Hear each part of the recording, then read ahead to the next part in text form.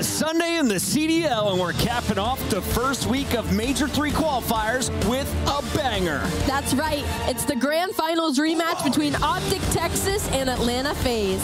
Will FaZe continue their reign, or can the Green Wall get revenge? Plus, we'll see two new squads in action today. Surge and the LA Thieves debut the changes they made during roster meeting. It's all coming up right now on the Call of Duty League.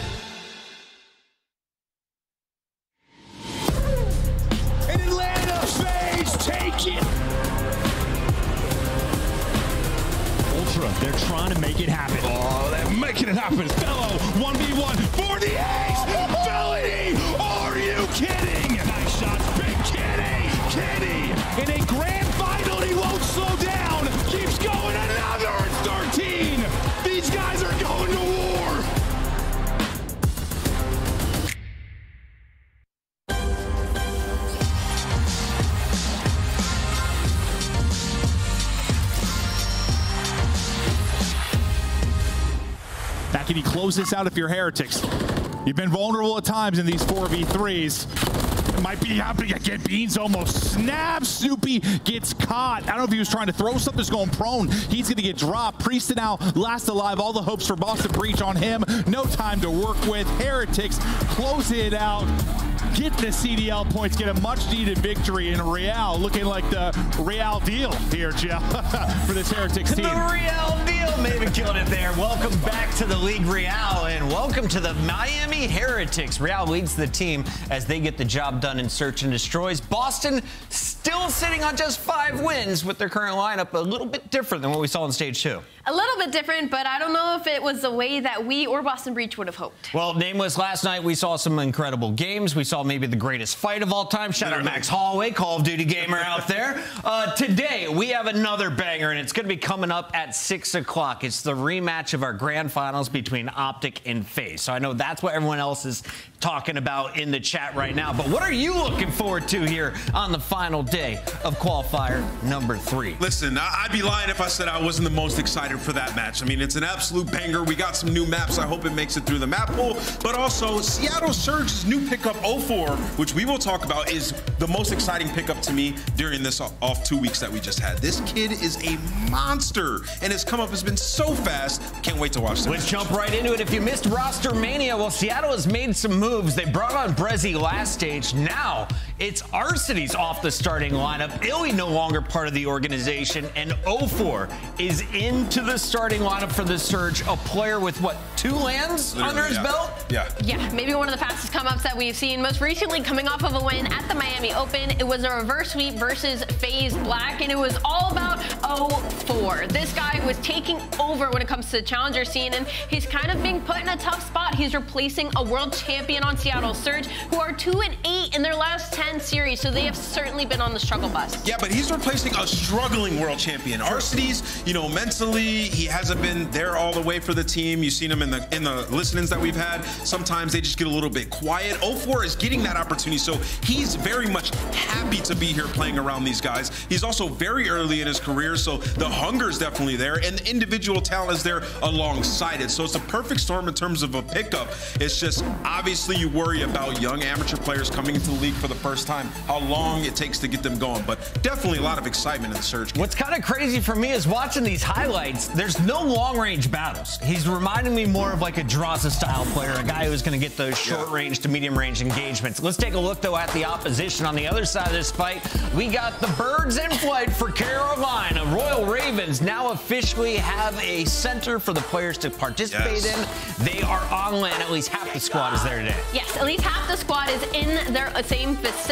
They'll be able to dap each other up. And this is a team that we have traditionally seen do well when it comes to LANs, right? They've done just enough in the points section to put themselves still in the running to go towards champs. So for Carolina Royal Ravens, not only is this a great first matchup for them to get the vibes high against a struggle, struggling Seattle Surge, but they're coming off a pretty strong showing at Major 2. And Nameless, I felt like the crowd really showed that they still love Clayster. They love this Carolina squad, and they will have a fan base as they continue on to Major 3 up in Toronto. But Can you start to put together online wins if you're Carolina? Currently, you're outside of the top eight, and if champs was tomorrow, you're not playing for that big money. Listen, the chem is there. They know exactly what they need to work on. We talked about the map pool and how the maps that got taken out was Carolina's worst maps. They now have facility. It is a perfect storm, and I totally agree with you. The fans seem to root for them because their matches are just so exciting. It's something about Carolina when you watch them play their level of play. It's awesome. It comes down to that final hill quite a It bit. does, Let's talk a little bit about some of the other roster changes that went down. Allie, you have been asking for this one for a minute.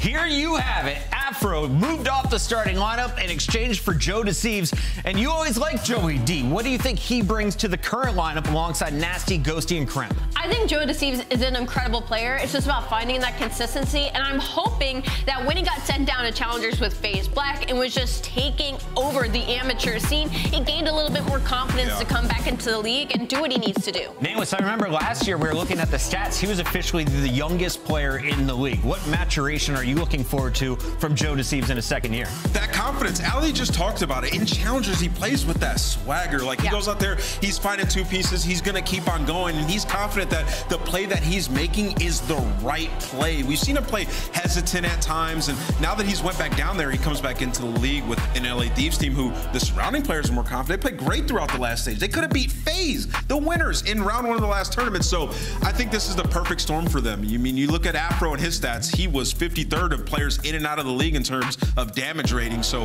there's a lot of things that Afro wasn't doing right that JoeDeceives can fix for this team. A lot of inconsistencies there. They're looking for consistent play out of Joey D, the mini Joey D, we call him around this house. Let's take a look at their opponents on the day because it's not a good fight on paper. LA Thieves lost to LA Guerrillas on LAN, and LA Guerrillas got smoked 3 0 by Legion yesterday. Yeah, I mean, these are the gatekeepers of the top four right now. Sitting at the fifth seed overall, they have jumped about two teams to get here, and they are looking absolutely incredible. Their respawn has not missed a step since that major two, but now even their search and destroy is looking better. We do have to take it with a grain of salt because they went up against LAG, who, yeah, first in S&D in the league, but when it comes to online, it's a completely different story. So for Vegas, I'm interested to see how those game two and fives go up against the LA Thieves today. What is the strongest part of this Legion squad right now, Nameless? Uh, I would say their respawn game. It's pretty consistent Yeah. Aco- across control and hardpoint. They play extremely disciplined, and you got players like Attach and Geo who are going to ensure that consistency throughout uh, their respawn. So I think for Vegas, they're just a tough team. Like Ali said, that's a really good way to describe them. They are the gatekeepers. I- You're going to break in the top five, you got to go through them. I see the chat talking about Geo today. Do we like Geo or Attach for overs? Geo, I'm Geo. taking his overs, man. I'm telling. Attach's but been great. Geo.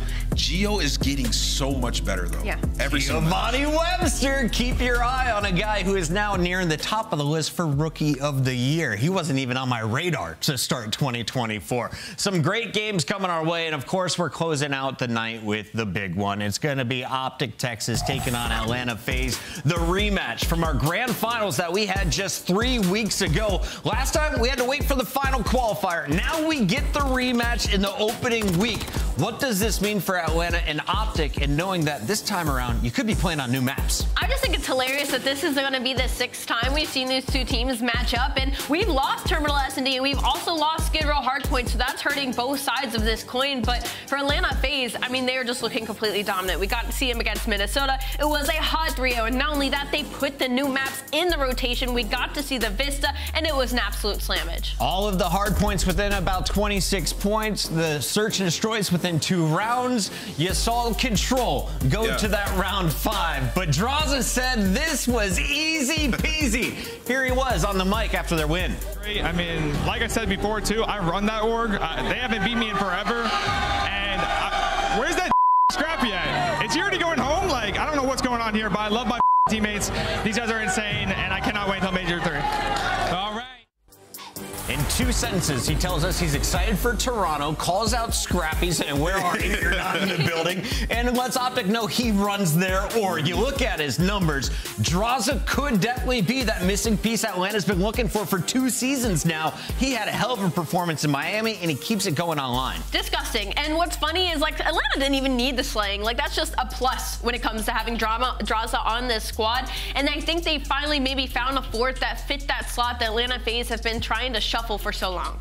On the other side of this fight is Optic Texas. The fan favorites in the chat already cheering on their team that won't play for another three hours. But Optic, no matter where they go, they give themselves opportunities. And if you watched yeah. them in stage two, Nameless, this was the most clutch lineup. Whenever they had a pressure moment in game, this was the team that came through on top. Yeah, they have those types of players, right? Except when they go up against Atlanta FaZe. I think, you know, with the map change we had last split, adding in Rio, another dynamic to their game, right? Like they could play but that that in both game modes, and uh, they became one of the best teams in the world. Now we're adding Vista to the map pool, six star. It should be just like Rio in terms of the SMG yeah. gameplay, right?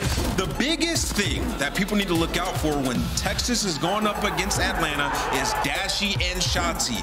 They literally get smoked in this title versus 0.8 and a 0.77 respectively. The superstars go dormant. You could see 0-5 against Atlanta FaZe. It just hasn't been a good time. And it's crazy because historically, technically, Optic has been on the winning side of this, but for this game, it has been all Atlanta FaZe. And that's credit to Drazah, right? Yeah. Because he said his record against Optic is just so good. So Atlanta go and grab him. They say, all right, y'all ain't never beaten us. That is crazy. A 0.2 KD difference. 0-5 versus FaZe. 17 and 2. Only two match losses to everyone else in the league. Some ridiculous numbers and an awesome rivalry we have brewing here in MW3. As we take a look at the schedule today, remember we're closing out week one with three matches. It all starts with Seattle versus Carolina Royal Ravens, and that is coming up on the other side of this break. Stay tuned. This is the Call of Duty League.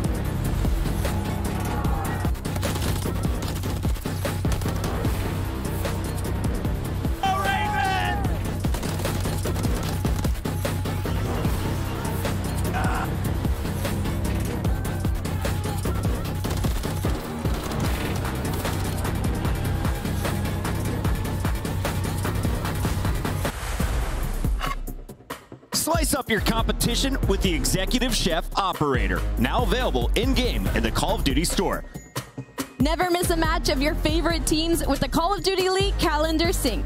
Here's the fun part. When you add a calendar, you'll also receive a squad up calling card you can use in-game.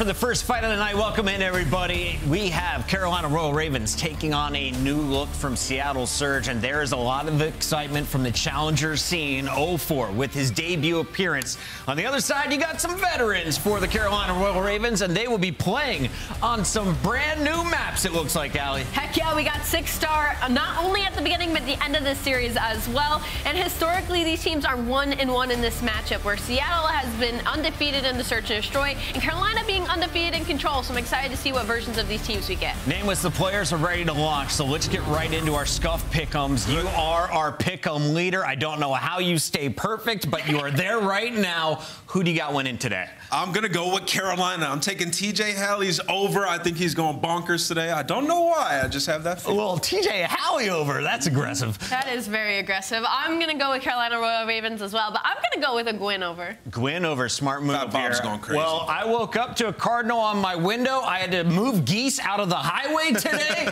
it's all about birds in my life. Carolina Royal Ravens are a clean sweep across the desk, and the fans, they're going to join us. We got your match ready. Welcome back for a Challengers player. Why not bring in some of the best Challengers casters in the CDL? We got Study and Shift. Shift, how good is this guy?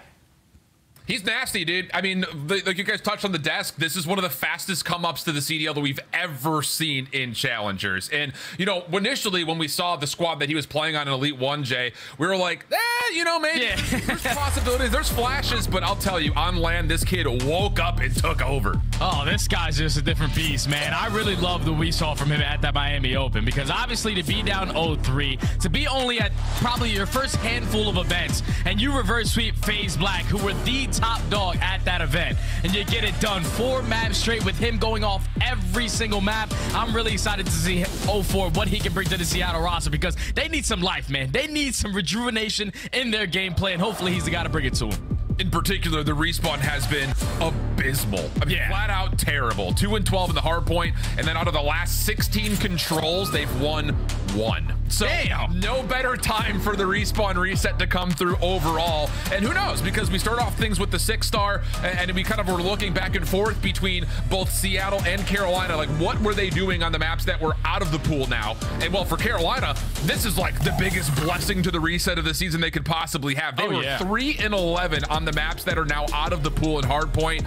So that's going to be good for news for them, just getting that invasion out of the picture in particular. Oh, yeah. You see the stats right there. Old maps, at least the ones that were out, 3 and 11 on those. We're talking about the the Invasion. They were 0 in the Invasion. I don't know why they played it so many damn times, but finally that got removed for them. So if you're Carolina, you're feeling great when you talk about the HPs. The remaining ones that you have, you have an overall 10 and 7 record. Now you're going to start off with a 6 star. You're feeling great. You have the SMG players, and then you also have a couple players who moved into the same facility now. Carolina, they know exactly what it's like to be good on LAN, but now they're putting their focus online to make up more of those points and they need it badly. This is a bubble yeah. matchup right here. Two teams that are fighting to get into the top eight. And like you mentioned, you can kind of already see over on the right-hand side, both Fellow and Gwinn have moved to Charlotte. Clayster trying to get on the way. TJ apparently is supposed to be moving on Monday. So Carolina, it feels like the season's almost just starting for them. Oh, Rejuvenation yeah. through LAN, it just comes down to can they find a way to perform online and keep the consistency that we've seen in person from them.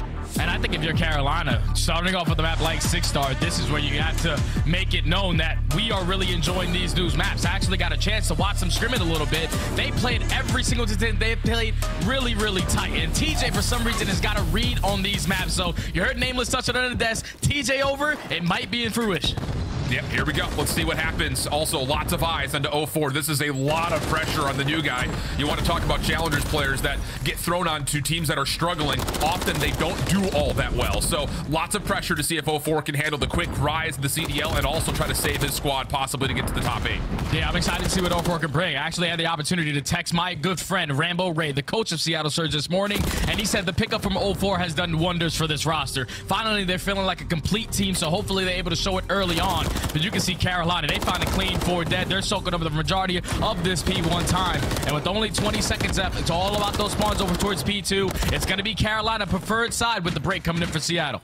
Yeah, this is all about what can you lock down here with spawns, like you mentioned, for Carolina being so darn close to the backside of this upcoming second hard point, right inside this giant palm tree room. Breszy, little water route on the outside. No one's really looking for this. We talked about this, Jay. Often it feels like people just ignore the water because of how difficult it can be to manage. Breszy finds two, and Seattle find the quick breakthrough. That's perfect right there from Seattle to know where the pressure's coming in from and withstand that first push coming in. So now Carolina have to rally the stuns and nays to try to find an opening on the map, but they can't get past Breszy, who's been holding down this overextension through the bridge side, and Carolina have not been able to sniff even close towards this hard point. You have a couple players going on a pinch, so a potential break going to come in now. Yeah, a little split spawn situation, but Breszy picks it up nicely. Gwinn, though, pistol out for a double. Now it's just down to what he could do versus 04, and oh, hello. Both players running out of ammunition, but 04 is able to get the better of one. Enough time delayed for Huke to try to give one more go at the hard point, but they do get bounced back. So Carolina looking at the last scrap time here, pretty successfully, all things told. Abu's the last one left, and, well, he will be flushed out in the 1v1, so this battle for scrap, not really where the focus goes, as we've got Gwinn on rotation early, winning a key one over towards P3. Oh, yeah, but you would take that if you are Seattle. You apply pressure early on towards P2. You know that you were the team at least controlling the spawns early on for this P3. But with Gwinn winning that one-on-one through the back end, now you have to put your focus towards the backside. And that's an early two kills coming in for Carolina. The trades are going to be there for Seattle. So it's an all-out mix fest in towards the P3, but you see Carolina, they're starting to set up the pitch. They're finding the kill. They should be able to find the break.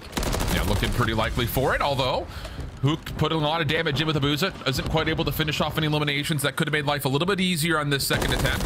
Breszy timing around the back gets caught, and that is a clean feed here for Carolina. Still 30 seconds to fight for, but Breszy does spawn behind, Ooh. and the Ravens are not expecting this. Yeah, there's no way in hell they're going to be able to read this spawn. Breszy's going to be able to at least get one for his endeavors, but the trade is instantly going to be there. Now it's on Gwinn. Can he hold on for the rest? No, he cannot. So with only 15 seconds left, that's going to go in favor of Seattle. But now we're going to a P4 where I feel like on six star, this is the hill where you can potentially set up for full 60. So let's see how Carolina set up. Opening shots will happen down towards this bottom side. Over the top of the headies, most of these gunfights will persist. Fellow trying to make his way forward and finding a double. Really well done. Gwinn also setting a front line just in front of the U-turn. Good read onto 04, who can't quite finish off the kill. 30 HP remaining. Just another bullet was needed, but not going to come through. And the last couple of Seattle players are going to get picked apart right in front of the hard point. Oh, but see the spawns, they're not going to flip. And I don't know if Clace is going to get a read on it. You know that the pressure's still coming in from the front, but at least you win that one-on-one. -on -one. The rest of Seattle spawn behind you.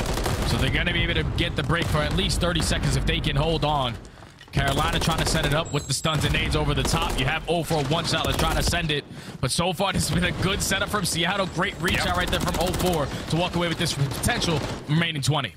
Yeah, I, you know, looking at the respawn tendencies for Seattle, they've always been really good at rotating early yep. towards hard points, but they've never really been successful in holding any significant time. Where on the flip side, Carolina has been kind of forced to have to break a bunch, but they are one of the top teams in the league at doing so. So it's interesting because the patterns to this point have kind of been opposite. Carolina's rotated great, just haven't been able to hold for more than about 20 seconds, it feels like, per rotation. Yeah, and there was also a big issue with Seattle Surge finding Brace as well. They just couldn't find any success in HPs if it wasn't rotations, but so far, the new roster is changing that story as they're currently up by 25, but now we're going into the pool hill where it's very, very difficult. You have to make sure your Michael Phelps, your pistol is hitting from long distance. The route right there from Clayster, just swimming around, finessing with his life, staying contested as long as his teammates can help. This is unreal. Oh my God. Just using the water as like a bulletproof vest at the moment, even getting the regen off. Him and 04 looking for the pistol battle, and it's actually a teammate that eventually takes him out of commission.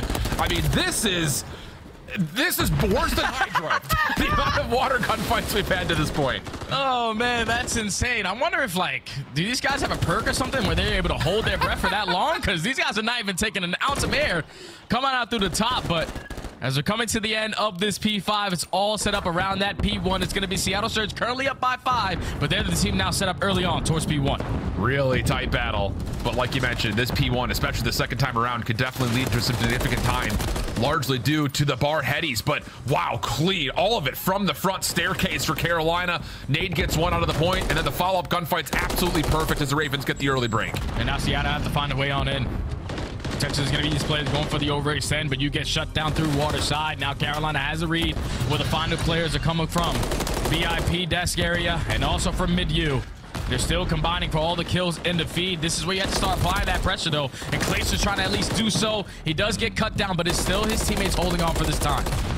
Good help from TJ and Fellow on the backside of this, but now it's just down to Fellow. A little bit of a sloppy gunfight over the top of the railings, that leads to Seattle once again confirming some very important scrap time. Keeps us right about an even game. This has been a thriller to this point. Really big 50-50 tug-of-war game, and now we look over towards rotation, and Seattle will own this opening palm tree to start. Yeah, this is what you expect though. When a map is freshly into the rotation, teams only had like probably a couple days to scrim it, so everyone knows at least one way to play it. So every game basically is going to go down to the wire. But with TJ finding three through the front, Seattle was not expecting that. That early break is going to come right on in as TJ finds all four. Can he find the fifth? No, he cannot. But now his teammates are here to contest it. Little 50-50 battle, 2v2. Clayster sneaks up through the pool side. That's enough to break the hard point open. Breszy down low in the pit. Not going to be able to find the successful re-engagement. So with the proximal spawn, Seattle looking to find a way to break and have to rotate. Prime time to see how the Surge are coming. He's pushing, he's pushing up. Ivy help, I Ivy help, I Ivy help. Nice, bro. I see that. I saw one close, I saw one close. Let's, let's go mid and the left, guys. He's chowing dead. Yeah, I'm going, I'm going. We have the first kill, guys. I'm pushing front fast. I'm pushing mid, sorry. Hey, go I'm here. I'm here. I'm here. I'm coming with you guys. Sleeping. One's gonna be on my right, bro. One's One Keep pushing left, keep pushing left. One HP, one HP. He's not pushing, he's not pushing. I'm on the left. He's gonna... I got stand, guys. I got stand. Pinch, pinch, pinch. Take your time, yeah, take your time again. Nice. It's Stay alive, bro. We can hit front. On the left, on the left. Nice, let's go, let's go, let's go, let's fight this. He's weak, he's weak on time, guys. I'm going front, I'm going front. He's behind I'm going, I'm going mid. Let's go away, let's go away. Nice. Nice, Come away, nice. come away still. Watch, he stuck me, he stuck me, bro. There's two on time, two on time. He's watching the hop up, he's watching the hop up. On right, on right, under death. One shot, they're both weak. Right there. Behind that, Charlie, one. He's weak, he's weak long. Chowing up front, chowing up front, chowing up front. He's dead, dead, dead. Nice. Nice. One's gonna hit mid, P1, I think. Just one more time, one, one more hit. I'm, I'm here, I'm waiting for you. One, one is I got building stand, with I I'm got stand. I got naded. I'm one HP. I think I can give him Yo, that. Don't cut me, cut me, cut me. I'm would- killing mid, I'm killing mid, guys. I was one shot. I'm here. Hit the shit, hit the shit. In ordinal. One HP, one HP. He's jump behind you. There's two, two I'm shots. in One could already be new, one could already. I've just Uh, one. We're good, we're good, Pass one deep, pass one deep. Let's go you. You're on me dead. Nice. I'm on you. You again. He's one bullet. One bullet on green, ult. guys. He I'm dropping fast, I'm dropping fast. He was one bullet. Okay, okay, I'm going, I'm going up here. Come on, left, Yo, yo, Nice, I'm- left, left, left, left in the room. That's huge, that's huge. That, that, that. I'm sitting above you. coming, we're we're coming, we're coming, we're coming. I'm laid down, I'm laid down, I'm laid down. Win! On your left, on your Watch out, left. Clay, watch out, watch Dead, dead, out. dead, right, right. Still, Oh, yeah, okay, okay, okay, okay. I'm That's good, I'm good. it. Get a All stitch, front, all front. front, all front, all front. We have Get pinch, we have pinch. I'm with you, Jordan. He's got a stitch. I'm just rushing right. I'm just rushing I have pinch. You have choke? No, no, I'm gonna have Right, right, right. He's healthy right. Yeah, there's three front, three front, guys. I'm coming to help, I gave up pinch. On the left, one HP fellow, guys. I'm, I'm, I'm not, I'm not HP. touching, I'm not touching. Yeah, I'm saying your phone, guys. That's that's perfect, that's perfect. Keep keep putting that shit, guys. Win that. Nice, you're weak, you're Nice, top you're right, weak. stop, Don't stop, don't stop, tell He don't tell chopped me, he chopped me, he's weak. He's on left, on left, left, Nice. left. After, Top after, front, I have a guys. troop, I have a troop. I'm coming, I'm coming, I'm coming. That's a big 20, that's a big 20. Yeah, yeah, yeah, I hear you. I'm on top. It's nothing I'm here. I'm trying to win one on Yeah, him. stay here, Revive stay him, here. bro. I'll play mid, I'll play I got it, I got it. He's close new, yeah, yeah, they're rolling, they're rolling. We gotta take our time on the break. Tell you what, Jay, they sound rejuvenated. I mean, we've had Seattle listenings over the course of the last month and a half where it's just like, yeah, one here. Okay, I'm dead. and these guys are fuego right now. They're really getting energized. It's that new vibe, that new team feeling, that honeymoon stage is starting to hit different. I thought Carolina at the end of that P3 was going to start to pull away with the game, but Seattle Surge respond with a great full 60 hold at P4 to put this basically down to the wire again. All tied up at 195. They're in full control of the pool hill, and Carolina cannot find a way on in. Keep in mind, you got to win gunfights outside and also work on your swimming skills because they're working to wait for the break now. That Huke gets an important two front side of the hard point, but the hill does go neutral for a time. Breszy last one up, and they know exactly where he is. But Breszy, okay, smokes him now on four in a row, and his ability to possibly stay in this position with a trophy and possibly earn a cruise missile could just blow this ending wide open. Carolina to find a break. Yeah, they need to find a break, and you need to take care of Breszy. They do just that. Should at least eliminate Breszy for now, but they cannot find the player in the water.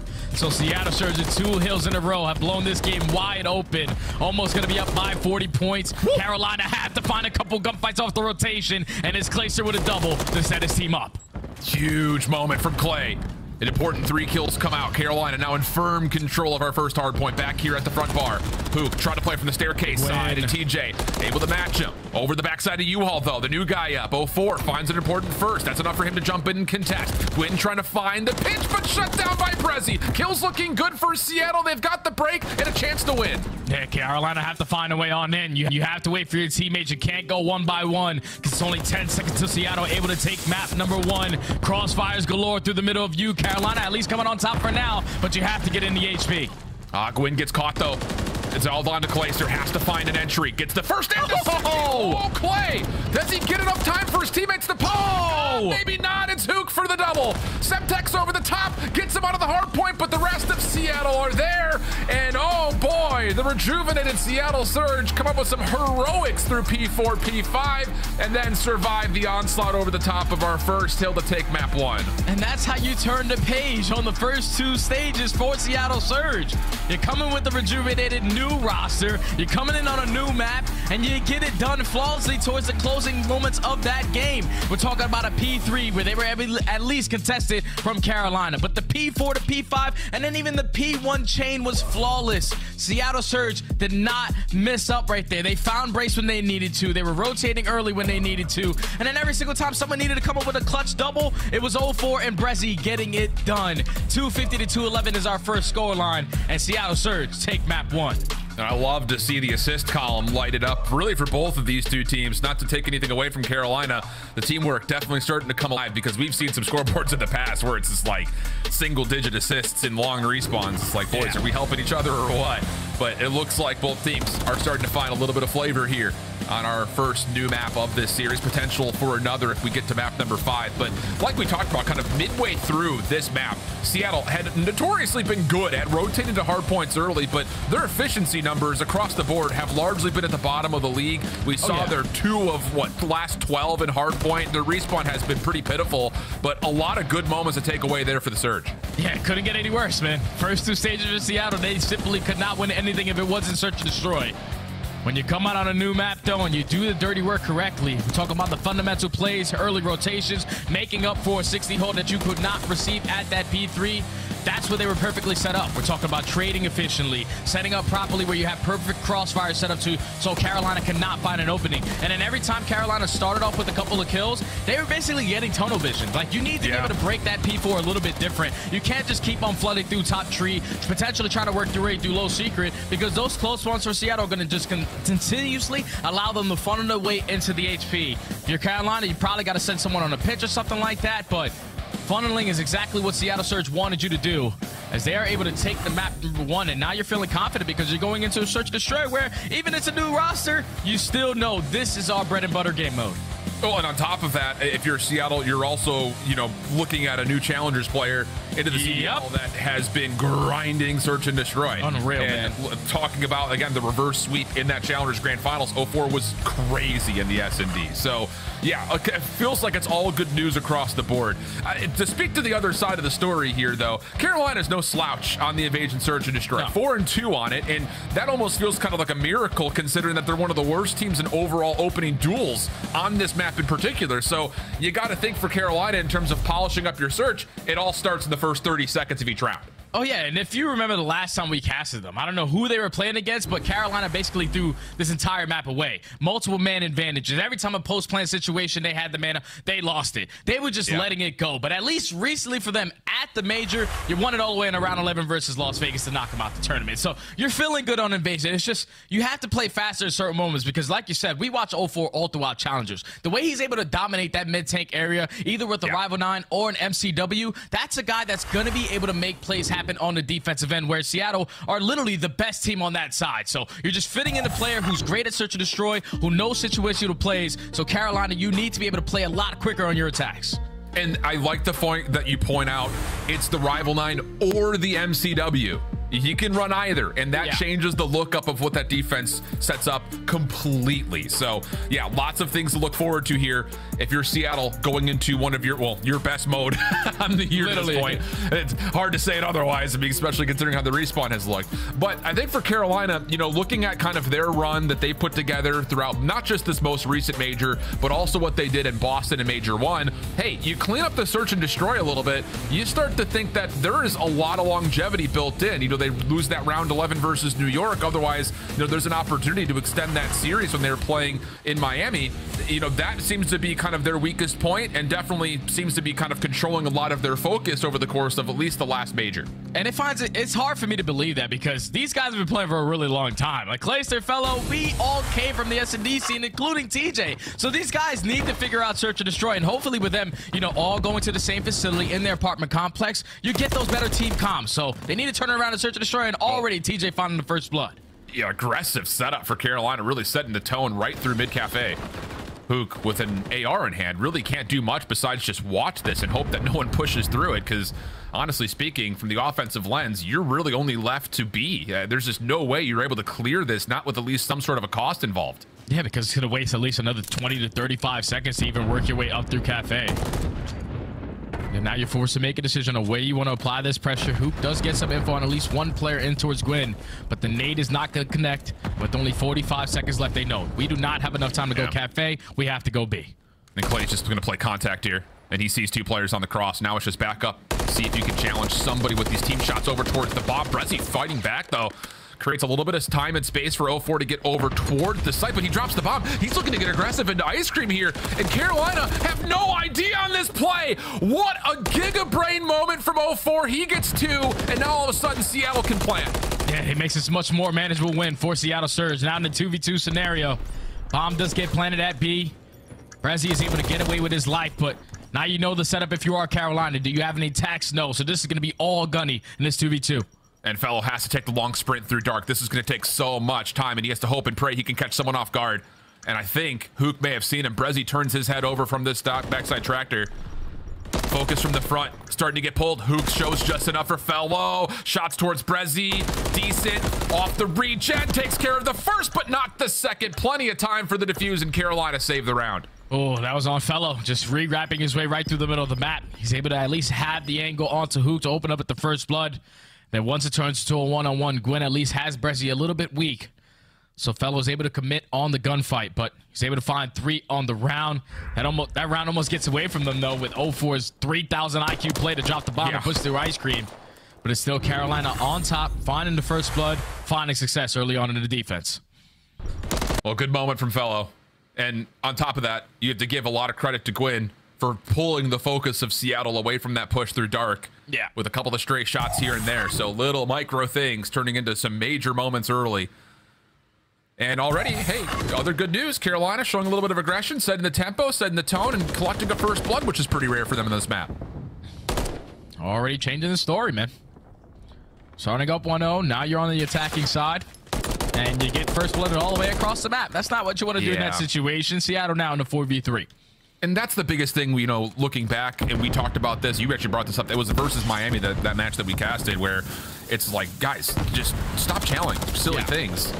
This one in particular is just kind of a forced play through smoke, seeing if you can get away with something after the first blood was tallied. Not going to happen. Clay able to isolate on one, but he is about to be completely overwhelmed here at Broken, and no chance for him to find any space to work with. Yeah, right there. Carolina's like, all right, we got first blooded, so let's just try to take mid map. And TJ tried to make an individual play walking through the smoke, but Abuzah was perfectly set up to locate where he was. And that just definitely, you could just tell, it threw Carolina off guard. First blooded in the first 10 seconds. That's not the way our attacking round was supposed to at least develop. And Seattle Surge, they take a full advantage of that. Tied up at one. Yep, good stuff. And look, just stop peeking. that, that's the frustrating part about this Carolina team at times. It's just, you know, I get it. You want to play for info, but you don't have to force any gunfights. Not across the map like that. The risk versus the reward often doesn't come through as much as you'd like. Another aggressive play. Gwinn going to step immediately over towards the glass here at this front cafe building. And he's going to see a couple of players. Alarm bell starting to ring, but the team shot's better. First blood again for Seattle.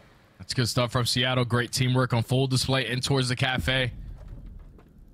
And now you can slowly work your way up through mid-tank because you know that Gwinn loves to be the player, at least covering over towards that A site. As everyone is just trying to use their attacks to isolate this player towards the middle tank, at least blow up that trophy system. You set up Breszy for the kill. Instant 4v2. Yeah, great isolation. TJ trying to step forward to create something on the backside of this flank, but he's going to have to rely on Clayster finding some good timing, and he will not be able to. So, TJ, collect what you can at this point. 1v4 plus the defuse required. And wait a second, couple of overchows, a little bit of overheating here from Seattle. Gives TJ a chance. He's still got smoke to play with. Yeah, he's got a lot to work with. The nade, the smoke, but not the gunny. As Seattle surged with the numbers, even though TJ hit some great shots onto 044 double, just too strong on the post plant setup. You get the first blood, you take full control of Cafe, you're able to find the second as well, and then read the player going on the deep pinch as well as the guy going through midcourt. Seattle Surge not making any mistakes so far in the final two in the last two rounds. Yep, all of it coming with good numbers. Yeah. And that was, you know, again, when we talked about any iteration of this Seattle team, especially at the beginning of the year, they looked like they were going to be the search and destroy demons of the league. And a lot of it came down to not throwing away good numbers. So good discipline still coming through here for Seattle two rounds in a row. Abuzah sees, I think, a couple of the players aggressively pushing through A Street. Huke trying to find the best corner he can. But the back door pops, and he needs to watch a couple of things at once here. And he very wisely finds himself in a position just to mostly read this play through back freezer. Yeah, I swear that door was just open, right, Alan? Am I tripping? I, I it was open. I swear I to God. thought it was open, but all right. I guess it ended up closed, but unfortunately, it opens at the wrong time. Huke gets taken down by Gwinn. That's an AR up close and personal. Able to find that first blood, but now if you are Seattle Surge, you know where the pressure's coming in. 0-4 able to find the kill onto FeLo to at least even up the numbers. Yep. Bomb though being planted. 04 gets a look at TJ, but not in time to stop the plant nor find the kill. So the post plant for Carolina all played over towards Cafe. And Gwinn just kind of gives away a freebie here. Decent read from 04, but the shots aren't clean enough. Abuzah in trouble. Has the pistol out working with Breszy, and they do collect the kills pretty darn cleanly. So now you're at a 3-1 tally. Cruise missile earned, and Seattle seem to be all steam ahead. Yeah, and if you're Carolina right there, I know you get the bomb down, but if you're the island player and FeLo, you cannot lose that one-on-one gunfight to 0-4. At least get bad timing in that situation because you could potentially catch him on a deep pinch. But once you give him that free kill, he turns it into a 3v3. He's able to get the info that the bomb is also going down at A. Everyone backs Yeah. up into Cafe. We can push right up through Courtyard. We can take mid-tank control. And Seattle Surge did not miss a beat in that situation. Super aggressive up through the middle of the map. Abuza finds a couple of kills. Like you said, earns himself a cruise missile. And now that's three rounds in a row where Seattle Surge are just making up for it, even when they don't have the numbers advantage, playing great. It's just good proactivity, and that's kind of always been the staple of the Seattle Search and Destroy. Is that hey, you know, they may lose one in the process, but it's in the midst of making a play happen. In this particular case, it's all about trying to control the middle of the map, and in particular, really focusing a lot of attention towards that front cafe building. And it's worked out really nicely for them on the ability to kind of even in 3v4 situations early still hold great power positions. And I think on the other side, if we were to really be critical here, hey, I mean, if you're Carolina, you've overchalled a couple of times where you just don't need to, right? And, and you could just slow things down a touch off these first bloods and, you know, just try to make a little bit more of a heads up play around where your post plant setup is supposed to be. There's just also different scenarios on your attacking rounds where you're not going to really find a lot of success planting that bomb at A if you don't have mid-tank control. When Sure. you're giving that completely up to Seattle and you're only putting pressure around A site and in towards Cafe, you give them a free avenue to put themselves in an angle to watch you at least walk away from the site or p- know what your post plan setup is. So that's one thing that if you're Carolina, you have to be able to take mid-tank control, even if you find the first blood, to properly set up for that post plan. Yeah. And hey, just kind of looking at it overall, for Carolina, they are the second best team at planting on this map, but the seventh in post plant win Yeah. percentage. So it really just goes to echo the point they're off the numbers. But as we kind of keep framing it up, you guys might be thinking we're getting a little too twisted here for a Seattle versus Carolina game. But friends, believe me, you, this is a critical matchup Oh, for yeah. both of these two teams. Not only because of the recent roster changes for Seattle, but they find themselves separated by five points. And not only that, you look up to the team above you in Miami. Hey, you're only 10 points behind if you're Seattle, so you have a chance to put yourself in an immediate tie for top eight. And uh, that's the big, you know, towards we get to the end of the season, that's the big focus area. I mean, you've got the, all those teams on the right side of the leaderboard within the possibility of at least finishing top eight, if not better. And whenever you play someone between seven to 12, you best come out ready to win. So, Oh, yeah. pivotal bubble matchup here. Yeah, the bubble matchups are always the best, especially at this point in the year. We're already past that halfway mark. Every single team knows we are doing our best to walk away with a lot of CDL points. That's why Carolina, after Major 2, they're all going into facility because they know we need to get some online wins. We can't just rely on our LAN performances going out there and get multiple top sixes, top sixes for us to make it in towards champs towards the end of the year. So, like you said, everybody on the right column, it's it's bite down and grind right now. You have to be able to grind through these online matches, and hopefully LAG can figure something out because those guys suck online. I don't know what the hell's going on with that. I mean, it's really it's been kind of the cataclysm statement of the entirety of this season, especially for the bottom four squads. And if you're wondering why we're on camera, not the game, we are dealing with a bit of a player issue, a little disconnect at the end of that round. So we'll get everything reset and put back together here for you guys. But hey, I mean, I think this is probably one of the first times that we've seen in the CDL this many amount of changes to the map pool at the exact halfway point and it comes with a lot of the teams at the bottom of the leaderboard making pretty significant roster changes. Maybe not just one player but some relatively unknown players are making their first debut. Other long-standing players that have kind of dominated through challengers finally getting their chance kind of looking at players like pentagram in particular for that storyline. Yep. it feels like a reset of the season though because of the new maps that are now in the mix where it almost like, hey, throw away everything from happened in December. Let's just reset, play against the other six teams that are on the bottom of the leaderboard, make it to playoffs, and find a chance to hopefully improve upon what has largely been for these teams not a very successful CDL uh, career to this point. Yeah, I feel like for every single stage, the, the, game has changed. Stage one, we're going into stage two. We got all new hills, a couple new maps. Like everything was changing so far, every single stage in the CDL. But back into yeah. the game we go. I'm really hoping that Abuzah still has that cruise missile to work with, but I'm looking at the numbers. Yeah. Everyone's sitting at 0-0. So he might not have that cruise missile to work with. But it's 3-1 currently for Seattle Surge. The reset comes in, and that, that, means that there's no trophy systems over towards this B point, but 0-4 gets some early info. Someone has to be close. All shots are decent. Good help coming through, but the same can be said for Carolina, who's actually getting a little bit aggressive towards DVD at the same time, trying to pinch up this play. Hook will be stunned, but he's able to create enough space and distance to stay safe from it. Aggressive hit, though, around the pinch for Carolina, and it doesn't amount to too much. So Clayster has to back off. He has to value his life and hope that FeLo's gone unguarded to this point as he tries to make his play forward. Yeah, that's one of those situations where if you're Gwinn, you have to just play off the info that Clay's able to give you. If they're not aggressive up through broken already, you can't give them a free first blood. Even though Clay's able to find the second kill and at least turn it into a 2v2, you are forced to break in towards the same exact setup, and you have two nades and a stun to work with. Well, this feels a bit familiar. FeLo from one side. It's Clay, though, on the other side instead of Gwinn from before. Nade being cooked. It looks like it's going to be pretty darn good. And, yep, it's a Semtex that takes care of 04. Breszy, same spot. Front side tractor getting pinched up, finds the first pistol. Oh, oh he knew he had Clay weak, but the shots from Clayster too good, and the defuse will come through, getting Carolina their second round. Oh, good stuff right there to Carolina to clutch up in the 2v3. Clayster gets it done through the back end, or at least even up the numbers in the 2v2, and then the team nade to take down 0-4, and then the difference right there from Clayster, can complete the friendly because FeLo just instantly ran at the tractor in the one-on-one versus Breszy, but Clayster plays his life in towards Ice Cream, waits for Breszy to go for the chow, and reads it to perfection. As Carolina able to stand strong on the defense again, now down 3-2. The retakes have looked really clean, honestly. And it feels like for the two that we've really had over towards this B site, they've been pretty desperate in nature. Yeah. So good stuff for Carolina defensively speaking. Clayster also with the ace will start building towards a potential cruise missile. Again, you got to keep in mind that Abuzah is no longer in possession of one since the reset. So how quickly things change as Clay is number five. The old man is taking over so far in the search to destroy. Can he find one more kill to earn himself a cruise missile? Seattle Surge again trying to clutch up in the man disadvantage and Breszy too wide of a shoulder right there. Gives a free one to Gwinn. So now it's a 4v2 for Carolina. This way you just stack up, push out one way together, play your numbers. Yeah, 04, lots of damage towards FeLo, is trying to red dot chase just to touch him. Whoa, he actually does catch FeLo before the regen comes out. So as the bomb swings over towards A, 04 has a chance to put himself in the spotlight. But as he tries to cross, he will be dealt with. Abu's the last one standing, and he could only find one of the needed three. So Carolina, a couple rounds in a row here since the reset, looking pretty good. Yeah, that's good stuff from Clay to finally open the first blood onto Huke, and then Breszy tries to make up for it with a kill through Dark, but he gets taken down.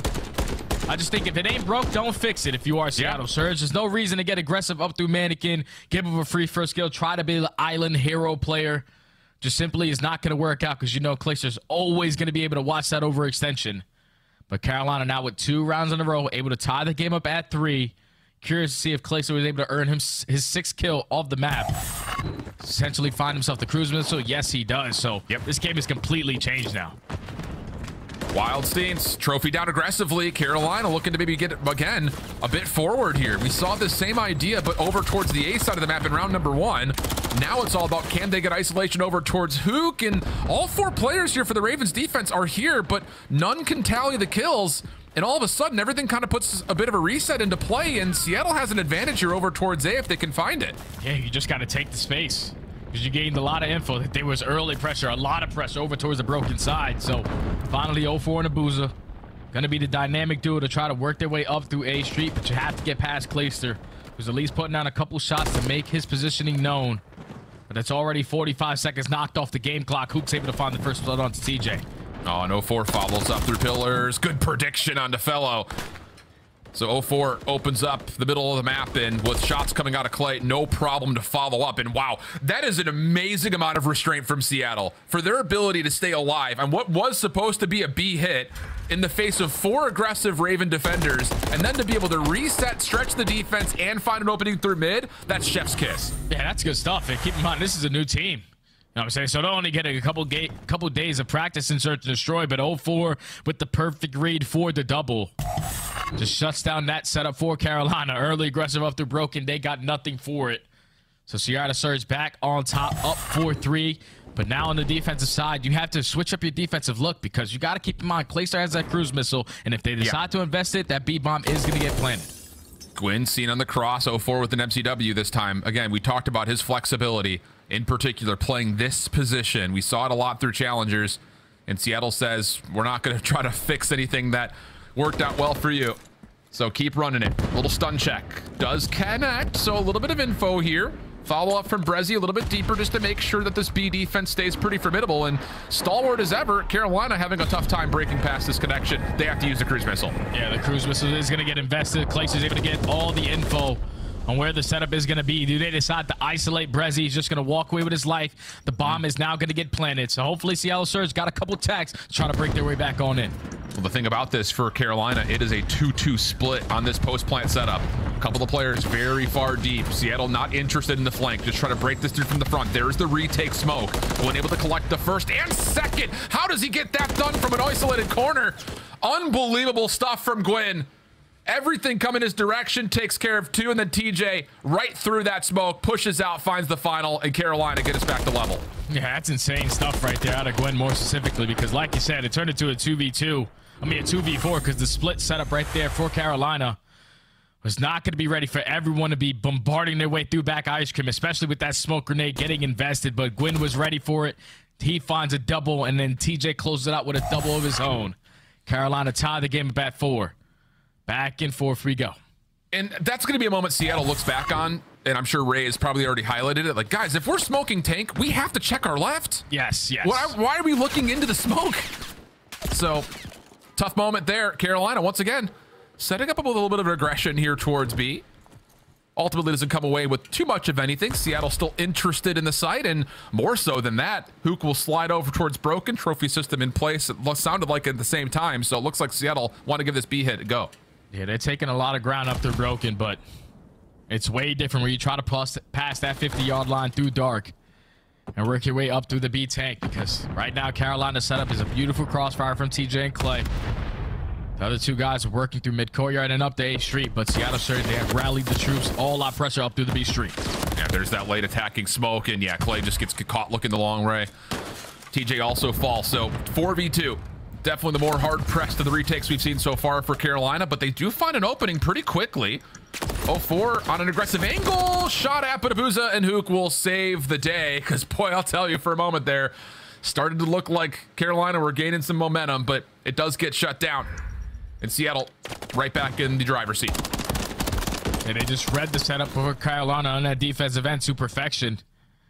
They said, there's no one contesting us for mid-dark. We at least watch two players cross over to, towards the tank. So let's invest our smoke grenade, at least isolate the player over towards boxes, and then find that kill on towards the tank. Get the bomb down, you play your numbers, you stand strong on the attacking round. Seattle Surge, now at game point. What's the call here if you're the Ravens? A couple of shots deep from Glacier, just trying to check the cross. Huke inside the front desk, not really able to see too much through the windows, so a bit of concealment here. Carolina taking a slow pause over towards the B site. will not really be read by any early information gathering from Seattle. This is really scares me a little bit because whenever Carolina play these slow and steady win the race kind of rounds, they wait to about the final 25 to 30 seconds to make a play. But on a map like Invasion, you're going to get an early read on where that pressure is coming in so you can set up properly on the defensive end to try to withstand that pressure. Mm. But it's a double stack over towards both sides. Already 45 seconds knocked off the game clock in Carolina. This time, they're rallying the troops to go to B. And it did sound like 04 had a trophy system behind him that has been deleted.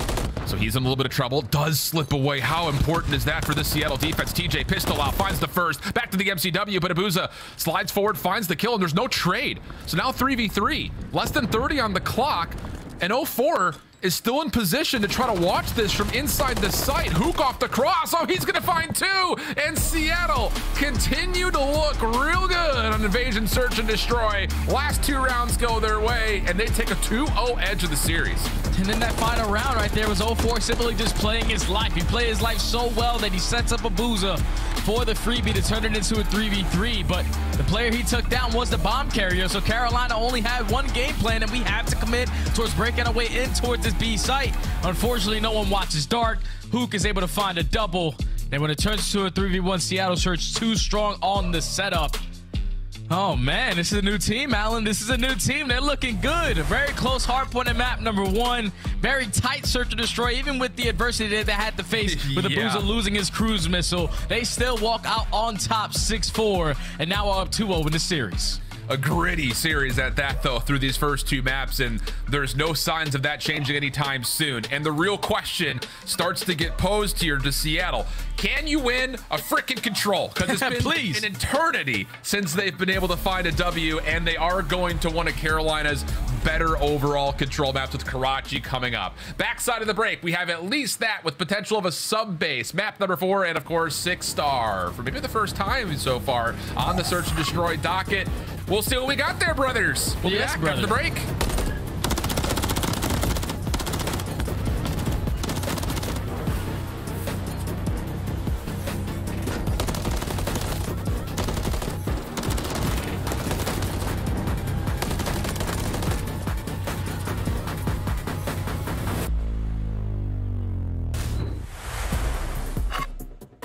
Upgrade your game with the SCUF, the official controller of the Call of Duty League. The Call of Duty League is brought to you by Monster Energy, the official energy drink of the CDL.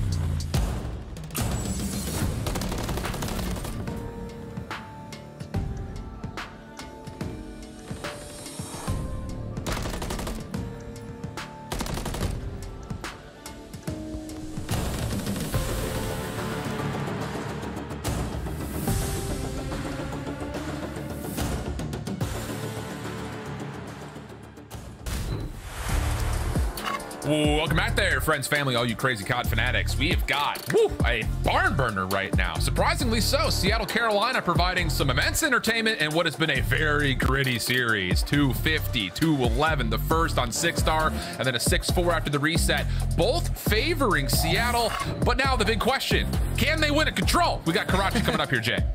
What are they like? 1 in 15 of their last 16 controls? Yes, sir. They cannot win this mode, but I don't know what to expect today because Seattle Surge, they're winning HPs. Obviously, they stay strong in Search and Destroy, but this new roster is looking great so far. As we take a look at the control metrics, it's not good for Seattle Surge. Everything is awful. 3 and 16, shout out Stone Cold Steve Austin. 1 and 6 in round 5s. Attacking rounds, not the best. Defensive rounds, not the best. And even on the opposing side for Carolina, their stats don't really stick out to you either, but they're a lot better than the way that Seattle Surge are looking. I did not have you giving me a Stone Cold reference on my bingo card today, Jay. I'm not gonna lie to you. WWE just happened, bro. Wow, biggest WrestleMania ever. You're twisted for that one. but no, I think here's the other part of it, and I think the community overall is probably going to agree with this. Hey, you know, Arcitys out of the picture has kind of provided Abuzah a chance to play a more aggressive kind of mainstay AR. 04 brings a lot of speed and tempo to the mix, and that's been where I think the attacking side has really suffered for Seattle. I mean, they just get put into trouble just largely off of the life count. I mean, they are on average losing by about seven lives per offense, which is not good, to put it plainly. so if they can find a way to kind of keep the tempo up, find a way to keep the slaying up, there is an opportunity to find success on offense. But we'll wait to talk about that when they get there, because first and foremost, it's Carolina starting on their attack. Yeah, Carolina early on, already onto the A point. You have a couple players from Seattle, though, already putting themselves in great positions. You have junk control, so you're forcing all of Carolina to try to work their way up to the map and overextend. But Seattle Surge, they're able to eliminate that player before he completes that first segment, and now you're basically put into a trap. Carolina have to fight out of their base. Yeah, really tough position to be in. Gwinn takes care of at least one member over towards the high ground, but again, the SMG aggression from 04 steps in, tries to set the line of scrimmage a bit further forward.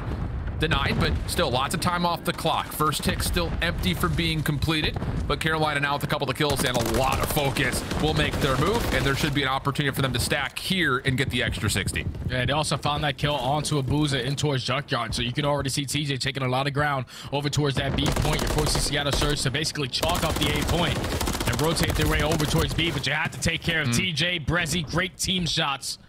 So at least eliminate him from back cafe, and now that's three dead in the feed.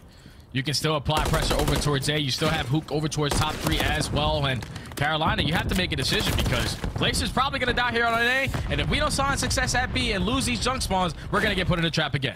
Yeah, it's a really good creative idea for Carolina, kind of getting around the back of the map while also getting TJ forward. But you're absolutely right. Player sneaks through and kind of causes a bit of delay. But off the respawn, Carolina right back in the mix. TJ really lighting it up. Lots of clean shots on the search, but this time getting surprised from behind. Help from his teammates is there as the extra 60 gets tallied in the same breath. And Clayster's double keeps this mixy as Seattle still struggles to get over the jump wall. Yeah, Seattle is struggling to get over this damn jump wall, and all the Carolina spawns are really close up and personal at red, so they're able to reinforce with the numbers. Just got to keep on trading efficiently. TJ with the double, Clayster with the third. 04, you have to try to get something done. You fall, but at least you do have one teammate over the hop wall. No, he drops as well well. So here comes the sack for Carolina. This is looking like their round. Yeah, very well should be. Time stops at 122. Two players still on. FeLo and Clayster just absolutely turning Seattle into mincemeat over the top of this dumpster, and there will not be enough time for Seattle to continue forward. Uh, definitely a call saying, let's not give away any more potential streaks, and laughter and giggles are to be had for the Ravens as they take their opening offense. Yeah, that was just good stuff right there from Carolina. It all started off by taking down Abuzah from Junk. Once you open up that avenue of attack to apply pressure over towards B, they did not turn away from it consistently spawning over towards close red, trading efficiently in towards bottom ticket, and then coming out on top with a clean two to three dead allows them to stack that point, walk away with the first attack. Clean stuff. Moment of hesitation, a little bit of a hiccup there, but largely speaking, like you said, pretty fluid, pretty pretty solid. And now the question that we've been talking about comes to the forefront of the conversation. Can Seattle start to find some success offensively? That is not well, how you want to start. it's a big nade over the top from Clayster. Now that puts him on five in a row. One off for earning himself a cruise missile. You can already see the setup for Carolina. Early pushed out towards Junk. You have been map control. And now all of Seattle Surge are forced to fight their way out through bottom chicken coop side. Huke finds one through the map. So at least you're able to put the game clock at a pause. But where the hell is the rest of Carolina? Because you know they're setting up for some pitches. Clean kill from Clay. That gets him number six. Cruise missile now earned. First tick of progress locked, but here comes the retake attempt from the Ravens. Really well done. I mean, the timing is so darn good. Clay from one side, FeLo from red, and then eventually TJ from behind. Completely clears off the zone, and now a couple of power positions starting to be earned by Carolina as they step through junk and force the Seattle spawns to have to go A. Yeah, they're going to force themselves to overextend a little bit, but now if you are Seattle Surge, you have to worry about your front, your side, and now the cruise missile getting invested. Carolina trying to get this one done early. They do not want to give up a lot of segments, even give Seattle Surge an opportunity to potentially fight their way back into this game. They're making sure that they are maintaining map control majority of the time. You Yep. see the sponsor of Seattle Surge all over towards that chicken coop side with only 30 seconds left. You have to try to complete A. Ooh. Little juggling of utility right there for TJ. Finds himself another key elimination. Topside castle. Good read on the hook. And wow. I mean, we talked about it on an average of seven lives is what Seattle loses their offense by. This one, way worse. 3 and 14 from 04. Just really not able to get anything going. And to be fair, not to really discredit him individually, but what do you do? I mean, Carolina's literally in your face from when you spawn up. Man, this is impossible if you are Seattle, more specifically 0-4. The ARs from Carolina holding out in every single lane. Your ARs aren't winning any of those gunfights, so you're trying to challenge with that rival down across the map. Carolina are not giving you any breathing room to even work your way out of the spawn. As they dominate on the defensive end, only allow two segments to get away from them. And you have set yourself up basically to call game if you are Carolina. You just got to do the same exact thing you did in round number one. Early pressure over towards A, but make sure you're trading officially over towards ticket to stack that point again. And it's one of those things like we got to give some credit here to Carolina. I mean, over the course of this season, the progress has been slow, maybe in certain regards, but steady. I think generally speaking, you know, we saw their success kind of with the immediate change starting to kind of lead itself towards hardpoint wins. Control started to kind of come around. Search and destroy has probably been the, the least or the last thing rather to kind of be, you know, finding the success train. But this has been really, really well constructed by Carolina. Everyone's helping each other. You've got players building streaks for one another. There's really no non-traded kills coming out. I mean, this has been near perfection for Carolina from start to finish. Uh, Clayster's turning back father time. 17 and 4. Already earned himself Yeah. a cruise missile.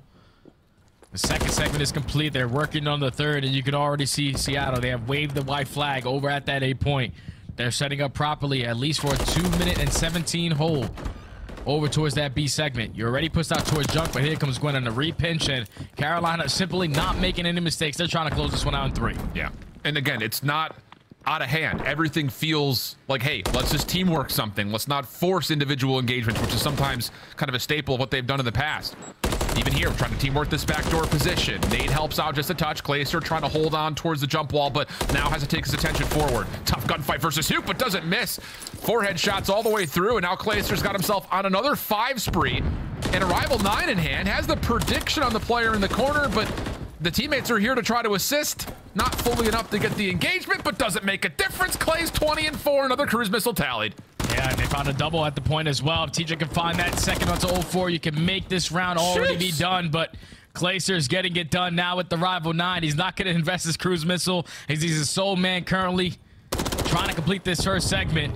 But he's getting a read on where everyone is coming in. Another great shot for the Yaves. Trying to make it nine in a row. Okay, old man, I see you. Wow. I mean, that is blinding from Clayster. TJ, a little bit of trouble. Tries to sneak away towards the back alley. Not going to work out. Life difference of five. Clock at 125. And finally, Seattle starting to get some some motion defensively over towards B. They've got 0-4 who snuck behind this play. Very unexpected from Carolina. And now all of a sudden, FeLo's got the shoe in the opposite foot as he kind of gets behind, but doesn't make a difference. 0-4 is now on four, and Seattle control the map. Oh, that's good stuff right there from Seattle. To locate every single player from Carolina, reinforce their numbers back over towards Ticket. Now only be down by one life. You're going to invest that cruise missile. Carolina trying to close out the game now. At least you're getting information on where they're set up, but nothing is going to be able to connect. So now you have to work your way up to the map with the gunny. Yeah, this is all about making a statement, it feels like right now for Carolina. Seattle getting picked apart just a touch over towards red. Still plenty of time on the clock here. For Carolina to make a move with a three life difference. Abuzah right through Soda Alley, able to help get this defense a little bit more dynamic as everyone was playing from the front, and Gwinn nearly transfers for the double, but comes up short. So Seattle clock their biggest ally, start to back away and set up their defense a little bit more neutral. And it's just one more push. All you have to do is withstand one more push because the close spawns come in for Carolina. FeLo with the first kill onto 04, all able to put the game at a pause. But a 2-2 trade. Back Oh. and forth between both of the teams. FeLo's able to find another. Now Seattle Surge, they have to just make their way on in. Oh, and the help from FeLo extends the double onto 04. TJ definitely in trouble. Second tick of progress, still being contested. Seattle will get over the jump wall. Tough gunfights coming through, and Huke just holds down the trigger and sprays for a double. Gwinn, possibly the last hope left. Not sure what to shoot at as his body's all over the point. Down to the pistol. This is essentially a 1v4 for him. Oh, the prediction is beautiful. Over the top, Bog gets caught. Seven seconds on the clock. TJ next one up. Tries to play through the back. Finds Abuzah. 5v1. Clock stops at 2.8, and Huke will be melted through the doors. Carolina take a 3-0 in the control. Oh, that's good stuff right there from Carolina to respond their way back into this series. They were the better control team on paper before we got into the map number three, and they get that one done with ease. Two attacking rounds, one dominant defensive round, and a great performance out of the old man Clay. This absolutely takes over, earns himself two cruise missiles, and in those final moments, it was FeLo and TJ. The fact that FeLo was able to maneuver his way around Cafe with that MCW, with the Renetti, he was keeping his teammates alive. Hmm. And they do just enough to close it out in three. Now we are forced to go to a map number four, which is going to be sub base. But if Carolina were looking for some life, you definitely got it after that control. Oh, big time. And I, I think a lot of it comes from Clay. If there was ever a player you Perfect want guy. roaring on the side of your squad, Yep. I think most would put Clay in the forefront of the conversation. 3,900 damage, 21 of 25 non traded. Call that the good old fashioned COD hat trick right there. All over the board. And a chance for Carolina to not just, you know, find a little bit of momentum here in this map number three. Sub base is not a bad map for them by any stretch of the imagination. Yeah, I'm excited to see them on sub base. I remember in the beginning of the season, they were one of the teams who always played all the top teams really tight. Their numbers might not be the best. Fifth in rotation, seventh in holds, and seventh in breaks, but they have a four and two overall record on the map. But every single game basically going down to the wire. And on the opposing side for Seattle Surge, just another struggle one for them with the old roster, though. Like we saw a completely different team in Seattle Surge in HP and map number one. So you find yourself up 2 1 in this series. Obviously, you do not want to lose the control the way that you just did. But you're going into a sub base HP where you have to be feeling good with the, at least the way you played in map number one. Yeah, 100%. I mean, like we talked about, really map one and map two, both winnable from either team's perspective. Very gritty series up until this point in map number three, where it's very one sided. And, you know, again, the conversation point here for Seattle, you give them a little bit of forgiveness with the not just one player recent change, but it does put a lot of pressure on the roles to also move around just a touch for Seattle. Yeah. You know, Booza kind of stepping more into that main AR spot that Arcitys was holding previously. So lots of question marks around the control for Seattle, but those aren't going to be individually looked at for this control because sub base hardpoint, this is going to put a lot of focus and spotlight on 04, who we talked Oh, about yeah. can flex, but he's going to have to here and really show up with an AR in hand. You really are because with the way that Clayster just played it at Karachi, you best believe he's going to try to chain it into this sub base. And on a map like sub base, where top three is very valuable, top slow is very valuable, those MCWs need to be felt. You cannot allow FeLo and Clayster to take over the game with Gwinn at certain moments, also pulling out that third MCW. So I just think if you are Seattle Surge, you have to do it with the teamwork. Same way you got it done in map number one to try to get it done in this map number four. Yeah, and again, looking at this reset through the halfway point of the year, there are going to be teams that look at this and say, "Well, thank goodness." And Carolina is, I think, probably at the top of the list oh, because yeah. the maps that have been pulled out of the pool have been miserable for them. Three and eleven, as you see on the hard point, but also the one and eight record on the two search and destroy maps that have been replaced. So you get a little bit of love here, I think, in terms of being able to go to maps that you have found success on. Really, the only maps in the pools for both hardpoint and search that you'd found success on come by the ones that are still standing. But this isn't just like a those inactive maps are gone. You've got, you know, a chance to possibly pull for the playoffs and top six. You still have to put the work in to Oh, learn yeah. six star and Vista to the highest of levels. Yeah, you have to play it every single day. We're talking about two new maps that got invested. You want to be the best as you possibly can be so you can be prepared versus every single team that you can go against. And the good thing for Carolina, like you said, is that they got all the bad maps out. The invasion is gone when they were sitting at 0 and 8. The Skid Row is gone when they were sitting at 2 and 3. So now you got a whole bunch of new maps and the maps that you were actually good at and performing well. As you took a look at the records right there, 4 2 for Carolina, 1 and 4 for Seattle Surge. But the biggest thing that's a difference is that hold percentage. On a map like Subbase, it has to be better holds because all these hills can potentially be full 60s. Seattle Surge have to have better setups in those situations. Yeah, flat out. I mean, Seattle across the board, not only are their points per hold really bad, but they also allow the most opponent, opponent per, uh, points per break that comes through. So it's not even like they're able to contest. They're just getting absolutely smoked across the board, even when they do well on rotation. So those are the focus points in terms of trying to improve this squad, get them into playoff form. Opening first kills, good. Gwinn still holding on to a little bit of room towards bottom glass, but does get shut down, and Seattle come away three for one. They start off on the preferred side, so they already have a lot of the power positions. And you find those initial couple of fights, but Breszy falling through top snow now gives an avenue of attack for Carolina to break their way up through P5 to try to take the map control to eventually lead to the break. But it's still Seattle Surge currently with the time in their favor. They have full water control, but here comes FeLo with that MCW up close and personal, able to find a triple, could potentially lead to the Carolina break. Yeah, Breszy last one left and does well to finesse for an extra elimination. That will slow down the Carolina rotation pretty darn convincingly. FeLo, though, does take down Huke, who was trying to gatekeep over towards the warehouse side. So there's an opportunity as the hard point opens up here at P2 for Carolina to flood from the front. Breszy playing really far back, but uh, does pretty well. Eh, not full hysterical edge, but pretty close. and there's a chance there for Seattle to try to reinforce. And now you set up 0-4, who was a player who did fall to potentially find a couple kills on the pinch, but he drops perfect read coming in out of Carolina. So know where the pressure's coming in. Now the rest of Seattle Surge spawn all the way across the map, but Abuzah is still here contesting with that MCW. He's able to find two, but it still leads to Carolina walking away with this remaining time. As now Seattle Surge with only 30 seconds left, you can try to be aggressive up through the front, but you're more focused on maintaining those back spawns for the next hill. And that's the thing, again, you, we want to talk about our words and statistics coming into a live example. It's right there. Seattle, perfect rotation over. You even get a couple of exit kills to make Carolina have to hit you from the front, and you still get broken? It, it just, you don't often see it happen. It's like a solar eclipse. Doesn't happen often, but when it does, it at least Pretty cool. captivates the attention of the public. Yeah. But now off to the rotation at P3. Seattle Surge at least won a couple cup fights through the back end and secure those back spawns.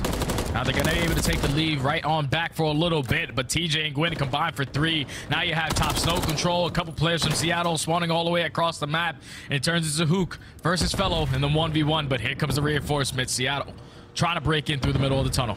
Problem is, as much as Huke is trying to wait for help, TJ on the split off spawns is also kind of creating issues for Seattle trying to support. So now it's just down to who gets the favorite spawns, and eventually Seattle will. So the reinforcements will eventually get here. Does take a lot of time off the hill, though, if you're Carolina, which, you know, you don't win the rotation, but you kind of take the status overall. But all of a sudden, Seattle's starting to find a little bit of favor here in front of the hard point as they try to exit over towards Warehouse. Clayster still trying to stay in front of their way. Septex in front of Abuzah does not find damage, but again, Carolina fully combating against the exits, even though Seattle will get the majority of the scrap time. Yeah, and I love the way that Carolina were playing super aggressive up through warehouse, super aggressive up through the middle of the map because that new hill has yet to pop. So you know there's not a single player from Seattle Surge potentially going to spawn behind us. And you were able to create those layers to at least keep your player on the point safe for a little bit. But now Seattle Surge have an avenue of attack. They're trying to work their way up the water side, but you can already see Clayster from top snow. TJ's set up on the top of the catwalk for a crossfire. This is perfect, perfect setup for Carolina to take the lead. Uh, forced team kill does come through, so give TJ the credit for the assist there again. Win up front could be the next one challenged through the waterside ramp, and that's enough actually for Seattle to say, whoa, hold on a second, we can't go this direction, even though it's just a single elimination. The hit was red. Nice shots from Abuzah, topside maze, picked up beautifully by FeLo, and for Carolina, this has been absolutely perfect through P4. Yeah, this is a beautiful response to take the lead right on back, give yourself a 30-point cushion. And now off the rotation towards P5, you just have to eliminate these players from Seattle Surge already pushed out on the backside of the propane tanks.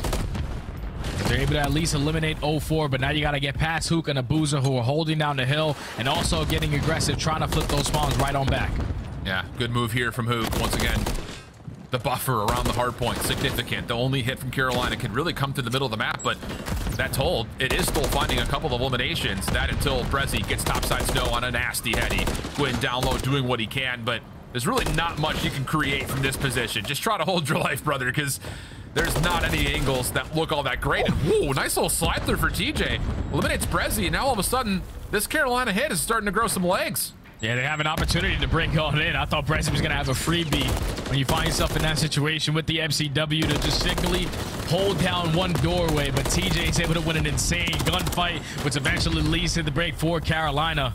Only a couple seconds remaining on this P5, but it's all about the spawns, all about the fights, and FeLo with the movement is able to come out on top in that one. Back over towards P1 we go. FeLo's trying to flip those spawns though for Carolina to put themselves Yeah. on the preferred side. Yeah, and the two kills that come through over towards the water side allow at least a split spawn moment. Seattle holding their breath, seeing if they can find a little bit of support here from these players spawning out. Gwinn in trouble through staircase side. FeLo quickly trying to get here to give him some support, and he will at least confirm one trade. TJ another, and they get a read on towards Abuzah, topside glass, but it's Huke who surprises rapidly making his way into the point, forcing now a 1v1. Still the pistol out, but it's 0-4 right in the nick of time to save a life, and Seattle still a chance to contest. Yeah, still a chance to contest and still holding on to the preferred side for P2. So if you can walk away with this final 20, win all these gunfights to the middle of the map, you are setting yourselves up for a nice little lead change. Coming in from Seattle as they find three in the feed. Now you have to locate the last player in Grin. 0-4, it's your turn to shine. He's able to find that kill. So it should be Seattle Surge winning the rotation over towards next, but with FeLo finding that double, Carolina are already going to be here. FeLo's been incredible this map. He has Yes, won he has. a number of unbelievably key eliminations.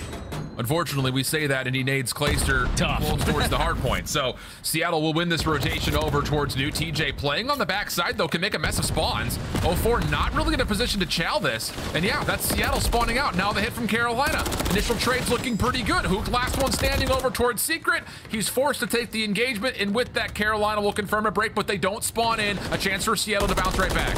Yeah, they got a chance to fight their way back on in, in the game. And if you don't find success here, this is where Carolina can start to pull away with it.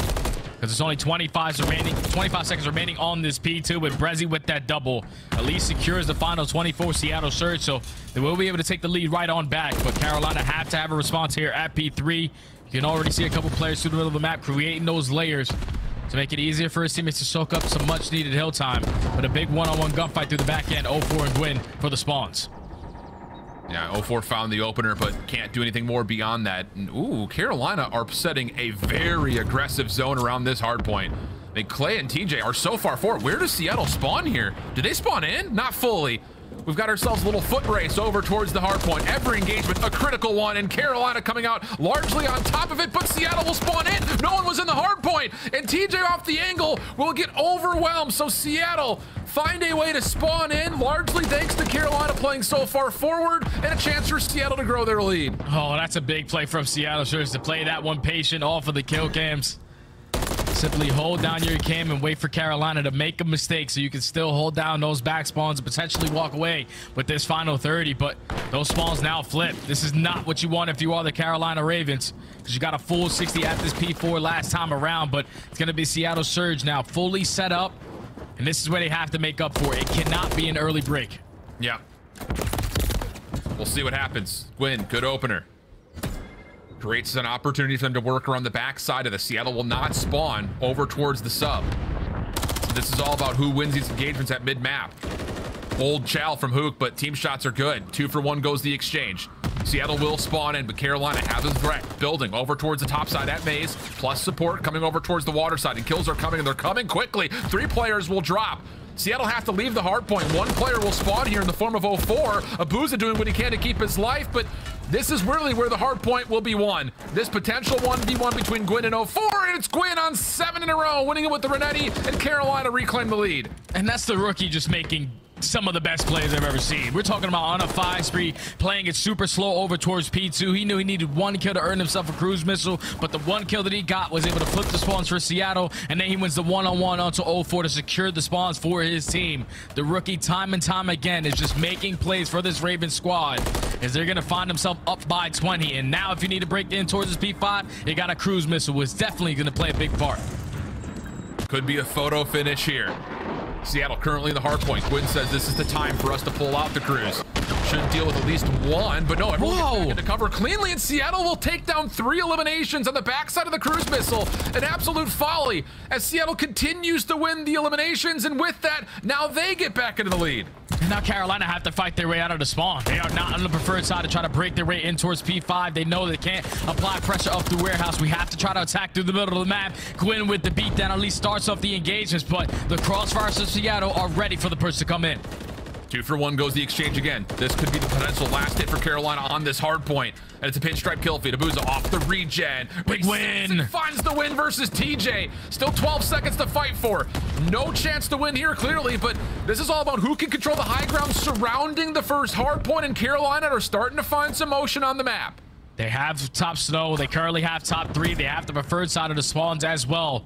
Just got to win a couple gunfights over towards the water side. Seattle able to at least trade a little bit better on that side. So they're able to at least maintain a little bit of the map control, but Oh. 224 to 204. TJ's able to win a one-on-one big gunfight versus Abuzah as they're trying to take all of Water Street side. TJ starting to find himself in final form, 31 and 21. And a hell of a second set of hills for him. Taken by surprise, though. 04 from bottom glass does well. FeLo trying to just kind of find pot shots into the hard point. Keep it neutral at worst. Gwinn from the interior overwhelmed. Seattle trying to make their motion across the map. Where does the Carolina spawn happen? And it's right on top of P2. Once again, we're going to see another hill here. It just comes down to what Carolina can do on rotation. And Felony helps it out with a couple of wins over towards P1. Yeah, Carolina got to make it happen right here off this rotation. You win this rotation, you're basically going to force the game five, but you can already see Seattle Surge taking a lot of ground up to the propane side. As they're applying pressure through the back end, TJ, you just got to play your life, at least set up Clayster for the double. He's oh. able to hit the stun, which makes the second kill a lot easier. But do you read the third player going on the pinch? No, you get some team fire assists out of TJ. So Carolina are able to hold. They're able to take the lead, and it's only 15 points until they force game five. Oh, and FeLo's just making this so difficult for Seattle. Five seconds remain. Is anyone really get here in time? Huke would have to smoke one and then get to the hard point. Can he mantle and jump in in time? Doesn't matter. TJ caps off a great map four with the final kill. And Carolina will send us into a map five after a great sub-base hard point. Woo! A nail biter hard points between both of these two teams so far. Map number one was really close, and map number four even closer. But Carolina in the final moments just get it done off the rotation. It was Felony again with the double from Com side. He relieves some of that pressure through the middle of the map, and then all you have to do is trade efficiently. But off the spawn, even with Seattle Surge taking a lot of map control up to the left side, Clayster was able to hit that tack, find a double through the back end, get a little bit of assistance from TJ, who, like you said, had himself one hell of a map. 34 and 22, 27 non-traded kills, puts up less damage than Gwinn, but those two young men got it done for Carolina now to force the game five. Huge. What a thriller hardpoint maps we've had in this series. Holy cow, like we talked about, first two maps was really anyone's game. You can say the same thing here about map number four, and now we start to look into the unknown. Six, star, search, and destroy. And I think just to kind of marinate before we head to break here, Jay, you got to talk about the fact that Seattle have been great in search and destroy. It doesn't really matter Yeah. what the venue is, but this is brand new. Uh, now it's just down to who's prepped better. Hopefully they figure it out early on for the six star in game number five because for a new squad, it does wonders to come out here and win your first match because then it tells you like, we made this roster change for a reason and it showed right off the rip. But if you come back and get reverse swept here, it's probably going to demoralize the hell out of Seattle Surge and definitely boost up Carolina. But this has been one hell of a match so far and it couldn't end any better than other than a map five on six star, baby. It's going to be a good one. Critical series again. Points matter big time as we start to get past the halfway point in the overall season. So this map five has a lot riding on it for these two bubble teams. We'll be back on the backside of the break to figure out who surpasses the other when we come back after this. Upgrade your game with the SCUF, the official controller of the Call of Duty League. Slice up your competition with the Executive Chef Operator, now available in-game in the Call of Duty store.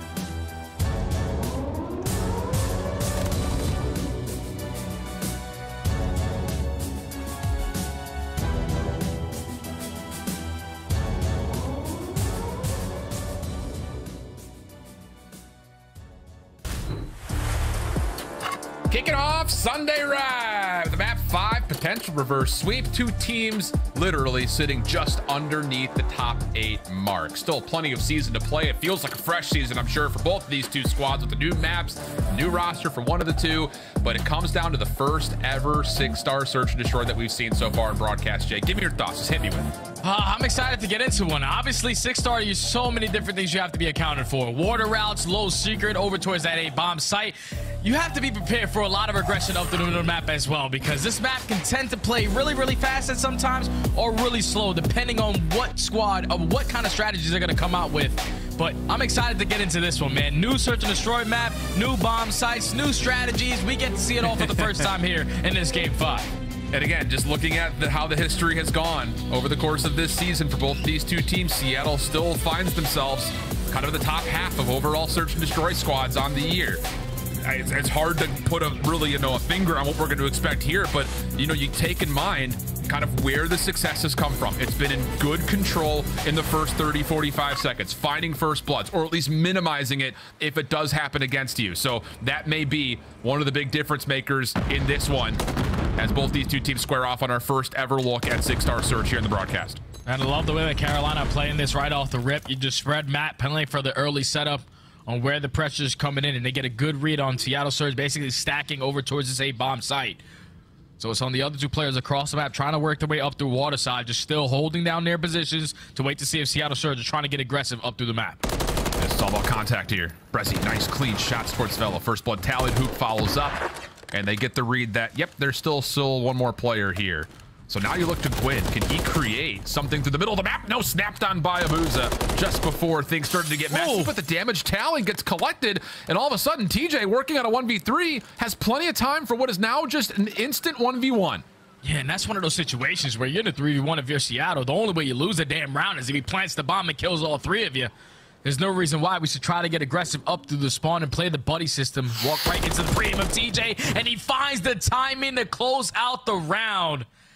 Carolina losing the first two kills, put themselves in a 4v2, but that's why you got Haley.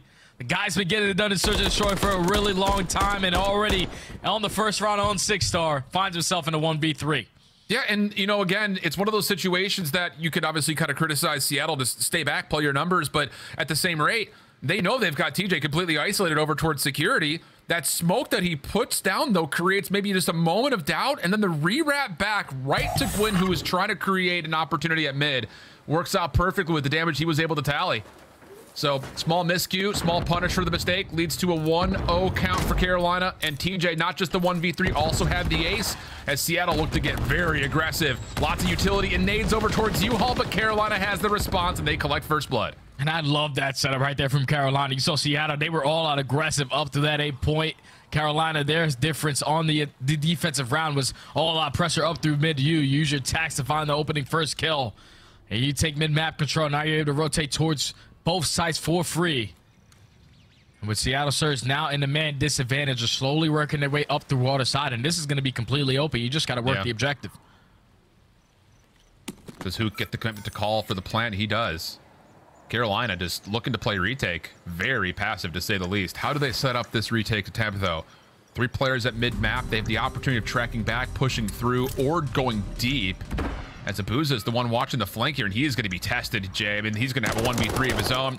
Gets surprised through the vents, and now this rest of the post plant has, has to bunker down and see if they can find the kills. Just got to trade officially if you are Carolina. Try to set up TJ also for a free kill to earn himself a cruise. He's able to find his six in a row. Now it's Huke left in the 1v3. He does take down Gwinn. He also does take down Clayster. And now it's ring around the rosy. I don't know if TJ has enough time. Oh no, he's got to make the commitment right here, right now. Here's Huke for the check. The shots are through. Wow! Not the 1v3 on the other side. Whoa! I mean, we've had ourselves a barn burner here. But two back-to-back 1v3s? Mercy. That's Huke just making next level plays, man. We're talking about around the, the half wall, around the canopy, just works his way with that rival nine, finds the initial two fights, and then gains the information that TJ is definitely behind me. Let me just keep on circling. And he wastes enough of that game clock to secure the round. Two back-to-back 1v3s to tie us up at one. Unreal. I mean, again, it's for some people just Seattle versus Carolina, but this is not a series to be slept on by any form, and for good reason. It has been exciting to say the least, and it's not going to stop here. Quick aggression over the top at this mid planner. Breszy, double good response. Huke follows up for three, and the opening engagement pretty darn perfect for Seattle as they find the final. No worries. Yeah, that's good stuff right there from Seattle. Just staying strong on that defensive setup, but you can already see Carolina. They were trying to go back to what didn't work in first round with trophy system. It still did not work. Seattle Surge, more specifically, Breszy, he's able to find three on the round. A little bit of assistance right there from Huke, but they shut down that early A pressure. Very, very quick defensive setup right there from Seattle to put them back in the advantage. Oh boy. And hey, I, I don't think we're going to be uh, surprised to see more interactions like that over the top of the A site. It almost feels like Mercado-esque in a way. Throw your nades, jump forward, see if you win your gunfights. This time, Breszy playing a little bit more passive initially. Cooking up a frag that's intended towards TJ's direction, and it will hit. Plus, oh, clean shots as TJ gets caught peeking through mid.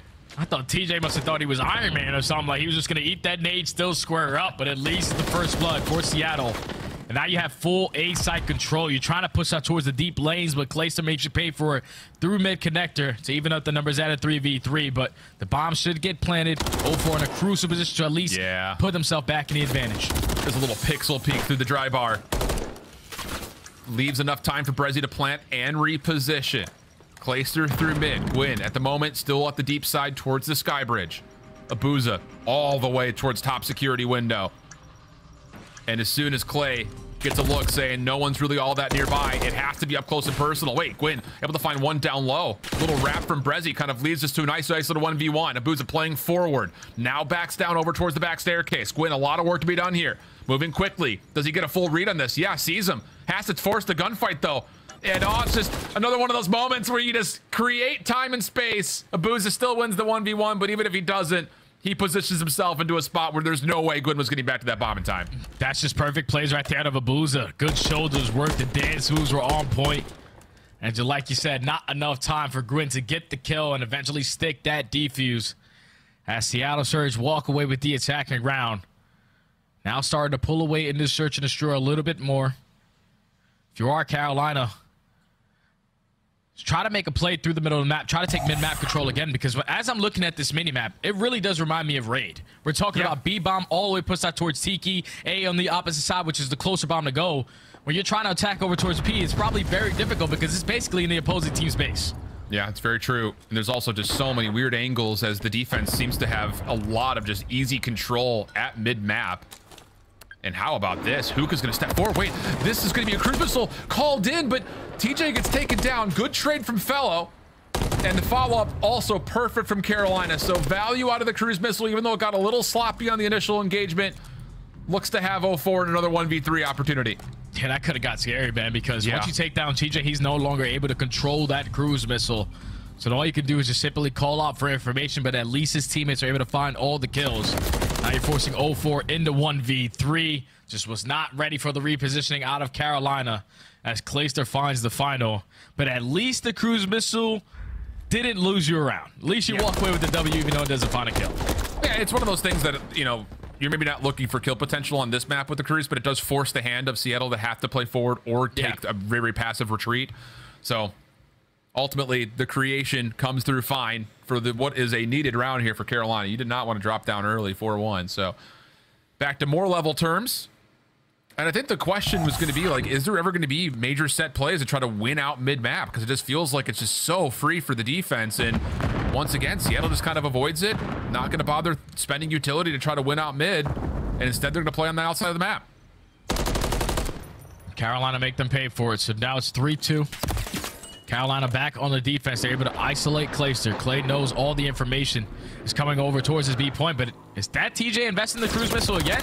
Was he able to save it in his back pocket? Because I hear one coming down, and he's able to find the first blood onto 04. Big plays out of Carolina. Yeah, don't know how that just happened. Me either. I mean, he was definitely in the tablet. Uh, okay. Oh, fine. Gwinn, nice double. Leaves everything back to Huke again, but this one a little bit more dire of a situation. 1v4 instead of the 1v3. Finds FeLo cleanly. Decent read towards Gwinn. Shots also there, but support nearby allows Clayster to come in and make sure nothing crazy happens. Yeah, the fact that TJ was able to keep that cruise missile, it definitely yeah. catches Seattle off guard. They were not expecting that. When you're going over towards the B-bomb, you're thinking the, the skies are going to be clear. We don't have to worry about any streaks coming in because that's when you're going to find the most success over towards B. But once you get that first one with the cruise missile, you give the, all the info to your teammates. Gwinn is able to find a double through the curve wall, but we're taking a look at the replay. He pulls out the tablet, even with the quick hands. He dies early enough to huh? where it doesn't even blow up out of the missile. So he's able to receive and retrieve that cruise missile for the next round. I'm sure Seattle's not going to be happy about that. I'm sure many people in chat are spamming question marks right now. Lots of engagement, ceremoniously so over the top at A. Trophy system only denies a handful of the utility being thrown. And how about this? Carolina, they must have gotten at least some sort of information that, hey, Seattle stacked the box here over at A. And so now they've got mid-map for free. Abuzah is on an island towards B, and he realizes, I got to pick and choose my battles wisely here because you're under threat of being overwhelmed from multiple angles if you step too far forward. Yeah, Seattle Stars, they do exactly what they've done on the previous defensive rounds. All lot pressure over towards the A-bomb, but this time Carolina, they try to retake through the middle of the map. Abuzah is able to find the first blood onto Clayster, but that bomb is now going to get planted. You're forced to retake down to 4v3. I just don't know how you make this happen. TJ, after the plant, just slips backwards. And he does at least catch somebody over the top, surely. But Gwinn waiting for the delayed pinch, denied, and now it's just down to FeLo. Wow, clean on this retake of Seattle. Taking advantage of the numbers to be sure. FeLo hoping and praying, taking orders at the bar, and there is more capacity than he was ready to handle. So Seattle's retake clean and kind of comes in surprising form. First time we've really seen the middle of the map stay that far open for the defense. Yeah.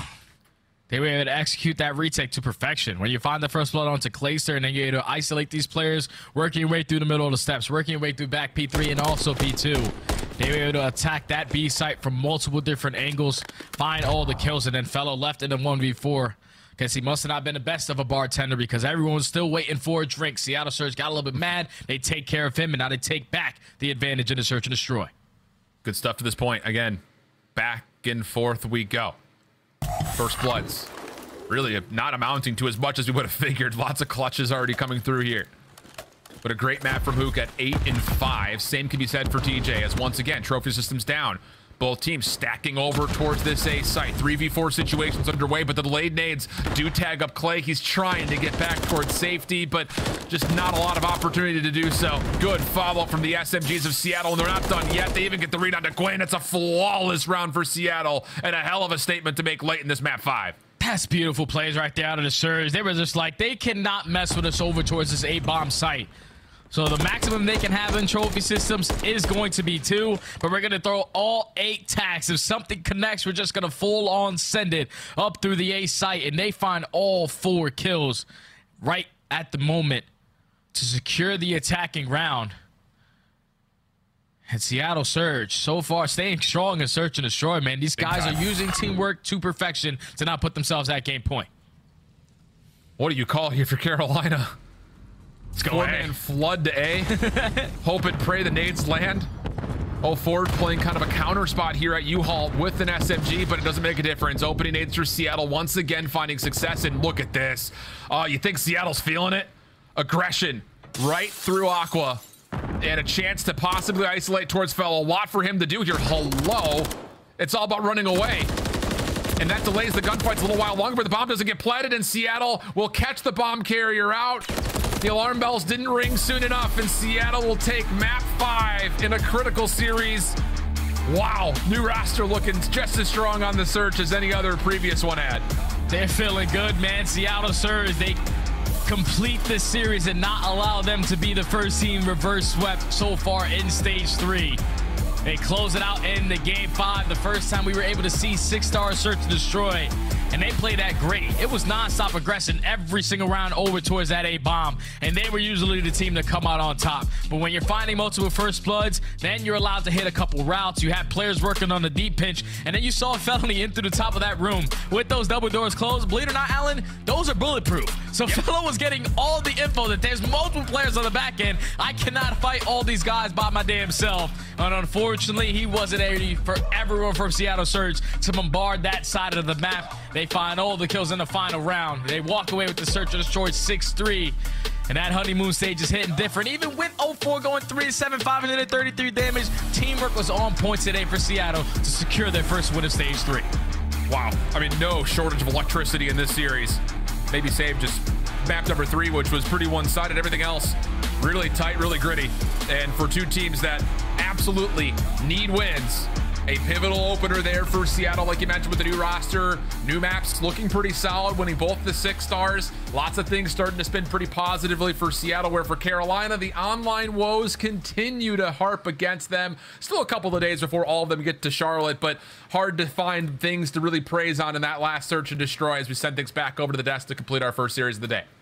Thank you, gentlemen, and congratulations to Seattle Surge, a squad that no one believed in. None of us picked them here on the desk. The fans even chose their opposition, but Surge gets it done. And Huke, the hero of Game 5. I mean, it was a proper upset. I think when you look inside Carolina Royal Ravens, the biggest misstep in this series is losing that map number one hard point. They have not beaten Seattle Surge when it comes to Search Destroy. That now holds true in this series and gives them the win. Nameless, how big of a loss is this for Royal Ravens fans? Uh, I mean, it's pretty big, right? You're going up against Seattle Seattle, who's towards the bottom of the standings. You're just coming off of a great performance on LAN, and you got some players in the facility now. You're expecting to make strides forward, but in this series, I mean, you lose two search and destroys, right? You got a new map like Six Star in. You got maps that you were bad at removed from the pool. You're thinking that they're going to come competent and ready on a map like this. Well, it just doesn't happen, man. It's some big clutches. Hoop gets a.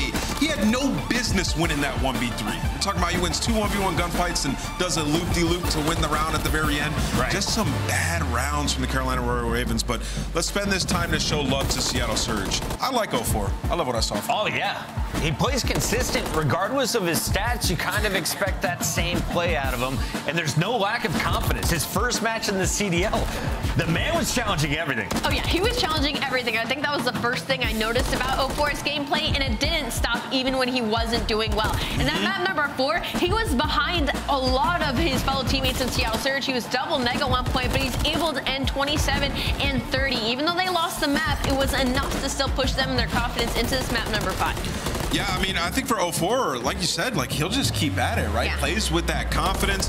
Uh, you know, through four maps, he had the most damage on the team. That game five, obviously not too great from him, but his teammates picked him up. Abuzah went crazy, and I love the way that they played Search and Destroy today. Some aggressive rounds all together, like the the tricky round where they pushed all the way up B Street on Invasion. We saw them giving up Tiki on this map. Yeah. Like great plays as a team, and I think a lot of that's behind 04. Seattle Surge getting the job done with a game five, something they weren't weren't able to do all of stage number two. But let's take a look at your SCUF play of the game, which comes from game number one. They steal the first respawn. The final hill is locked in with a 10-point difference. It was Seattle coming out on top. Yeah, and it was a Huke masterclass. Uh, this is one of those very rare Huke takeover performances that we saw map number one and map number five. But also as well, Breszy seems to be getting more comfortable. I feel like he may have slid under the radar a bit in this series, but he had an incredibly solid performance in this map number. Yeah, they did a good job on Vent. They got a decent amount of time there. And then we get over towards P1, and it was just back and forth the entire time. But every single time you need a Seattle player to get a big kill, they got it. I mean, Clay got through, he finds two. Immediately the trade comes in from Huke, just playing their life perfectly, the anticipation to find that second. And then just bleeding Carolina dry, man. Just not enough time. They couldn't find the right multi-kills at the end there, and Seattle pull away with the dub. Royal Ravens got to go back and watch the footage because you had Clay having some excellent games. You had yeah. Gwinn playing some stellar Call of Duty, too, but man. it didn't convert to wins, and no one was doing it all at the same time. Royal Ravens remain remain outside of the top eight for now, and you're going to see the Surge pressuring their way into the top eight potentially later next week. For now, though, we got our monster winner spotlight. The man, all the way from Belgium, joining us live. How are you doing, Abuzah? Good, and you? Excellent, my friend. Okay, let's talk about Surge's struggles in stage two. And how did you guys decide to make this team change for 04? Um, basically, we struggled with some some stuff, like with the team, of course, and I needed to get like my main role, you know. So we needed like someone like more faster. So why now I can play my role, and that's it.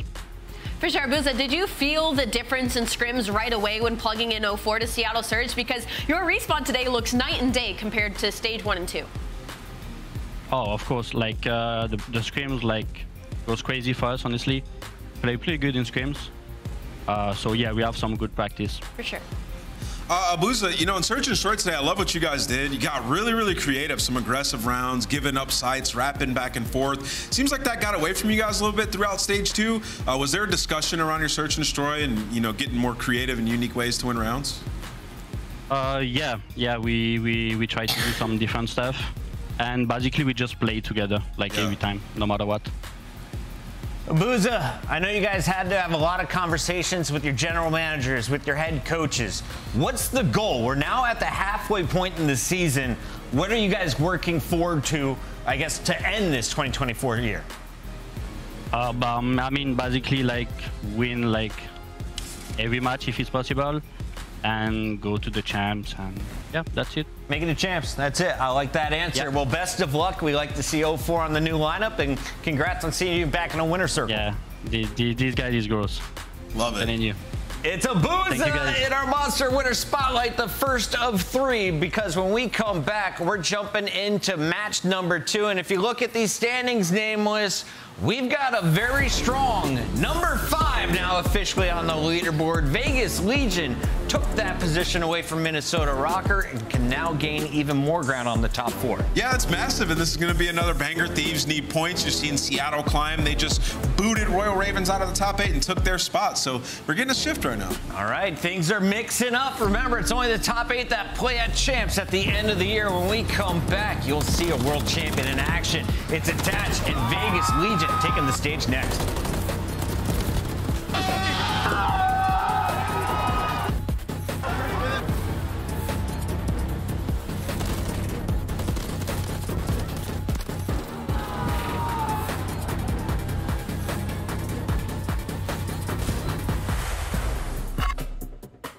Upgrade your game with the SCUF, the official controller of the Call of Duty League.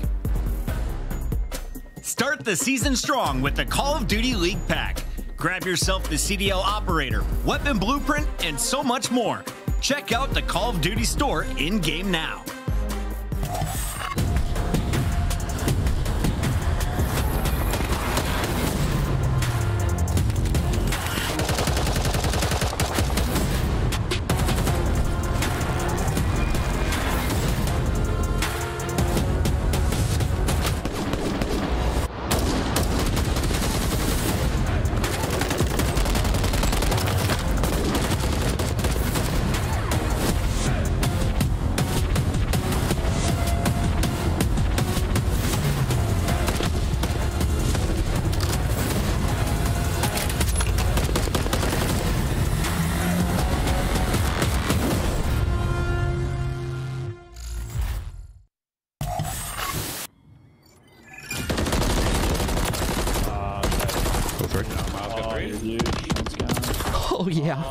It's going on CDL TV, baby.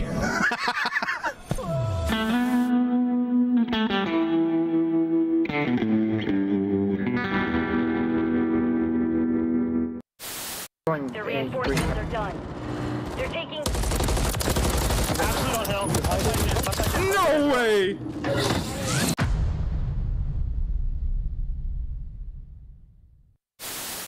Plays a little different. It's nice to have like a, a map you love back in it, but it doesn't have to mm. be exactly the same. As Drow a nice little angle through the statue. Rips that one for a the opening kill. Yeah. Standy will get free info here onto Assault. Quickly finds the kill. No, no. He's, oh! Whoa! He's going for the assassination. Didn't hold the button down long enough. And Assault says not so fast. Let me tell you right now, these guys play every day. You should know you cannot someone when they are a little bit taller than you on the map. And unfortunately, the one beat down doesn't work, but you know them hands from assault. They are definitely warm. Two punches right to the chest to take down Standy. But early in our seventh circle here, there's still 30 teams left. You don't have any resources. Get to the zone if you can. Win your gunfight. Maze somehow sneaks through. You see a lone Nubu Spartan running around like a chicken with his head cut off. There were so many squads. This is unprecedented. Being able to see this from the Concaster is so special. There's our first moving zone.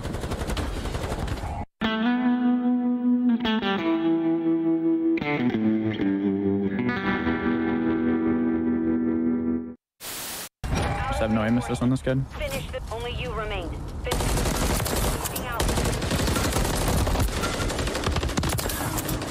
Oh, snap. What is he doing?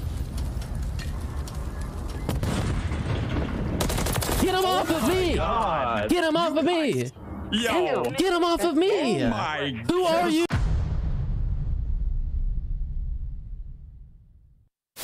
What do you think of my shirt today? Uh, it, it is a choice. It's a choice. Listen, guys, I put this shirt on. I felt pretty.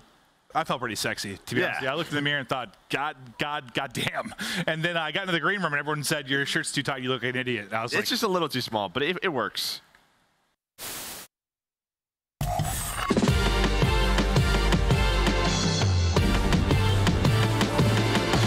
I mean, we're dealing with just God mode attach right now. Attach right over the top of the car. Oh, it's four. Let this young man get hot. It's gonna be hard to stop him. Finds an ace on the round through the middle of the map. Purge gets the double kill as well. Geo pops off. Oh, okay, Geo, I see you, baby. Nero is all across the map. Seven in a row for him. Vegas Legion clutch up 3 to 0. It's time to party. Las Vegas Legion taking on LA Thieves, and this is going to be another important fight for points. If Oh, you're. LA Thieves, you're trying to keep up with the rest of the teams that are fighting for that top eight. Currently, though, Vegas is in our number five spot. They've broken the 100 point mark. I mean, I never thought we'd talk about the Vegas Legion franchise in this way. They're literally the gatekeepers of the top four, and they are looking insane in this split. All right, let's break down our squad, starting with the Vegas Legion, a team that had a lot of hype after their stage two online performance. People expected them to maybe run to the top four. Didn't get the job done on LAN. Where do they fall short? Listen, uh, this team needs work in search and destroy. Now, I want to give these guys all the credit in the world. They've made fantastic moves, kept Purge through all the people talking about it on social media. They pick up Geo. He's been one of the best acquisitions all year long, and they're looking like a top five team in terms of hardpoint and control. Search and destroy, though, they need work. 11th in retake throughout stage two, and second to last in terms of opening duels. You expect them to be better at that when they have a guy like Nero. Look to get him going in the search and destroys throughout this split. I think Las Vegas are one of the better teams in the world. When it comes to Monster Energy pregame, I mean, same old story, right? Their hardpoint has been insane, and that's the reason they've been a top team. And they are 13 and 5 with a plus 30 point average. They're the best team in the league in holding and in breaking. So screw the fundamentals. They've got the gunny to get them through. Again, like Ann said, Vegas Legion just need to focus on that search and destroy a little bit more because their control has been all right. 21 and 4 round count. They have been incredible on the defense, but they are going to play Invasion 12 0 first in the league when it comes to that game mode. Number one in the league. Let's see what maps they're going to get today as Vegas are the favorites in this fight. On the other side of the battle, we have LA Thieves who have made a number of roster changes in their own right. They brought in Nasty and Kremp. They put JoeDeceives and Cammy down in challengers. Well, now JoeDeceives is back in that starting lineup, but it's Afro riding the bench. Yeah, uh, for Afro, unfortunately, it was just he couldn't find his way during this game. We know what he's capable of. He had his moments, but it just wasn't enough. So they take out Afro, they plug back in JoeDeceives, but he kind of has the same problem, right? So for him, we're looking for that explosivity, but we're mostly just looking for that consistency for the LA Thieves because that's all they need. They have talented players able to do their roles properly, but they're not all doing it at the same time. Yeah, I mean, I think uh, hardpoint has been pretty good for these guys. Search and destroy sitting around 50%, and where it matters most in game fives, they were three and one in their last four, so it's been impressive on that front. The control though is where they have really struggled. I mean, 11th in attacking there, three and six in control, and JoeDeceives is a guy who can come in and really help them in that aspect. Get in their base, get lost, find some kills, right? That added confidence from challengers that should uh, bode very well now in the league. And then for the Monster Energy pregame, convert better. Second opening dual win percentage, eighth in converting it. So that's a quick, easy fix. Just communicate better in, in the round. And worst in the league on those attacks. Let's take a look at the best of five this time around. Just like in the previous series, we're going to see six star twice, and Rio sneaks in for search and destroy game two. as well as Vista, map number four. So this is a slew of the new maps. We've seen Vegas Legion already, so they're feeling comfortable. But for LA Thieves, a lot of question marks raised at how they're going to play on new maps. Nameless, is this a battle of the better SMGs, ARs? More important, how do you see these maps breaking down? Yeah, I mean, I do think SMGs are going to reign supreme throughout this series. I mean, we just saw some big performances out of guys like Huke and TJHaly, respectfully, win on the other side. So I think in this one, this is perfectly laid out for JoeDeceives, man. Go knock him out the park. Good luck, Joe. That is your best of five maps. Now it's time to lock in our SCUF Pick'ems and Nameless as the leader. I'm going to make you continue to go first. Sure. Where are you going? I'm going to go with Vegas in this one. I Allie, think you they gonna just follow? look great. That's fair. Oh, I don't know. I think I'm going to follow with Vegas Legion simply because, I mean, they're sitting at fifth right now. They're You- one of the best teams. You asked for JoeDeceives to be I in the know, starting I lineup. know, they but I'm put not JoeDeceives in the convinced. starting lineup, and I'm you not still pick. Vegas? You know what? That's fair. That's my bad. I'm sticking with Vegas as well. Smart girl, so smart not guy. fair. We're all going Vegas, says the fans. Let's find out if we're all right or if we're all dumb again. Back to back matches. We got Miles and Chance on the mic. Chance, how you feeling about this battle? I feeling the same way I do if I were to square up against you in rank play Puckett. Absolutely fantastic. I know it's going to be godlike because we've had some great series. Like I know people talk about like the sort of Burger Bowl sort of vibes. It creates exciting Call of Duty. We get double six star in the mix. We get a Vista. It's all the new beautiful maps. I'm very excited, Miles. How are you? I, I'm absolutely spellbound by that intro. That sh- Yeah. took me by surprise in nearly every single way. Wow, boy howdy, what a start to uh, to the day, folks. But yeah, real excited to uh, to get this one going. But first and foremost, the Hardpoint KD leaders. This is what we're looking at in the season so far, and the reason why we're looking at this is because three out of the four members of Vegas Legion are in this one. Nero, Attach, and Geo all sitting up there within that top eight. Brilliant stuff, Chance. Yeah, that's over the course of the entire season as well. So that means that level of production has been very consistent for this squad. And Nero being up there is a dangerous man. Obviously, his kills per 10 minutes are pretty high up there, as well as Geo. So it's some of the younger players on this squad that are absolutely bringing the slang power. Question is, can they bring this into the new maps that we have? I know we saw Vegas briefly on Six Star before, or at least a, a few days ago, and like they had some of the best P3 holds that we have seen, making it a full 60. So high expectations for the squad. Looking good on in the new maps, but LA Thieves, obviously new man or maybe old face back on the new squad. See if they can keep those hard point improvements rolling into stage three, because they could turn into a pretty lethal threat. We can indeed. Well, to echo the sentiments of the previous series, again, LA Thieves all playing from the Cash App compound in Los Angeles. The Vegas Legion players scattered across the United States. We'll see if that comes into play again online here in the Call of Duty League. You gotta get them wins, folks. Not an easy thing to do if you're not in the same location, but we'll see if it pays off for Vegas Legion because the hot streak they're on right now, chance nothing to be sneezed at whatsoever. LA Thieves, though, we'll see if this new roster can find some uh, some groove. Let's say it was nice to hear some love from Nameless there on the desk. Of course, a lot of objective prowess from them. Can they turn it into a win? It's going to be a, fun series again. Very high expectations for both of those squads. And I know you're talking about one team sneezing everything away. Well, maybe Ghosty trying to cough up a lung and get ready for the first map as well. So struggle bus for maybe a few of these players, but fist bumps out of about means the map is loading up. And I can never get over how big Nero's water bottle is. That thing is insane. I am, the man is hydrated, and he'll certainly need it on a map like this. We're out in the sunshine here on Six Star. Sunscreen applied, hats at the ready. We're going to be going for a quick dip if the temperatures get a little bit too hot, aka when it comes time to get in that hard point. Quick look at the overall season record so far. LA Thieves 8 and 21 in hard point. Not ideal no, eight mode right now. Look though, A, there's new maps in the mix. Maybe that could help them out a little bit, but also stage one versus stage two. Stage one, they were horrible. It was like a 1 and 11 record. The desk touched on it. It was 7 and 9 in stage two. So about 50 50. A perfectly, like, maybe not strong team, but they can get the job done. And if they've made improvements or like the new maps, hey, the sky is blue. The only way they can go is up. Boy, here we go. Clear skies over six star and a clear hard point after the LA Thieves get absolutely wiped out by a nice opening salvo of grenades there from the members of Vegas. Good shots out of Ghosty. Looking for his third here as he starts to find that time. A lovely spot to be in, but Geo just too hot to handle. Once again, he's been an absolute terror for Vegas Legion.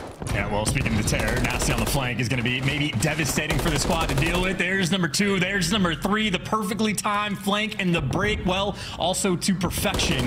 Nastie wants to get aggro as well with the beatdown. That's a force spring. He's got the intel, but unfortunate for him, no reinforcements. JoeDeceives gets caught on the flank, so Nastie, well, the work has to continue. And Nastie, the work is continuing. Five spree from him there. It will come to an end, but what a bit of damage he's managed to do. Get his boys a little bit closer to the hard point. A single avenue of attack right now for the Thieves. In they go. Kremp's going to be the tip of the spear. Gets nothing out of it. JoeDeceives trying to stay alive. Does better than that. Gets two. Magnificent work to keep the play going. On the back stairs again. Another. There's Nastie over his shoulder. Into the point. Joe Thieves cooking with gas as that is your hard point Thieves. Oh, this is what it takes to break the hill. Maybe just blender him for a bit. Man died three times in a row and makes a play like that. And, well, now you already see players from Vegas Purj. Well, he can't do anything through the vents. He can't go through the back blind. This is the impenetrable setup because JoeDeceives is the man that can hold the iron. This is a already gargantuan lead we have on P2. And we talked about how P3 is the money hill. Well, we've seen Vegas on these rotations lock it down for a full 60, but this is a break situation. It's going to be LA Thieves with the hold. And frankly, a full 60 on a P3 could be devastating for this game. An explosive start here for the Thieves. Streaks as well to be played with. New hard points up. P3 at the ready. We're on the outside bar. This is the money hill. Can the Thieves cash in? Vegas, though, looking to change the odds. A 2-2 split. Ghosty and Kremp find theirs in the feed. JoeDeceives not looking the right way, but he does have the coverage. Here's the shots. Joe goes in, gets himself one. Looking for the in and out, keeping the time going. Uh, that's a, a dropped moment there as well for Vegas. Ghosty actually gave up this sort of like back alley push to help out the players in mid, but Vegas were not coordinated. Two players on, or two like sets of players on two different pages. And well, if you're trying to split the war like that, you're just going to have absolutely no success. So that was the devastating opportunity for LA Thieves to really run the score up. And well, they execute perfectly. It is now a massive lead going towards new. And well, we already know how chaotic this pool hill can be. LA Thieves, they get all the time in the world to set up the break, and they have three players right now going on a, a world tour. Geo, though, distant in the corner, at least able to pick up the first one before he gets traded, so they've got the intel. He's not going to get enough out of it, but the information will pay off in a moment. Skybridge services now open for business. Attach watching it from the top platform side. It's an all angles attack from the thieves. In they go from upstairs. You've got a couple of places to work from here. Nastie with a suppression keeps Nero down. Purj right into the point gets taken care of. His Kremp and Joe in the feed. Geo tries to answer back, and the thieves get the break. They are in, and it's a five spree again from Kremp. We could be looking at another cruise here. Yeah, these guys are just taking turns. JoeDeceives for the moment earlier on. Well, now it's his opportunity to get the cruise. And while I'm faded, Kremp and the LA Thieves certainly are not. Jump up, finish the one-shot kill on Attach is going to get it done. And, well, for his teammates, all guns forward. They took so much time to go on that pinch and set up the break. And again, for LA Thieves, it was done absolutely perfectly.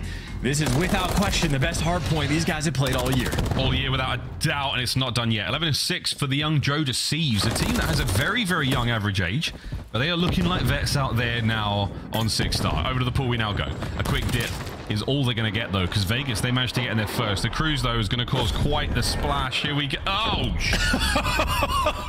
oh, that's the dumbest thing I've seen all day. That's fantastic. That's a first. Uh, yeah, we'll need another one of those cruise missiles, boys. Uh, yeah, no good. Oh dear. Well, in the meantime, Vegas have maintained full control. Kremp finally gets involved, and it's the rival nine from the backside of the pool to try to hold the point. Hey, you call him the cruise missile, you just make the other team tweak, forces them inside. They have no idea that it exploded maybe a half a second in. And this is still just continued absolute destruction by the Thieves. 140 point lead, and it looks like they're going to get the final 15 seconds on old time as well. I don't know what it's going to take for a comeback for Vegas, but I just don't think they have a choice in the matter. Thieves right now, they can simply do no wrong. Uh, no wrong whatsoever. The feet are certainly up. The drinks are still cool as we get back over towards the bar in our second set of hard points. We've gone around the world, and Nastie at 17 and 6. JoeDeceives 14 and 9. It's tremendous work from the Los Angeles team here. Can Nastie keep this going? Yeah, no problem whatsoever. Purj, the man in the point, not having a fantastic time here on Six Star. I think nobody is, especially Attach. Yeah, 6 and 11. Attach has barely been taking gunfights, 17 engagements, and you don't even have 50 points as a team yet. Talk about a team that cannot find their footing, getting anything going, and Kremp is just calling out. There are three players in this little room. JoeDeceives gets to catch them on the cross, and this is just continued time collection right now for LA Thieves. And on the rotation again, JoeDeceives popped off going towards P2 last time around. Finally, he's going to get shut down, but Vegas, they just have nothing going for them. A superb blowout so far, 210 to 48 over towards the lounges. We now roll top right-hand side of the minimap, and that's going to be all Thieves on the approach. Far right-hand side, the spawns are not good for Vegas as well, so the reinforcements will be late to the fight. Here we go. Joe's in, immediate break. This could be game right here and now. And he's going to clear out the back spawns as well. Make sure no funny business. Checks that. Now it's all guns forward. Kremp loses his one by Vents. And, well, Vegas winning a few gunfights for the opportunity to get nearby. JoeDeceives, though, waiting in the wings. I'll trigger up. Nades out and about and just waiting for the moment to strike. And, well, finds it on Geo. Trades are there. There's the two-piece. And might be the moment where JoeDeceives calls game. It just looked like they had such a tremendous disadvantage. Turn it into a win. Five seconds for it. And with that, a last-ditch attempt. JoeDeceives once again in the feed. 21 and 11, closing it out big. An absolute slaughter to start the series off. Oh, and that 8 in 21 record they have overall in Hardpoint. Look at them now. One of the most dominant victories, if not the most dominant victory we have seen in this game all year. And that's against the Vegas squad, who, again, they've been sort of that almost like solidified fifth best team in the game. We've seen them on six star. They look good. Not right there. LA Thieves. That is a different beast of a performance, and that is all four players felt like they were in their bag. Uh, complete clockwork, every rotation on point. When they had to break the hills, they were able to do it. The rotation of P3 to P4, absolutely perfect, sending three players to go hunt down Geo in the back. I mean, that is just a flawless performance through and through, and really just poor Vegas. Not even really opportunities to shoot their guns, Persian attach. Really not able to cook anything up. Not no cooking whatsoever. Those boys were ordering out, and the calories they pounded on were not ideal. 250 to 49 in a swift six minutes and 50 seconds. You'll take that. LA Thieves turn that ship right around. Hardpoint was not necessarily their best game mode right now, looking like a very fine squad. But look at the highlights. It's all going to be the boys in red. I, I just got nothing other than well done, lads. That was disgusting. Whether it was these vent plays, chance the the bait and switch we saw here. It was a masterful display of pace that Vegas Legion simply could not keep up with, especially in that second P2. Absolutely not. I mean, these were the two individual plays as well that really set them apart, right? JoeDeceives making that highlight reel over towards P2. Nastie having that flank on P1 to set his team up for success. So they took advantage of every situation. And again, once they were able to play ahead of the game and go on those distant rotations, I mean, they just made it look so oh, easy. Oh, no. When Kremp initially called this in, I was trying to think, like, we've seen a few players, it's like kind of off to the right, it seems like where the spot normally comes in.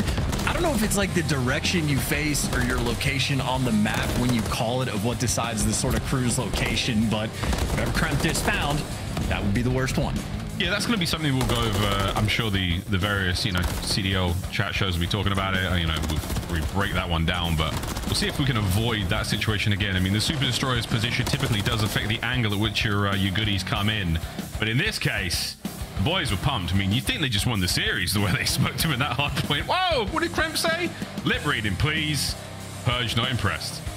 I mean, you know, and something you mentioned, Miles, is like how the uh, average age of this LA Thieves team very much on the younger side. I don't have the data to know if they are literally the youngest squad, but young players bring the passion, bring the energy. Online land doesn't matter. They're going to come out with some fierceness. And again, right from the opening break, that is the smallest graph we have ever had for the game flow, only making it to like the P2 of the second set of rotations. And yeah, I mean, Vegas, they got flatlined. No signs of life. A doctor would check the pulse and just immediately establish death. So I don't know if they can get revived or not going into map two, but that is a painful graphic to look at. Uh, a tough one. Well, they've got another newish map in this map pool to deal with. Rio, Search and Destroy for map number two. Invasion Control. Good old Faithful there. We'll see if they can keep it going.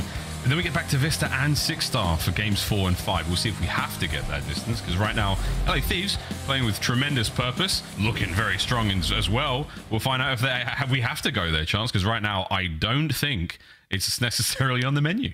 I, well, it'll be interesting to find out because I know for LA Thieves as well, like they actually put together a very strong stage two, had a four and three record overall, started in winners bracket, and they just happened to go against Atlanta FaZe, who they actually played pretty well against. All of those good signs, and then boom, top 12, they got beat by the Los Angeles Guerrillas. So, like, it was a big missed opportunity. And for the team that is currently in the 11th seed overall in the CDL standings, they need to start getting more wins or at least continue that in the online stages. And they do not have any time to waste. 11th is pretty far down there. It's going to be a handful of series you need to win just to crack that top eight margin. And we have a lot of teams in the league that have been making adjustments, so you got to make sure you stay on point. The overall records for both these teams slightly under the 500 margin. Like they are solid, they have threats, but in their last five maps, neither team has had that much success. And I certainly know for S&D for Vegas what Nameless is talking about.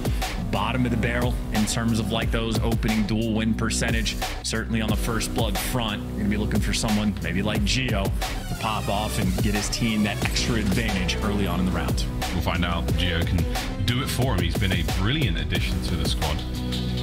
So far, I mean, neither of the teams tremendously impressive search and destroy statistics. I mean, those opening round duels for the LA Thieves. Again, that's the initial gunfights. Do they get the first? Can they get away with their lives? We'll find out. A lot of pressure here towards the middle of the map from Vegas with that bomb. The Thieves looking towards the A side of the map. Well, Geo's time to shine. Two players going to be running straight into the irons and just gets traded. Nice double chow coming through. Already the first blood. Vegas in response, though, trying to make a play. They're going to be running straight towards Nastie, and he just gets caught trying to open a door, but the trades are quick. Advantage still there for Thieves, and they are just swarming around this fi final player. Attached in a 1v3, but he is trapped in a corner. Going to need some magic. Oh, there's the magic. You died to a nade. 1v1. Whoop, no, JoeDeceives from behind. He is moving and nearly went awry, but Attach able to isolate the fight against Ghosty. And a little bit of discourse now between the thieves. Hey, whose name was that? What was going on? Either way, JoeDeceives in position for that final kill. The search and destroy comes to a close there. Two to nothing for him on the round. We've had quite a few 1v3s today already. I thought Attach was going to get another to the pile once the team kill came through, but uh, either way, very efficient work there out of the Thieves. You saw the game plan. Run it down straight towards A, get the double child out on Geo. They got the first blood, and the repositioning was quick to get back and really help Nastie out, make sure the trades are there. And again, JoeDeceives bomb in hand. I know they took him away from the roster after stage one, but he has some of the best objective stats in the league. Man loves to plant the bomb, and you at least get a first blood, but Kremp's there for the double trade. The double chow, not enough for Vegas. And LA Thieves, opportunity, get the bomb down, clutch the 3v2. Reposition towards the backside. I don't know if the stun was good. JoeDeceives waiting on the inside of garage. He might be the problem now. Bomb not going down just yet. Kremp in a corner. Geo sniffs him out. Big win. 2v2. JoeDeceives going hunting. Trapped in the corner. Geo makes the read, though, and drops him. Maybe a, a choke potential here. The three versus two. Now all up to Nastie. And that bomb is indeed down. Geo staring directly at it. The young Englishman now in the 1v2. He has shot his shot as shooters do. 30 seconds on the clock. He will be able to recover the bomb, but the members of Vegas Legion now, hand in hand, they're going to have that perfect coverage of one another. When they take the challenge against him towards this bomb site, it is going to be a 2v1 no matter how you look at it. Good luck. Have fun. And he hasn't read this at all. Might get some interesting timing, but 12 seconds on the clock. He's going to need to find the double kill. Doesn't even check it. Or Vegas. They've gone. They left it. Nastie, though, in a bit of trouble now. He's been damaged. Oh, he's taken a couple more hits. Pressure on Geo. Finishes it as Nastie was hoping to catch him on the transition. A spicy round nonetheless, Ian, but there you go. Vegas. Find the equalizer. Yeah, Vegas sketching me out a little bit. I mean, keep in mind, that is also a two versus three clutch, so that is good work out of the Vegas boys, but not actually checking the bomb when there's 10 seconds left. Uh, scared me for a moment, but they at least trapped Nastie in quick enough. But uh, either way, it just seemed like a, a bit of a disconnect. Kremp is like waiting for the back alley chow. I think he had a teammate like to sort of look over him, but the challenge coming in from Geo, two on point, and then JoeDeceives, instead of going for the bomb plant, ends up challenging and just gets caught. So a moment of disconnect and, well, evened up odds. Vegas, maybe Geo doesn't want to be double doors by himself. He's going to pick a new angle. Is they're just running it down.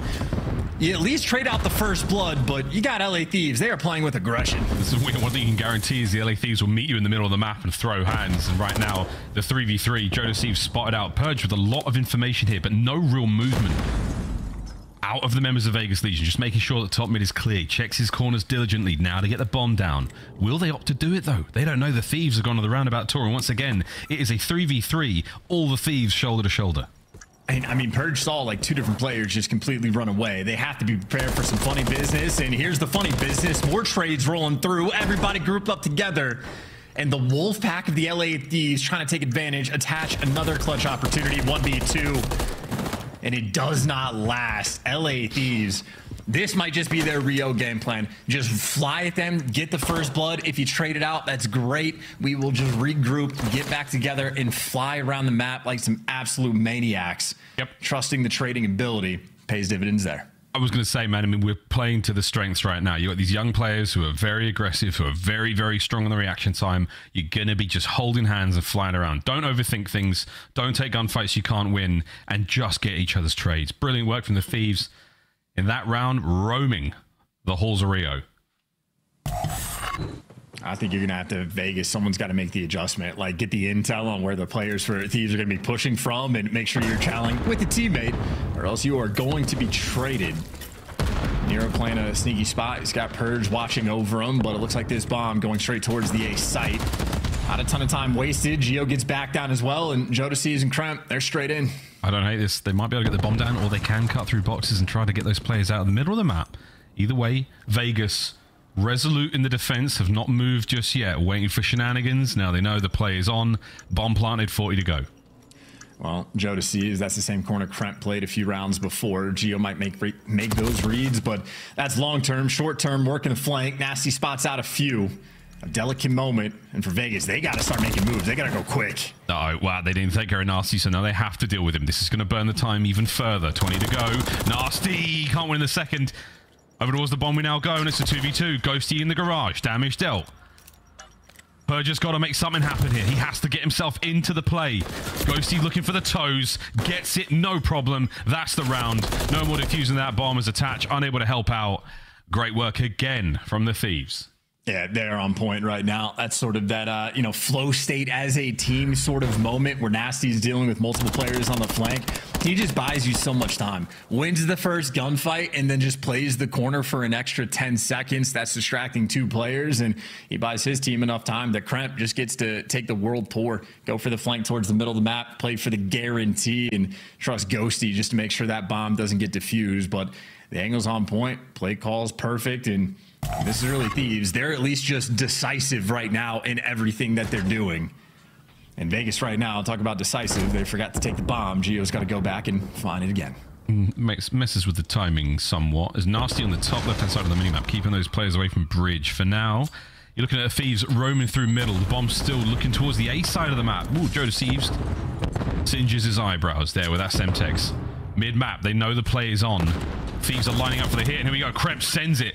Attach, takes care of business. Trades there from Nero. Good work. Oh, boy, it's a going down. JoeDeceives, the last man standing toe-to-toe. Now with Attach in the 1v1.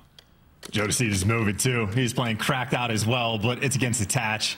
Got to take things slow. So he picks a corner and is just going to be patient. And I think if like he spots attach coming through double doors, he dips out. Anything else, he takes the gunfight. But I think attach is waiting for a scam. JoeDeceives for the moment, playing it too smart. He's playing it real smart. Back over towards top mid. Attach is going to be there. A little too late.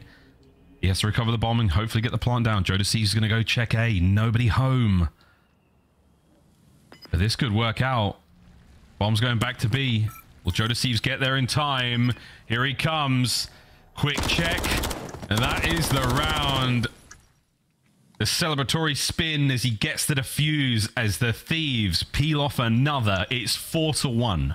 I, again, I just like the decisiveness. They completely get baited out by the stun information by bomb where they just full send for the chow and they start getting picked apart. But because everybody is grouped up, the trades win. This is effectively a 2v4. The coverage for JoeDeceives to be able to get that trade there on Purj and then attach just too distant from the fight because he got back down early on.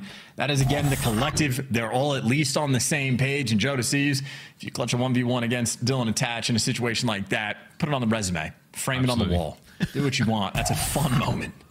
Right now, it might also be a Crimson player in rank to get that on the resume as well. it's a 3 3 there from JoeDeceives. 7 and 2 overall in our five rounds of Search and Story here in the sixth. Let's find out what happens. Can Joe keep the spree going? He's got full pockets and dead silence to play with. And he has the bomb as well. So Joe's got it all. I think Joe also spotted near on the cross towards bridge, and yeah, based on the way Nastie's preaiming it, they might just be trying to play off the Nero information. Hello. But jumping back and forth, not easy play to deal with, and Nero's got attached there for the help. And Nastie was by himself. So again, backing down, you drew attention of two different players over on that street. Now they're making a move towards the middle of the map. So LA Thieves again, coordinated effort. Everybody's on the same page. Yeah, good news. You got the middle of the map. You have the bomb site. The bad news is you've got Vegas Legion sprawling all around you. This is going to be a very, very difficult situation to win these fights in. Oh dear, Purj hits a big one. Two on the flank. Any more to be had? Nero is there for it, and now it's all down to Kremp and Purj. Three on the round and the defuse. Vegas are back. And again, the reason I keep saying all on the same page and decisive is because there's some moments where I'm like, I don't know if that's a good play. Four stack in the middle of the map and opening up every single lane and allowing yourself to get flanked from every direction is a tough situation to deal with. They had no information and I mean, well, that's a bunch of flanks coming through. They're worried about the two players over towards bridge. Well, Purj just goes through uh, double doors, and this is the freest two piece he is ever going to get. And that is absolutely going to be the stamp of the round. Nice bounce back moment there from Purj. Still down four to two in round count, but maybe an opportunity for Vegas to feel a little bit better, start making some plays. They got bullied out in map one, so confidence certainly they gotta reaffirm it. Yeah, it's going to take more than a couple of rounds of search and destroy, I think, after that whooping we saw on six star over the post still keeping the spree going for a moment kremp though right into the feed finds his first Nastie backing him up can Purj get the bomb? That is the next question they've got to deal with. Does get it attaches that help out? You might be able to get a plant here. No one else to help him up top. Waiting for the reinforcements to show with a minute on the clock. Yeah, they're just playing for the information. Attach actually makes a really nice play to be aggressive through the street, find an extra kill, but that's even up the odds. Now you got JoeDeceives. Might have just jumped over to be behind enemy lines. Great reaction time. And he gets out with his life. You're grouped up together, but JoeDeceives doesn't even need the trade. Welcome back to the roster, young man. And attach. Goodbye. JoeDeceives again on point right now on Rio. He's been making fantastic plays both maps. Outstanding plays there. That I mean, the fact to hit the stairs, cut that entire attack in half, eliminate the bomb carrier in the form of Purj. This is the moment though. You stay alive. You force those players to come upstairs. You've got the coverage. He didn't even need the help though. He managed to catch Geo unaware, and this one as well. I mean, JoeDeceives, doing it all. How many kills you at now? Your boy's Ten, uh, yeah, double digits in seven rounds so far. So he's certainly trying to pump those numbers up. And again, in stage one, JoeDeceives did have some of the best objective stats in the game for respawns and especially bomb plants alike. But right now, at his main slayer, JoeDeceives still carrying the bomb, has it in tow, but. LA Thieves, frankly, why would you mix up the game plan? Get that information, like choose your destination and go hunt down those first bloods. You absolutely have got Vegas in the palm of your hand now. The question is, what do you do with them? Will there be a crushing? Or will you sort of tease out the win here, slow but surely? Over towards the A-bomb site, we're expelling our lethals and our tacticals. Exchange of gunfire there as Geo discharges his service weapon. Can he keep the members of the LA Thieves at bay? Open bomb site at B. Purj the lone man. And these are just faster. Like three players were over there defending A, and I know Attach started wrap back, but just a little too late. So LA Thieves playing the map quite well, but maybe more too. Oh, will he hit the door? He does. Doesn't matter. Attaches up close and personal. JoeDeceives finds one. Traded out immediately. Numbers to Vegas. 30 on the clock. I'm confused just yet, but look at the chows. Yeah, Vegas going to be able to lock this one up. Ghosty might have the timing, but COD timing is absurd and too many players, too many bodies. Dylan Attach making the play in that round, catching Kremp on that flank. If Attach loses that gunfight or is maybe two seconds too late, that would be LA Thieves calling game, but Attach right there. Again, sort of that world tour. He starts out on one side of the map. Geo and Nero calling out, hey, a lot of nades, a lot of attacks coming in over towards this bomb site. Attach is there for the help, but after it goes quiet for a few seconds, wraps back as well. Attach's instincts on point. Still, though, Vegas, desperate. Need three more rounds in a row just to even up the odds in the series. I mean, you see the play that Ghosty's trying to make. I mean, right now, Ghosty's so stunned. He can't believe that round didn't go his way. Here we go, though. Back at it again. Still map point for the LA Thieves. No one's going to lose any points here in COD. That's not the way we do things. Vegas Legion starting to string together some success. Geo, the only man here by the A side of the map. The stun's going to land. He's been the island player for the Vegas Legion. And as long as he's passing information over, the boys are looking good. In towards the B-bomb site we now go. Top mid, full of Legion players. Yeah, not confident yet to get that bomb down. Nero, well, making the move now. Trophy as well to protect you, so it'll be successful. It'll be a tried and true full-on 4v4 retake from Thieves, and it's no flanks coming through. They're grouping up together for the one hit. Yeah, waiting for a Purj at the ready on the stairs. Ghosty's got the flanks covered. Damage dealt. Deceives gets it in and out. Traded immediately. 3v3. Nero bites off way more than he can chew. Oh, down to Geo. The solo now against three members of the Thieves. Make it two. Can he make it one? No. Ghosty's there. 20 on the clock. That is going to be the map. And that is 2-0 here in the series. Yeah, Ghosty stunned with how well his teammates were performing on that one. That was a clinical effort on Rio, a dominant effort on Six Star, and I love the play call, right? Like make the moves towards the steps, someone just hold irons onto the escalators, and those SMG players in the middle of the map, they just feel obligated. Throw shoulder, slide around, get cracked out, but little too cracked and you just get caught. LA Thieves, those were two fantastic maps they just had. These guys are playing with all the energy in the world. JoeDeceives off of the bench into the main roster with a 12 and 5 performance there on that Rio Search and Destroy. A sensational turn of events here for the Los Angeles Thieves. A massive win there. Vegas Legion now staring down the barrel of a 3-0 unless they can find something special on our upcoming invasion control. Vista and Six Star await us towards the tail end of the series, which I'm sure we'd all love to see. It's nice to see the new maps get in there, go, but thus far, ooh, 250, 49, 6-3. We are in La La Land right now. And the Thieves, they are certainly singing and dancing chants. Ah, not what I thought was going to happen here, brother. I think it's about time we take a very quick commercial break. On the other side of this one, map number three, we'll find out if Vegas can make the comeback. Or will we see another blistering 3-0 here in the run-up towards Major 3. This is the CDL. We'll be right back.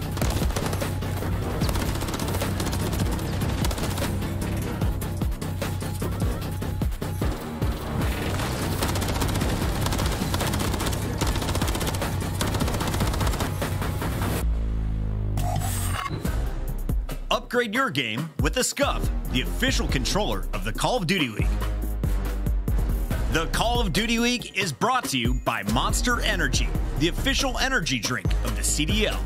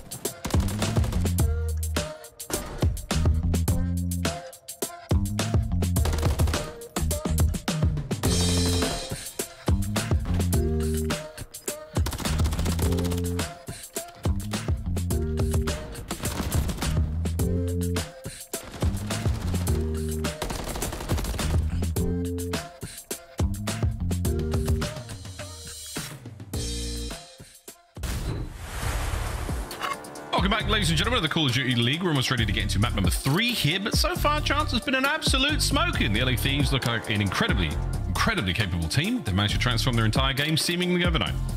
Yeah, and shout out to Turtle as well for the stat, like getting 50 point club. It's happened four times in CDL history. This was the first time it has happened since Cold War. It was like 987 days ago. So LA Thieves absolutely setting pace. Already blistering right now, looking fantastic with this new roster. JoeDeceives has been making plays left and right.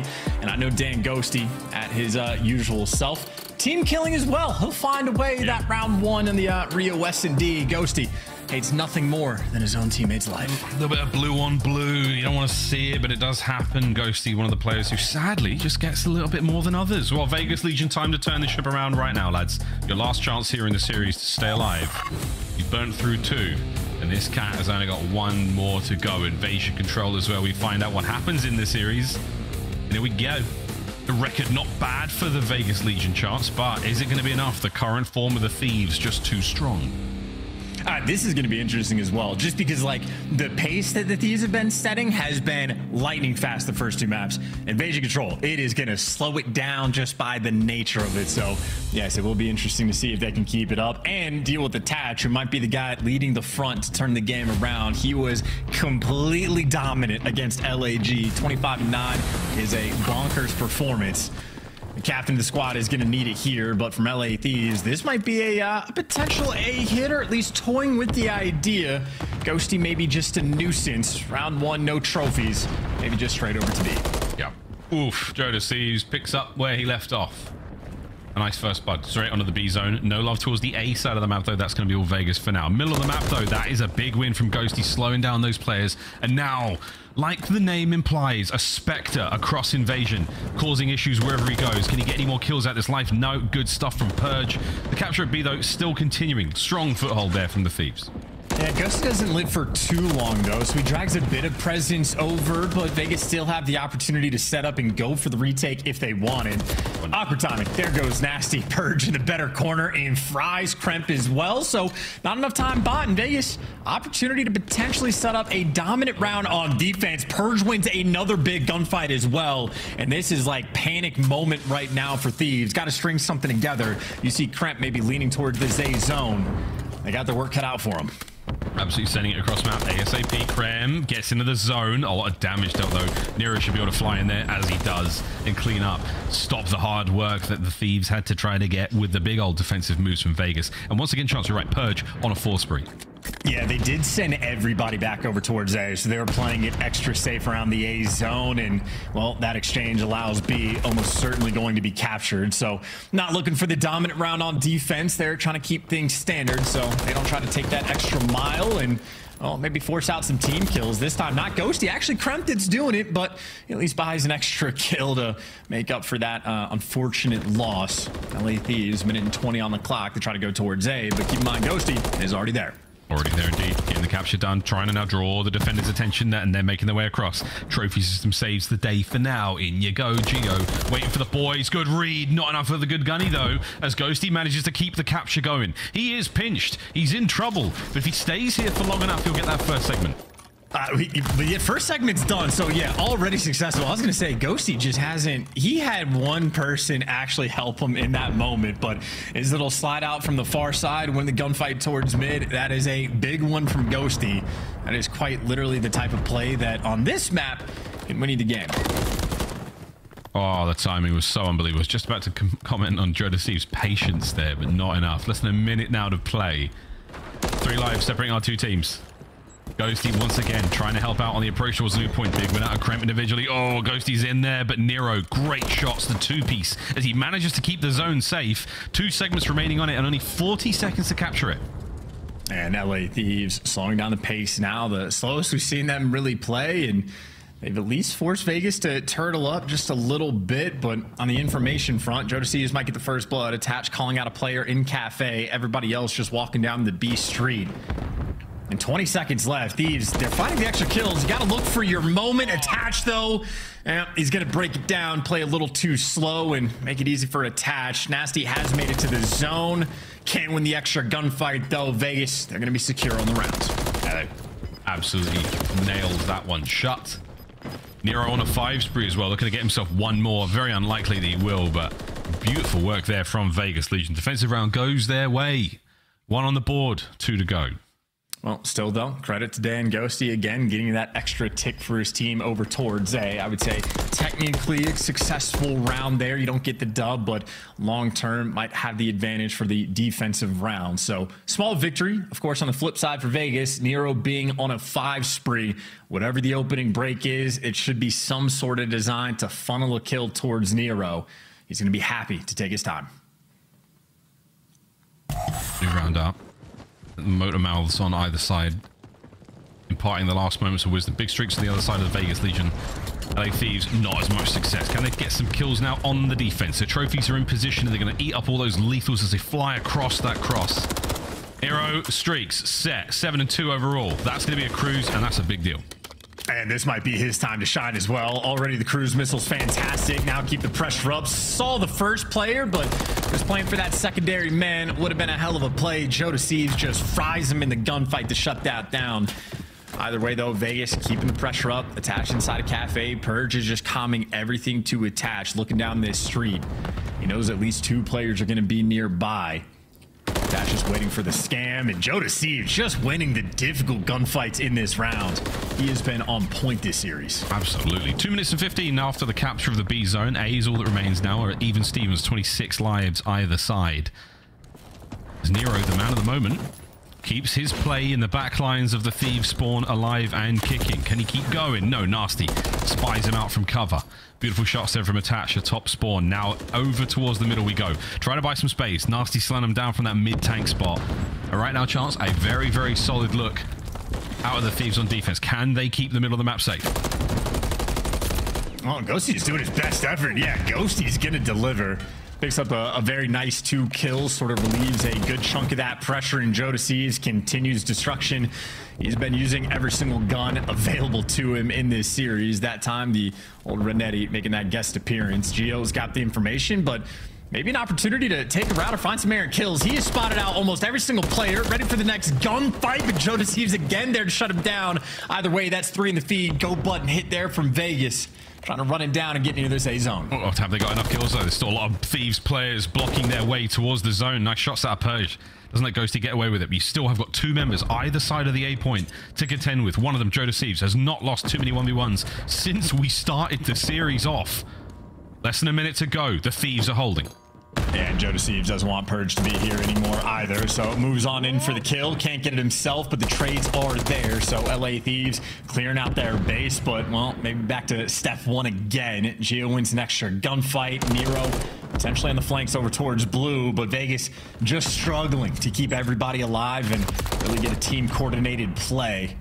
Very difficult thing to set up and only 30 seconds to luck, uh, work with, excuse me. And keep in mind, they are down a tick right now. They need to find some progress on A. Nastie backs up. Again, good spacing from the Thieves. They never go down altogether. Ooh, JoeDeceives in and out. Stays alive. Less than 20 to go. Purj trying to get himself in on towards the zone ASAP. A kill might help, but he has to get through Ghosty. The rest of the squad on their way forward as Purj manages to get another. Can he get towards the zone? Final 10 seconds. I don't think anyone is going to let it go. Kremps there for it. That's the round. And we're going to be tied up one to one. Both teams holding their defenses down. Man, just nobody home. And this is still, in my opinion, fantastic news from LA Thieves. I know that Nero was able to get that cruise missile, but if you have to take advantage, I think on this round, the attack, if they apply enough pressure, Nero might just be forced to call it in. So a couple things going right. Dan Ghosty, over 2,200 damage just in these two rounds. So the gun's certainly still hot for LA Thieves. Haven't really skipped a beat. No, not at all. They're doing everything right as far as, you know, the defensive round goes. O was a little bit trickier. Well, Thieves looking so good in the series so far. Let's see how they go for the hit on towards B and see how they sound with a listen in. I'm going your top. I'm going your top. I'm going to look your red. Extra, extra, bridge red. Nice, I have full pinch still. Nothing top blue, nothing top blue. One is nest for sure. Okay, I'm, top nest, top nest, okay? Want a shot? Uh, he's going. Knock down, he's, one shot, one shot, one shot. He's up there. He's in one close, one last, one last. Giving a full pinch. One last, one last, one last, one last. One's red, red, red, low nest, low nest. Top nest, top nest. Red, top nest, and low blue. Low nest, one shot dead. One nest, top nest, top nest. One's in our spawn. Top nest and top blue. Tree tanker, Keiko. He's on the tree tanker. Oh, top nest and red, top nest red. One's red. Looking red. Tree tanker, top nest, top nest. Really weak tree. I'm sorry, no nest, no nest. Red, dead, dead, nice, good shit. Our Geo tree tanker play. We're looking for one. It's attached. Turn to your front. I'm just shouldering. Good take, yeah, good take. I got my take. We didn't get your right. Yeah, he was shooting, he was shooting. I got back. Yeah, they're shooting. Double second, double second. Left perfect. Alright, we're top Geo, we're Geo, one speed up as well. There's a huge check, by the way, make sure we play this. Geo, you could be could be bridge, or close on bridge. Up on the point, He's cheating, I'm cheating me, just shot. Stay alive, Mid tank and two tank, oh, mid tank and tank. Three tank, I'm hitting him. Three tank line down. Yeah, I, one more, one more. Three tank is gone, I don't see him. Uh, on the, on on the ladder, on the ladder, one shot. On you. Absolute on you. Yeah, we need to be going B. Yeah, we need to start. He's cutting us from the cross, one's still cheating on us. I see him. He's close, he's close to your tank. He's, he's, he's in our path, in our path. Oh, he's in our path. There's an up out. He's run up out. Top out, top oh, out. He's on the B point. I'm gonna need it. It's near him. Heal deck, heal deck, heal deck. Nice, good shot. Uh, Nero's on the B point. Red pillars, I'm dead. Red pillars. He's selling B tank. On the B tank, attach. Nero in. You went to the left. One star. Nero weak control point, B control point on twice, and one on the. Uh, I'm, the tank, I'm, the tank. I'm looking yeah, for the tank. I need your dark, I need your dark. Give me a second, kill the guy, tank guy. Yo, on the, on the control point near yourself. Where's he tank? Yeah, on the, on the control point. You're still on the control point, you're running dark. We worked this out, we worked this out. I'm looking dark, I'm looking dark. Deep pinch up, I'm still on the tank. Two dark, two dark, two dark. Top bucket, top bucket, two dark, top bucket, two dark, boys. I'll play, I'll play. Nice. No, one more. Shut up, Tom. BS need tank, BS need tank. Cut this me, cut this me. Move green, I'm stuck. Whether it's time or lives, the Vegas Legion have managed to bleed the thieves dry here. Can they get on a B? 7.9 seconds to get the capture. There's so many of them there. Surely this evaporates. Attached might be to get a couple. Damage. Not enough for the stop. Point captured. A minute to play. That that is a tragedy there for Vegas. So close in both of their defensive rounds to set up for the choke slam sort of performance, but they can't get it done. And well, now you're almost back to square one. They're going to be down at least a tick going into the new round, but LA Thieves finding the kills as well, and 45 seconds to play with. They're just going to be looking for a little bit extra. Oh, and here we go. A couple of members of the Thieves here in a position to slow this down. Now, nah, good job out of Purj. That kill is huge. Now for the Thieves, all you're doing is waiting for that opportune moment, waiting for those players from Vegas to make a bit of a mistake, catch them out. Right now, Purj and Geo, they are running the show. Another for Purj. Three now in the feed, done. Less than 20 seconds to really get themselves close to this point, and it's not going to happen. With Attach shooting like that, this should be Vegas's round. Yeah, nowhere to go. Someone's going to have to just, I don't know what, sprint through the middle of the map, pop the active camo, find the route through. They're funneling through B Street, but that is not the route to get to time in time. But either way from LA Thieves, for how the round could have gone on the offensive end, it ends up not being too bad at all. Still at least get the B side capture. You force Nero to invest that cruise missile very early on. And I would say for Vegas, they're just so close to setting up like extra dominant rounds on defense. Like they had the moment, Geo does get behind enemy lines. He was making plays to get inside a Palace. But then as soon as he dies to JoeDeceives, well, it makes LA Thieves' lives just a little bit easier. And I think Vegas have had just a few opportunities to really push the extra mile, but Either way, that is a long-term game. Right now in the short term, Vegas, all they're looking for is that like extra tick. Retix, just secure B, get the extra little bit of love on A, and then it comes down to kills where Vegas do have the advantage. Vegas have the advantage, and Vegas starting to heat things up. Confidence resuming. Let's go for a quick listen in and see how confident the boys may sound. Yeah. They can, they can play There's one, one more beat yeah, on. He's on P1 tank. On P1 tank now. P1 tank. And one guy's on. All right, P1 tank and on it. Could it your dark. Sure. They your dark. Yeah, guys. I'm looking dark now. Bang it up into a spawn, Evan. I will. I will. Close front. Close front. Fuck, you got me. Front, front, Joe. Where? Uh, very weak at bottom nest, bottom nest. That's uh, anything dark. He's on white van, white van now. White van, one shot, absolute done. I got pinched now. He's trying to looking for you. He's gonna go tractor, he's gonna go tractor. Throw some nades at him, he's on trophy player. I'm on point, and I got flinked. Nastie one dark, Nastie by Dark Pillar. Tractor, tractor, tractor. Dark Pillar dead. Tractor dead. Sandbag tank goes two. Sandbag tank. One bullet, absolute. We're missing one. Only one guy on you guys. One shot sandbag tank. Yeah, I don't know where he went. He's on the front side of it, Geo, stunning him. Top nest, top nest. He went deep, he went deeper. Alright, we gotta try to guarantee this. Yeah, we gotta get B. Coming, DK. Yeah. Top nest jumping on you. Top broken, I did. Broken, top broken, top broken. I'm warning you. It's your bottom broken, push through. Top broken, dead, dead. Nice. I'm looking at your front. I'm showing in front of you. Go see the top bridge. He's still bridge. I'm leaving him. Dark, dark, dark. Jumping out, jumping out. He's dead. Nice. Ever hope. Listen, Joe and Dan. Could be dark. Yo, we just top dark. I saw nothing. I'm going. Dan was in our spawn. I'm yeah, yeah. Red, red, red, red, red. We're up front DVD as well. Right here. Come on, Shasta. He might be bottom nest. Yeah, he did. I think he did. I think he did. I think he was.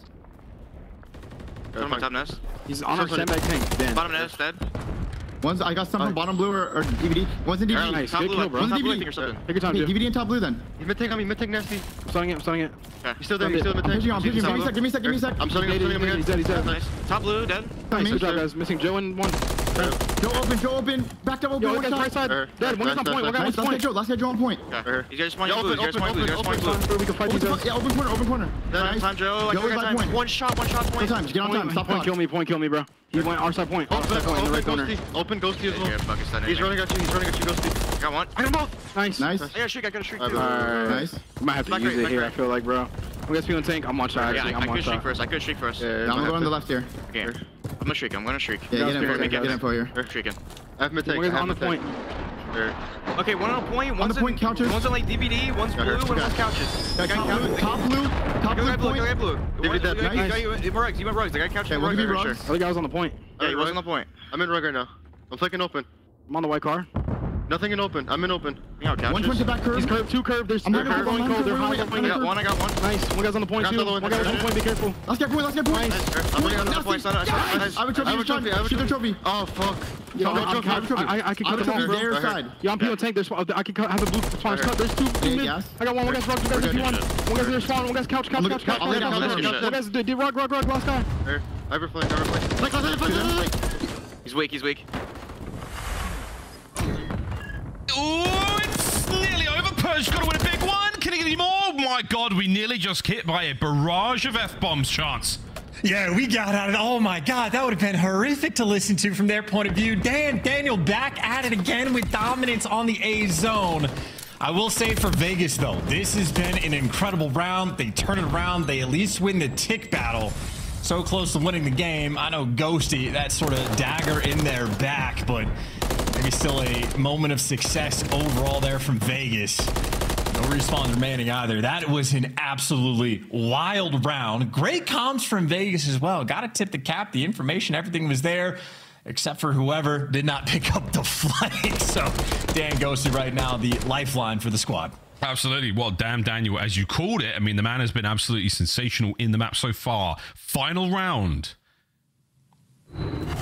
The chips are down for Vegas. This was Ghosty three pieces, secure it, and oh my god, he snuck right on through. They lined up and he cleaned house. What a play! Final round, here we go. Oh, got, they got to dig deep. Yeah, I missed it on the minimap too. I couldn't actually tell what Purj was looking at it. I think like Geo might have just had like two or three bullets left in the clip or reloading or I don't know. Moments like that always incredibly awkward. But Thieves want to maybe dodge the awkwardness, keep everything nice and standard right towards that B zone they go. Go back to your old faithful. Play it safe. Do the simple part first.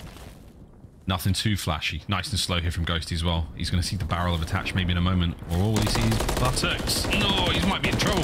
Attach. No, my good God. They've done it again. Ghosty with another massive three. That's huge. That's a segment. And oh, Gilly, Gilly, God damn, it's going to get ugly quick. I mean, look, he's looking good, but it's only a double stack for the moment, so still have to make sure you execute. I think Vegas very concerned about Ghosty's positioning, though. He's been very patient, timing out the flank. Man's got hands as well, and gets out with his life at least for an extra moment. His team, B zone, that is going to be secure. Over two minutes on the clock to work with to try to go towards this A zone. Oh, another gift from the COD gods delivered by hand to the thieves. Can they capitalize on this massive amount of time they've got to work with now? Geo, though, says hell no. He doesn't believe in that. Nastie was just a little bit of suppressing fire to keep him at bay, let him know what's going on. Middle of the map now, oh, attach is out as well. It's getting real tough to deal with these members of Vegas when they're moving like this. Nastie, you can see he's left with no option but to be brought down. Here comes the supply lines from Vegas, all the way through the middle of the map. Joe better get into the fight quick, and that is a problem. Vegas looking strong. Ah, Vegas, yeah, the teamwork right now on point. And you have LA Thieves that they've just been constantly flooding through the B street. So you've had Vegas Legion able to just stack up the pressure. But pressure's one thing, when the gunfights is another. That's two in the feed there for LA Thieves. And, well, now you've at least made it to the enemy lines. Ghosty, he is caught in hell. He is going to get taken down. Kremp, the only one that is going to be behind. Maybe has an opportunity to get some intel from Nastie to make the play, but there goes Nastie. And last domino standing in the back line is Kremp. And the arrows right now for Vegas are turning. Nero heads up in this moment. They know they're looking for one. They've counted well. They know he's there. And if he doesn't get a kill with his teammates in position to capitalize, it's going to be for nothing. A little bit of time to still go here. Kremp wins it. His teammates don't though. Geo once again thwarting the plan of the thieves. Kremp holding it together. It's his fingernails right now doing everything they can to stay dug in at the back line here. I mean, he's doing he can. He's at least blocking these spawns. So he's creating the opportunity. And Ghosty again is going to be able to make it towards this A zone. Doesn't have help on the cross, though. Ghosty makes it the zone. Everybody dies immediately after. Him and Kremp have to go large, and they can't get it done. Kremp maybe just desperate for some help. He did. Forces a big two kills and, well, trying to stay alive for number three, but as he falls, you have 18 seconds. You got to run down A Street. Good luck with this one. He got the help. It was a form of a team kill. Nastie's knocking on the door. Purj about to blast through laundry. There's attach. Big win through the middle. Trade it out. Ghosty can't get anything. It's five seconds to get on this one. We're going to see a map for Vegas. Hold it together. It is over. The Vegas Legion finally get themselves on the board there with the control win. Confidence slowly starting to return. I mean, I don't know. That just took in an extra. That's a New York minute right there. Or maybe New York minutes are fast. That was a very long game of invasion control, is what I'm trying to say. They had to fight tooth and nail from it. I will say Vegas on defense, pretty on point consistently. The opportunities to like get a little bit extra, but LA Thieves may be able to pierce through a few of those setups. But yeah, this is almost like the sort of stat padding moment right there in invasion control where you can just run the damage numbers up like crazy. Nero, especially maybe the uh, the old titan of the lobby, 6,800 damage, two separate cruise missiles earned. But really, just a nice job by Vegas. I mean, we got to hear it in the listen in, their teamwork and comms. Certainly flowing. So that was not the issue in map number one and map number two. Able to execute there on Invasion. They'd be happy just to see an older map. Hit replays here. A lot of nice highlights. We saw some great kills and long plays, man. I mean, Invasion is one of those control maps that you really do have to be quite organized on. It, it takes it two to three down at a single time, and neither team was conceding that. They were both staggering those kills very, very well. They were staying alive defensively. It was good work out of them. And attach again, huge plays. Ghosty's three piece here to stay alive in that round, force that fifth.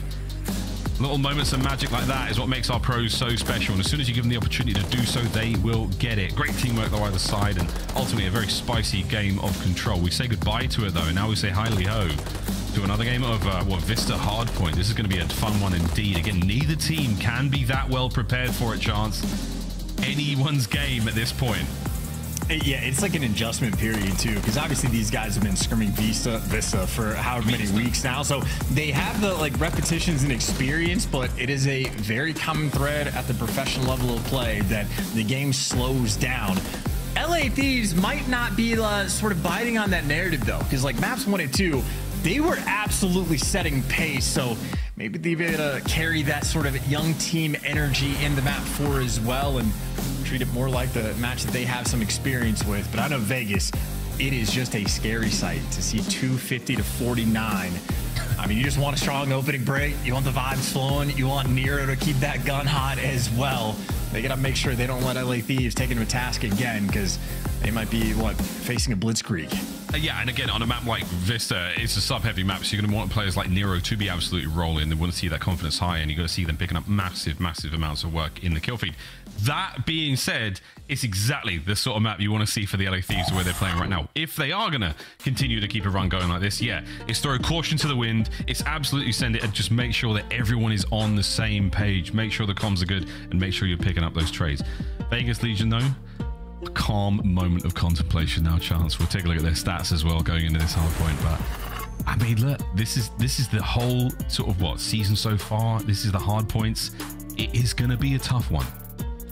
And of course, what we're highlighting here is that the current maps that they have, the 9 and 8 record overall, the two maps that end up no longer, well, they were pretty fantastic on. So if you're losing maps that you were once pretty successful on overall, got to make sure you grind out the new ones.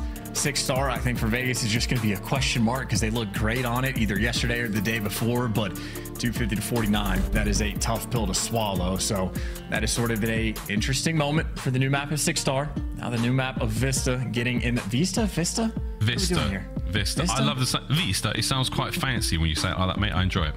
I feel like my North Carolina is showing just a little bit. public education. Sometimes it costs you. It really does. Vista.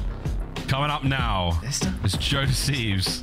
It's Vista. Of you, I don't know. Vista. Vista. Yeah, it's it's something you would you know you stand on top of Vista and you'd look out across it and it's, it's beautiful. And this you see the location of this map atop of Vista.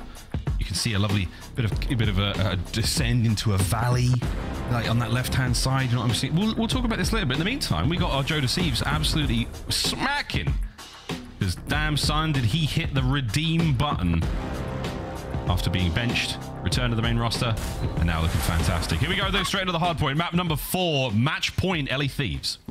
I gotta say, Jesus Christ Pose, great song. Fantastic song by Soundgarden. Or a T-Pose if you're a gamer. You can go either direction, but the direction right now for Vegas Legion, straight towards P1. Nice opening break, great nades as well, and well, not quite the gunny there on Ghosty, LA Thieves. They do, in fact, strike right back, but the setup after the fact for, yeah, Geo waiting in the wings, going to be able to collect that time after getting that final kill. Okay, it's funny seeing this map from the, the Codcaster POV, and those of you who've been playing ranked recently know it is a very spicy affair. Submachine gun players thoroughly enjoying themselves, a couple of ARs, you know, having their time. But right now, it's just insanity. Non-stop plays flooding towards those hard points. Everyone there from the Thieves, top left-hand side of the minimap, is not a terrible spot to be in, but they've got a lot of work to cross over and get towards that bottom courtyard for the second hard point. These guys are just getting funneled into death, actually. I was going to say, those are like technically the spawns you want in a sense, but that did not look like a fun situation. You are literally fighting uphill or upstairs battles just to make it towards new. And now attached, the vet at his finest, posted up in a corner, playing for the crews. Knows what to pre-aim. Call Duty timing, maybe not at its finest. Everybody getting the kills but him. But do you care about the kills if you're up 50 points already? Vegas, this is the six-star flip effect.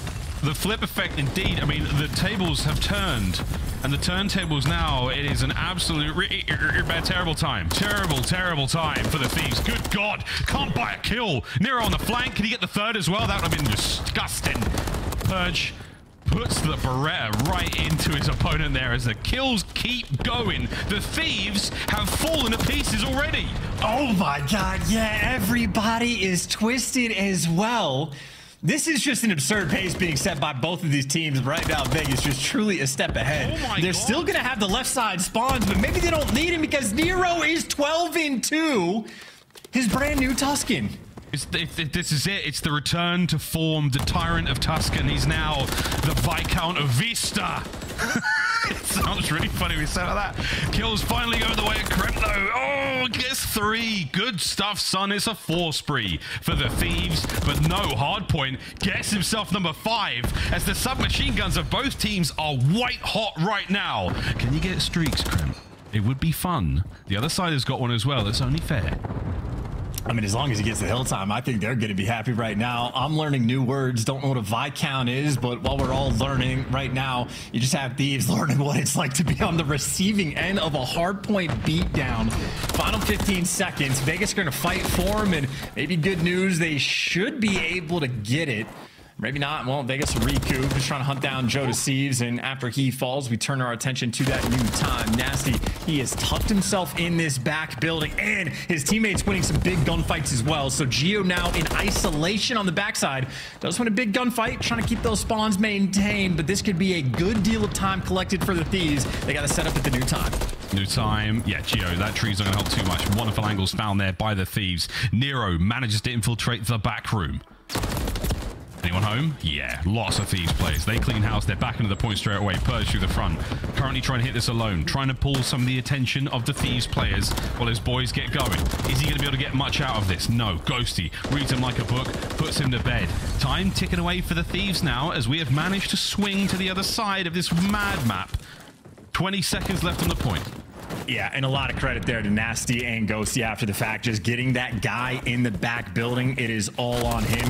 Really just to stay alive and make sure you're getting that sort of like, you know, output to tell your teammates where to look. So very well orchestrated effort. You've slowed down the damage Nero was doing as well from 12 and 2 to 15 and 7. So still shooting, but it is not the lightning pace that he originally had.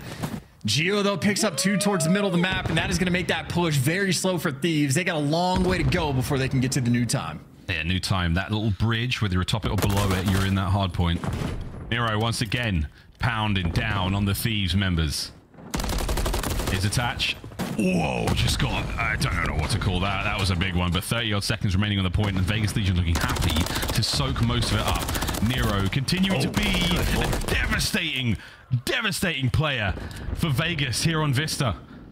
Purj from time. Any more for it here as Ghosty tries to stop it. At the very least, the contest. You should be able to get him off.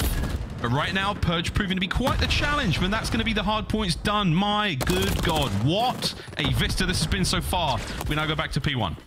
Yeah, and Thieves just had to like fight tooth and nail to break that time just to get an extra 20 seconds. So pretty strong hold there by Vegas overall. And Nero, this is his third cruise missile he has gotten in the past two maps. And not only the comms in the feed, but the damage done from the missile as well. That is a clean four down, and you force the spawn outs as well. This is just victory time. This is where you get to soak it up and play for those extra kills. Great time being collected on P1. I mean, he's 20 and 10 right now.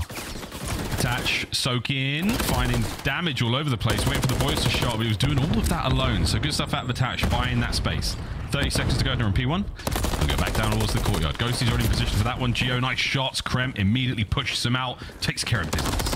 I gotta say, honestly, the fact that you and Vegas getting four down and they got retaken that quickly, that is in fact a missed moment, but that missed moment is just the opportunity to Thieves to stay alive in the game. JoeDeceives is dealing with something.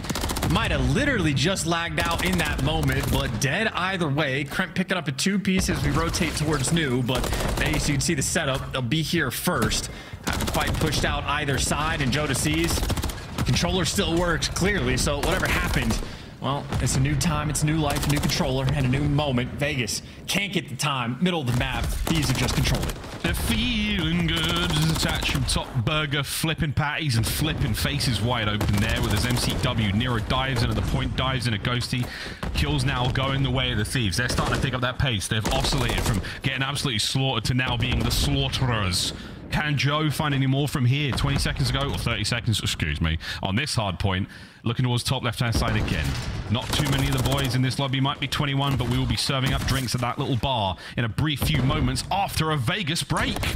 Yeah, Attach is being a really good nuisance. He actually had the timing pretty well for these to get a little bit too comfortable and jump a little bit too far.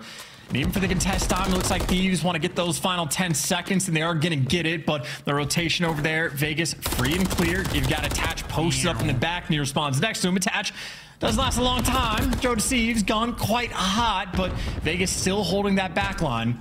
These might just have to bully their way through the front. Oh, yeah. JoeDeceives still finding those kills. 160 to 142. Still a very close game. Kremp from downstairs looking to infiltrate towards the point. Not going to happen. Purj on the defense. Nice work, Ghosty from up top. Great work. The Thieves spring to life. That's the break. Can they contest now? Two members of Vegas. Up close and personal. Here comes the CQB. Purj on the reinforcement run from downstairs still as the Thieves are soaking it up. Nice work. Brilliant time and good shots from Ghosty. That could be a lead change in a moment as the Thieves are back in it on Vista. Yeah, talk about the moment to get the break as well. And, well, maybe the most awkward rotation we have in any of the hardpoint maps. You just want to keep these spawns two hills in a row. We talked about the importance of the back building. Well, Kremp's there. He can use it if he wants to. Right now, setting up a crossfire with JoeDeceives. And for Vegas, this is just a tough moment. They want to use the cruise missile, but there's a few buildings nearby. That's a Vista if I've ever seen one. Cruise hits, no good. Forces the players on the inside. There's the contest. Purj. Oh, taken care of. Nice shots out of Kremp. From upstairs, it's Gio from the hip. The point shooting. Lead still firmly in the hands of the Thieves now. Nastie can't get in towards the fight, can't get towards the hard point. The ring around a Rosie now for Gio. Will it pay off? Oh, he's stunned up. I don't think it will. Oh, no, there is Nero from behind. Cuts out the reinforcements. Cut the legs out of the play from the Thieves, and they're done. That's the flip and a big 30 seconds. Yeah, these two teams are just getting after it, going blow for blow on breaks, on holds, on trades. Still, though, fighting for the extra bit of time. Attach is by himself. He's got two players to deal with. There's number one, but number six in there, Kremp for the trades. And make no mistake, that's good time to get with the game this close. So much so that Purj wants to fight for it. Purj is going to get it over towards New. You got trades on this side of the map as well. It is a 10-point game. Again, two teams getting after it for the moment. Thieves going to have the time first, but Vegas, I mean, they're quick. They're swarming in for the trade. Should be quick to at least try to fight for it. The kill feed gets lit up. It's trades back and forth. Who is the last Hermano standing? It's going to be Gio doing everything he can just to collect that time. Ay, Dios mío, Gio still alive. That's going to be Kremp now on the approach. Purj from upstairs, keeping the boys safe. Hard point in the hands of Vegas. Lead change. Back at it again we go. Nastie trying to hit the flank. Red dealt with. Gio again. Nero sitting there at 34 and 22. Gio doing what he can on the spree. Can JoeDeceives cut them down from behind? Here comes the pinch. There's Joe. Dealt with from up top as Nero. It is back and forth. My God, the observers. Paradox's hands have got to be burning after this. I mean, everybody's cracked out right now. The way, like this speed that this game is being played at currently reminds me of Bocage, but maybe the slowest moment of the game. You have Nero taking the longest route of all time, trying to set up for the pinch and maybe for the spawns as P1 is going to pop. But but he take that route, A, he gets cut down, B, his teammates lose all the gunfights.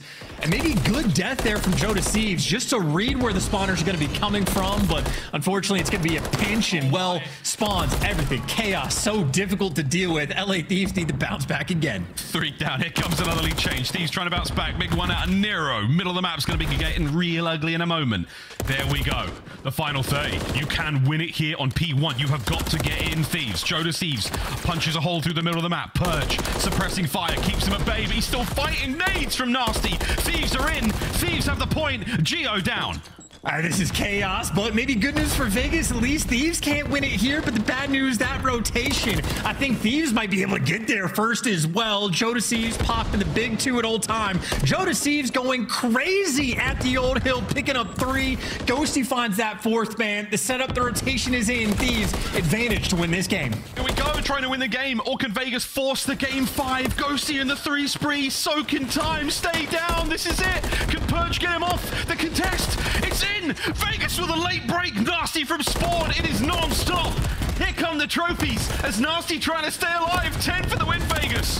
You're funneling through the skinny alley and you are funneling into death. Nero might have just called game. He wants to see the game five. Final hit, can't get it done in Vegas through desperation, through effort, through exasperation.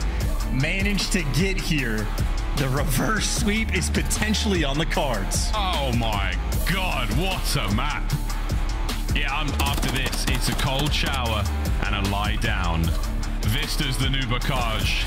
Vista. Hey, hey, listen. Something.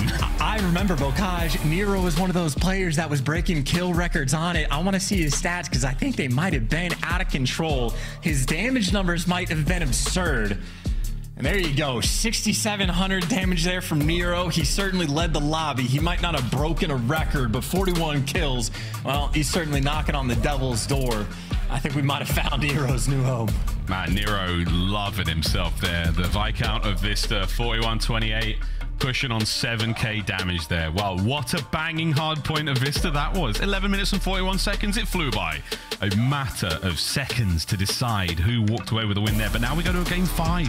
We go all the way back to six star where everything began. And oh my God, what a blowout that was. How different the series looks now as the sort of helix, the DNA of this series there. You can really see the makeup. Was it mum or dad whose genes were in the finals there? It was a few seconds to decide it. My God, what a freaking series we've got here, brother. Yeah, and Miles, I'm glad you glad you brought up family in this moment because obviously, word to Vin Diesel, it doesn't matter if you win by an inch or by a mile. They're one for one on the hard point games right now. Enough for the game five. Maybe Dom Toretto. Do we call him Vin? Do we call him Dom? I don't care. We got the last 30 seconds. Good luck keeping up with this. Yeah, really. So the spawns are obviously very close for both teams, as you can see. So the reinforcement lines are easy to get in this one. Nastie being the guy who's furthest away from this one, but Gio again Mr. Do It All. Mr. Pick up a two-piece when you absolutely have to. Mr. Watch the flank.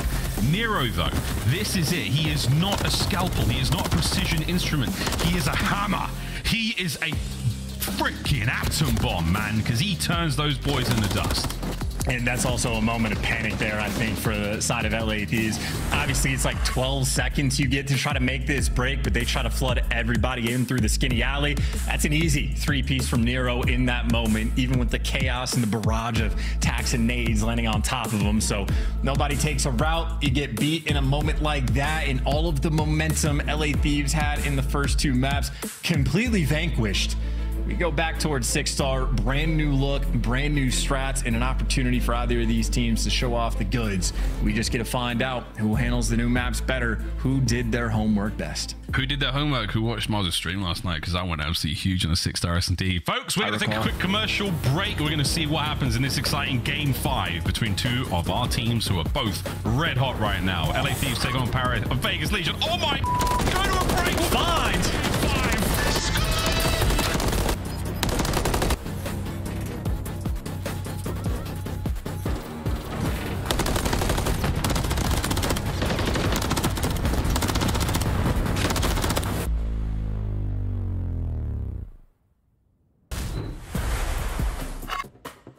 Upgrade your game with the SCUF, the official controller of the Call of Duty League.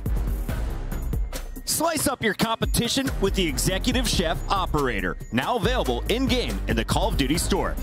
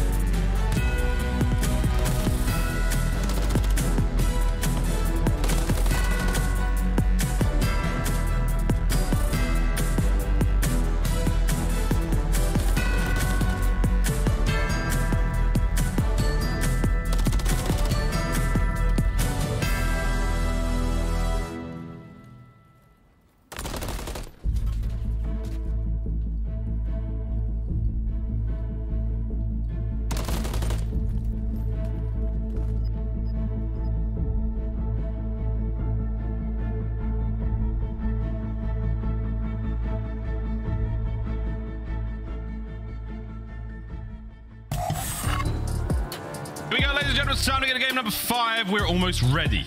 What a series this has been. huh? What a fun one, right? I mean, look, start to finish. No one thought the Thieves were going to come out and absolutely devastate them on that six-star hardpoint. No one thought that the Sectional was going to be absolute blowout there on Rio. And now we go to game five and we look at both these teams' metrics, which is how you pronounce metrics. I don't see too much difference between them. And the way both squads are playing charts, we're going to be singing some sweet, sweet music here on Six Star. And whoever loses is going to be hitting the bar immediately because it will be devastating for either team. If you at Vegas like do all that work to make the comeback, because like they got blown out maps one and map two, they had to fight tooth and nail in maps three and map four just to get here. To lose after all that effort, devastating. And of course, for the LA Thieves, the way they choke slam in maps one and two, if you get reverse swept, well, that is also going to be a uh, tough pill to swallow, but maybe the water will help. Two players taking a dip, working the outer lane, and maybe just trying to hunt this first blood. I think Nastie's reading the pressure, though. So Purj is going to pump the brakes, and Nero gets the bomb down. There's a couple cheeky plant spots you can go with on this map. You can see that bomb from many locations. Yeah, you can. And Nastie can nearly see attached from this location. Nice nade of JoeDeceives. Gets it. Oh, yeah, Nastie knows what's up. Little bit further forward, mate. You, yeah, just so close. He must have seen a red dot or a diamond. 25 on the clock, they've got to get things going. Good work there, and it all comes down to Purj. But they've got no idea where he is. But Nastie does. A little bit of time to get the defuse. Good stuff there from the Thieves, the opening round. Bit of a bang out. And I've just realized three bars on this uh, map chance. One in the middle, one by the pool, and of course one at the top. Maybe that's how a hotel gets there six star. Normally, I think five might be the most, so they're going the extra mile with the extra alcohol. Either way, uh, shout out to the observers as well. Very cracked out. I think the uh, the Vista got everybody nice and warmed up to sort of turn off the CODCaster to show Nastie's point of view. Miles, I think you're correct. Haven't seen that spot from that perspective myself, but I'm assuming couldn't actually see attach. Definitely saw that red dot floating above his head. So, LA Thieves taking advantage of the opportunity. And the rare B hit off the rip doesn't work out at all. So LA Thieves were like, that didn't go well for you guys. Let's try it ourselves. Anything you can do, we can do better. Nades up. Duo gets away with it. Big stun, though. That was attached. Sent that one from the bar. Purj on the flank. One. Done. Nastie. Nice work. Nero immediately hits back. The flank again. Wide open. lot of trouble here as Gio gets his. Kremp now 1v. Done. Peace. Vegas on the board. Uh, Yeah, that's wonderful work too. That is very quick flanks coming through. Purj always happy to make that impact going on flanks. Doesn't waste any time, and then had the uh, the Viscount there for the backup as well. Nice. Any moment for thieves where you're forced to sort of go for the hop up, never going to be a good time. And I just like it from thieves. It's respective. Like, okay, B hits aren't as common. They tried it, failed, and thieves were like, we'll give it a shot as well. Doesn't work out. I think it might be uh, A from this point on. Yeah, maybe. At least on the uh, at least on the brakes, you know, just the brakes. We'll see. Bomb in hand. I lied. I'm so oh, wrong. No, no, no. We got a little bit of love from it. The Thieves going towards A. Three through the middle.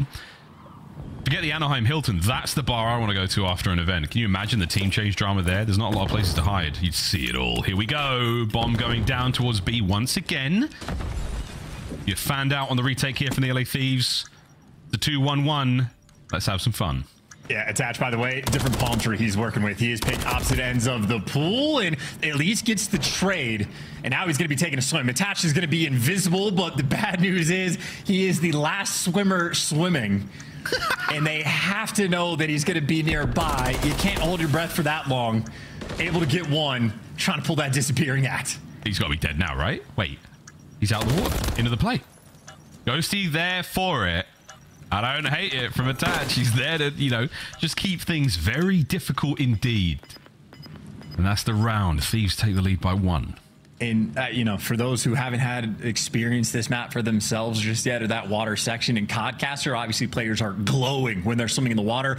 It can be genuinely very difficult to spot players out. There's times where they are nearly invisible. So, Attach wanted to pull the disappearing act, nearly made one hell of a play. But I would say for Vegas, again, stop going. It's just, you know, late rounds, got to be. Early rounds seems tough. When we're learning.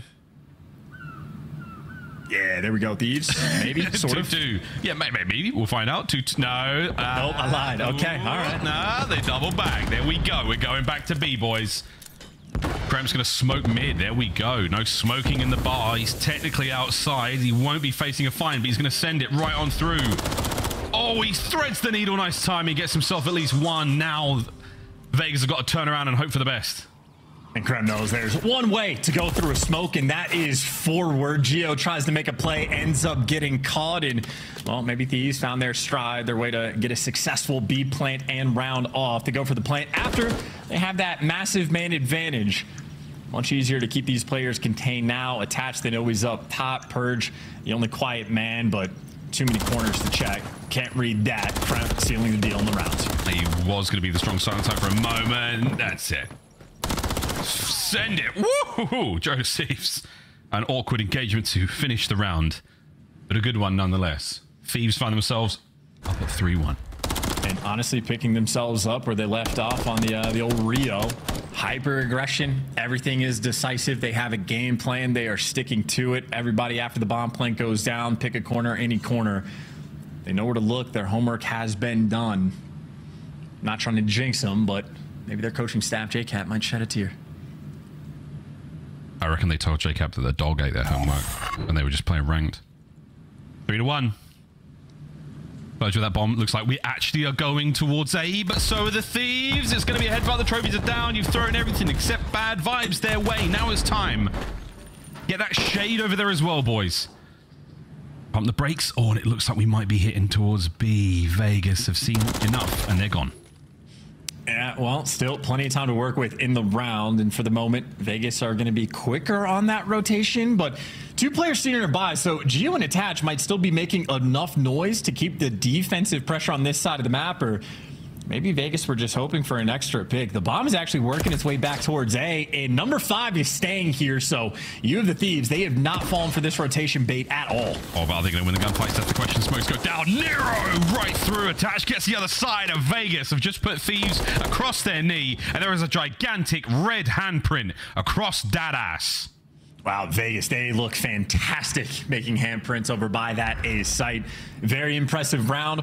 Played with the idea of going for the rotation, but they're just waiting to catch a player. As soon as they realize no quick flanks coming through, right back to square one, bully them out, and they just found the play and the route. Great coordination. Nero and Attach timing it together to go for those slide chows out. So at least one offensive for Vegas round on board. Yeah, good job. See how quickly these rounds can close out. So many angles. Looking at that mini map, mini map, you're like, well, there's what four ways, maybe five into every single room on the map. The guessing game begins as the beats over here by the bar continue to bounce. Can we get ourselves a first blood? Yeah, Kremp, nice job there with the Semtex. Bounces it off Attach's face. The bomb doesn't drop though. The beat may. A Minute to go and we're looking towards Bay. And you really just see how much the Thieves seem to prefer this B site, even after the first blood dealt. They're taking their time. They were worried about sort of those instant flanks that were coming through. Purj and Nero working together once again. They want to find the first blood and make sure they get the trades as well. They were setting up for it, but that gets completely snipped out. Bomb down, 4v3. And the Thieves had information on two players. Through the smoke once again. Nero wins it. That's big. 35 of the clock. Nero Man, he is something. 30 seconds to go. Purj pumps the brakes. Nero backs him up. Nastie, what a sweet nade that was. Purj is still hurt. I don't think they're going to be able to identify from the hit markers that he's on top of it. Purj, he's moving. He's got to get done quickly, though. He's just walked in between the pair of them. Unfortunate timing, and the Thieves, once again, a blessed round to them. Nice work. Four to two. Uh, and funny how it works out as well. That's just like the, the nades and tax being on point. You get the first blood with the Semtex. I think that was a lot of players using it down that middle lane that finds attached. And then Nastie might have been the only player to save a nade at all. Lands a peach, gets the extra kill, shuts down that clutch potential because Nero and Purj were in the middle of making the play, but not enough there. Another successful B plant coming out for the Thieves. And again, taking their time to make that happen. 4-2 lead in Vegas. They didn't like the success they had over towards that A site. Going to be spreading the map and seeing what sort of information they can get. Oh boy. Kremp puts Attach down. At first blood is over. Not going to be a whole lot of rebuttal there from Vegas Legion. They're going to have to slow things down. But looking towards the A-bomb site now, it's going to be on JoeDeceives. Eyes on the cross. Shoulders back, forth he goes. Will he see anything here? They have to cross over. Oh, he saw he saw one. He didn't see the bomb carrier though. And there's the plant. This is going to be a very interesting round indeed. Trades, though. That's the duo right there. If they were doing plays like that on Rio, they maintain it once again, always looking for those extra kills. And, well, now Nero and Gio forced to make the play. They're double pushing out, and I assume both going to wrap this. And if they're quick enough, might be able to catch a few players. LA Thieves right now hunting for Ghost. Nastie, though, might have just broken it down. Has the information on the pair. There you go. Pistol. Can't go away with his life. Nero has got to do something wild. And let's face it, the kind of guy that can do it, the smoke, the nade, checks the site. Nero, I don't think he realizes they're on the bomb. He's still got an opportunity to dive for it. Can he get the player off? No, he can't. JoeDeceives with the body block. Ghosty there puts himself into the sweetest little corner. This little corner. That is it. It's match point. And the LA Thieves are looking to get it done now. Yeah, and Kremp and JoeDeceives as that like SMG duo. These guys have just making plays constantly in search and destroy. And Vegas have just been isolating themselves. Like we saw it so many times on Rio, where whether it be Gio by the double doors or a player just by their lonesome. If they win the first gunfight, you're going to get traded out. If you don't win the first gunfight, well, now you're just down a man and attach again, getting hunted down by two players. There's only so much you can do. So the LA Thieves wrecking crew continued their destruction, 5-2 lead. And I mean, they've had plenty of success over towards B outside of one round. Why not go back? Yeah, go for it. Bomb's going to change hands very quickly. Nero's got a massive moment ahead of him. He's the man on the stairwell watching the cross. Nice work out of Gio. Joe Deceive's going to be able to cross over towards this side of the bomb site entirely safely and undetected. Two members now of Vegas on the stairwell. Oh, he's been spotted out. Joe, big moment here, mate. What do you do? Uh, you wait. You wait for Nastie to try to make the play. He's going to be the island guy, maybe making noise on the other side of the map, try to catch a player. Nero doing the dance, though, so Vegas have the intel. You see Attach and Nero repositioning, and, well, that means if Nastie can't make a, an easy, cheeky play, forced to make it in a different direction. Ghosty might have found the moment, though. Gio gets caught because of the pressure on the flank, and well, we do have a 3v3. Make it a 3v2. Vegas are collapsing in this round. LA Thieves back together, similar to what we saw in Rio, grouping up together like a unit. These guys have been looking so clean in search. Yeah, now it comes down to the trade war. At least one member of Vegas has got to get two kills for this to even be vaguely viable. Attaching Nero. Series is on the line. How will you approach this? JoeDeceives playing the lobby. There's the smoke from Nero. Nades are in. Sends it. Checks nothing. Gets gunned. Attach can only find one. Series in the bag. The LA Thieves. They start the series with a bang on six star and they close it in exactly the same way. Dominance in one and five. The rest of the map pretty spicy. Let's say it.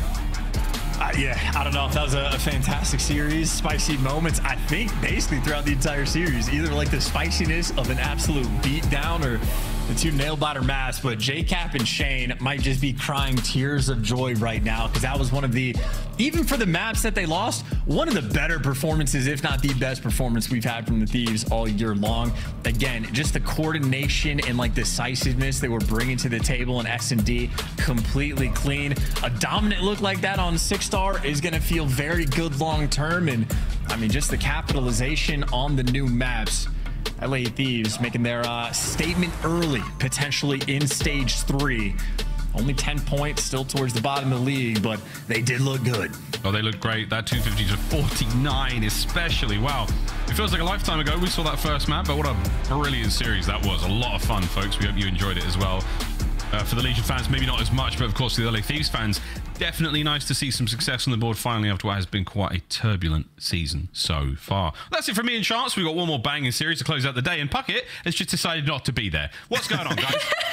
Listen, Puckett had to catch a flight, some important going on, but you got me and Allie, the duos here, and we're going to talk about this series because that was an absolute banger. What you've been calling for all season long was to have JoeDeceives back in the team as soon as he got put back down challengers, comes with that confidence and that swagger, and he was going off in the respawn. Talk about confidence. That map won a 50-point club. I don't even know if we've seen that yet this year, and it's against not just like a bottom-tier team, right? It's against the Vegas Legion, where Mm-hmm. hardpoint's been their bread and butter throughout the entirety of this season. So for LA Thieves, they could have ended this in a 3-0 fashion. I'm honestly happy it went to a game five because again, Vegas Legion are kind of the gatekeepers of top four. It would have been a very weird situation for the rest of the league if they were to fall extremely short versus LA Thieves. They still get handed the loss, but at least they pushed it to a game number five. Yeah, and you know, for LA Thieves in this series, this is unknown territory. You know, we had three map mode combinations in here that they have not played yet, and then even about the Rio Search and Destroy, they were 0-0 on that as well. So completely new map pool, and they come in here and they do damage on those new maps. Six Star was absolutely massive for them.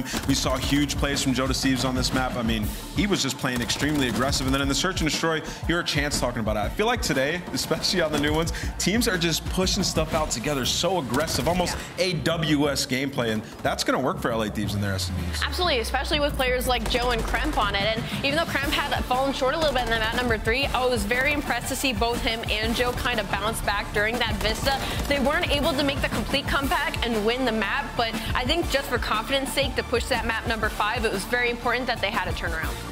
Yeah, now it's time, Allie, to get into the SCUF play of the game. We all know it's going to be something Yeah. from Joey D or that first map where it was a 50-point club. We only Yeah. had four 50-point clubs in the history of the CDL, and now we're about to see one once again. That's crazy. he was fine. Only four. That only makes sense as the SCUF play of the game because I mean Joe came out swinging. We were talking about the fact that he needed to have this consistency of confidence because he goes down to challengers and he's world starring everybody. But we see him kind of second guess himself in the league. Well, that is not what we saw during this map number one. He only goes 22 and 11, but that's because the map was so short. The in-game time, I wouldn't be shocked if it was over, not even over five minutes because of how quickly LAD's got this done. Yeah, you know, when we were talking about the top six teams at the last major, we were like, okay, it's Vegas and LAT. They round out the top six. Yeah. And then you said headed into this one, these guys are like the gatekeepers when you talk about Vegas Legion. Is it safe to say Thieves are confirmed top six team at this point? Ooh, I'd say maybe. I don't want to jump on it too early just because there is a situation. Teams make a roster change. They have a little bit of a honeymoon phase where everything seems to go their way, and then there's a slow decline. So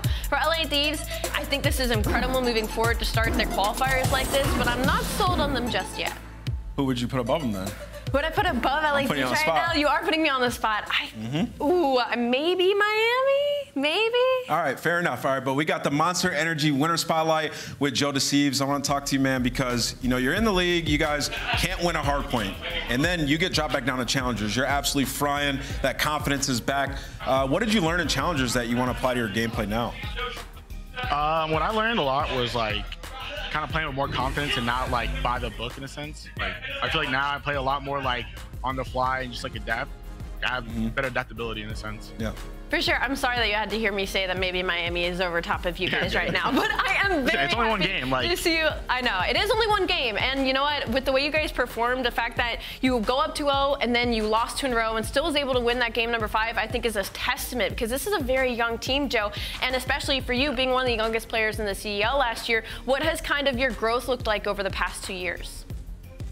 Um, I think I've kind of just gained a lot more confidence in like myself. I think, but that mostly happened like when I went down to challenges this year. I think last year I didn't really learn too much because obviously our team wasn't best, you know. But this, you know, going down to challenges, I had people like Mayhem on Black, you know, Brack, Exceed, all those guys helped me out a lot. You know, helped me become the better player, like the best player I can possibly be. For sure, and we got to see both of the new maps in the series as well. Which one do you prefer, Vista or Six Star? I don't know. I like them both. Like they're just both fun maps. I think the map set now is just way better than it was at the start. Uh, JoeDeceives, you know, you get dropped from the team, right? And now you're back. What do you want to say to the fans who maybe wanted you back the entire time? What can they expect going forward throughout the rest of this stage? Um, hopefully we close these series out a lot cleaner, but I mean, I think that showed like, yeah, you know, we're here to play. You know, we're, we've been fighting, we've been working super hard in scrims, going over VOD, you know, getting better as a team. These guys make it so easy for me. Yeah, that's pretty much it. Well, what a fantastic return you had, my friend. Go celebrate with the team. We'll talk to you, again soon. Appreciate that. Thank you. You have a good one. All right, that wraps up our second series of the day. We got one more for the weekend, and it is a banger. It's our grand finals rematch, Optic Texas versus Atlanta FaZe. We'll see you right after this.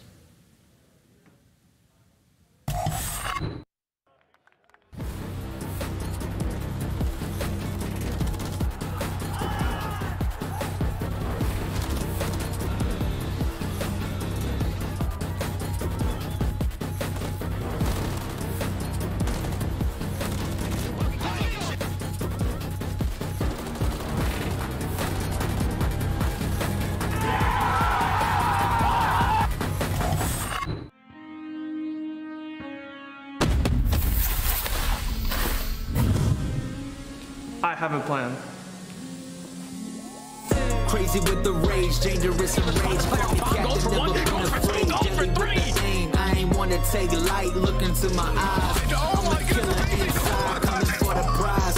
Do you really want these problems? I put you in that coffin. But I'm never Johnson. You quit this ain't to stop it. Hungry for the beef, leave you obsolete. See my lines deep, see me in the streets if you want the heat. Yeah.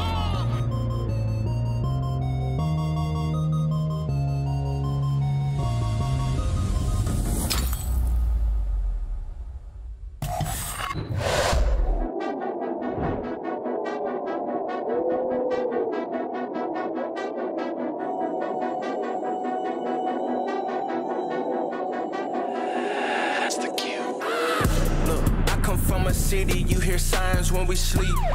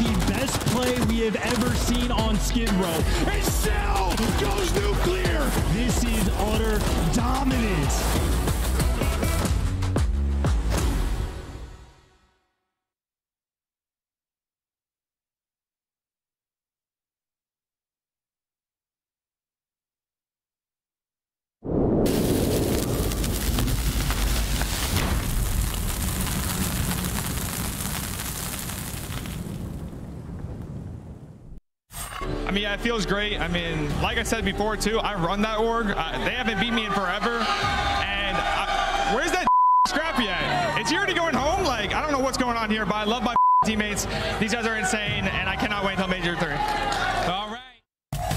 Listen, Drazah gets the community going, and I'm here for it, man. He was throwing shots after their win, and we all know when Optic and FaZe match up with each other, the community gets to going, and they let some crazy takes out. Absolutely. I mean, me personally, I'm not letting a guy talk about me like that on main stage and then letting him beat me following it up. So I'm hoping to see some fire out of Optic Texas today. Yeah, let's take a look at what the Green Wall had to say. I know that we, they were going crazy after their performance in Major 2, which was fantastic, but a tough finals. And Josh Bell says, feeling like Major 2 again today. It's Optic versus FaZe, and I'm going to be on the edge of my seat the entire match. Green Wall, stand tall today. I love that. I mean, yeah, respectfully, like, even though it was a 4-1 win for Atlanta FaZe, every single map was incredibly close. We're talking round 11s, round 5s, 20-point hard points. So it really is one of the closest matches we have on the season. Yeah, and we got another tweet coming up. Well, before that, we'll talk about the grand finals match. Listen, Optic, they played great all tournament long. Yeah. Shotzzy was absolutely dominating, but we have to talk about the final in which Shotzzy and Dashy did not play like themselves. So today, that is what we're expecting. You see at the bottom, Optic finally get the W over FaZe.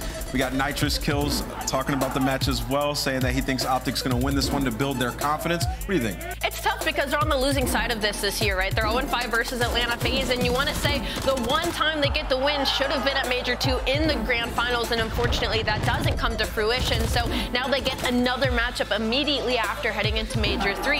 And for Optic Texas, like, you're in, you're in the struggle bus right now, right? Like, historically, you are beating Atlanta FaZe, but now suddenly your two-star players, Dashy and Shotzzy, are having a struggle only in this matchup. Like, versus the rest of the league, Optic is dominating. Yeah. They cannot beat Atlanta FaZe. Yeah, I mean, just some key things to point out here, right? Like they're 0-5 against them, but also Optic is one in four in map ones, one in four in control, and that differential in terms of Cellium and Dashy in control kitty is massive, 1.3 to a 0.75, right? I know you got a whole notepad of stats over there, which we'll get into here shortly, but let's get into some tweets for Atlanta FaZe, because they had to be so gassed up after that last win. Absolutely. I mean, Atlanta FaZe themselves says, I guess five times wasn't enough for them. Now they're looking for the sixes. This is the final matchup on the day. And for Atlanta, they love this matchup, right? Like you talk about Dashy and Shotzzy, hate it. Well, Simp and Cell on the flip side, love it. They have a 1.2 average when it comes up against Optic Texas. And not only that, even in hardpoint, like 7 and 2 versus Texas, Control 4 and 1, like they are dominating the respawns and they're already a strong search and destroy team. So for Atlanta FaZe, like they're not even breaking a sweat looking at this on their schedule. Yeah, I agree. I mean, you think about Atlanta FaZe, and they sort of like always been the villains. They've been so elite, right? But they've had their woes as well. But you bring in a guy like Drazah, now you really are the villains, really right? Like you got them all on the same team. And So Man had to say another L for the green wall crying emoji.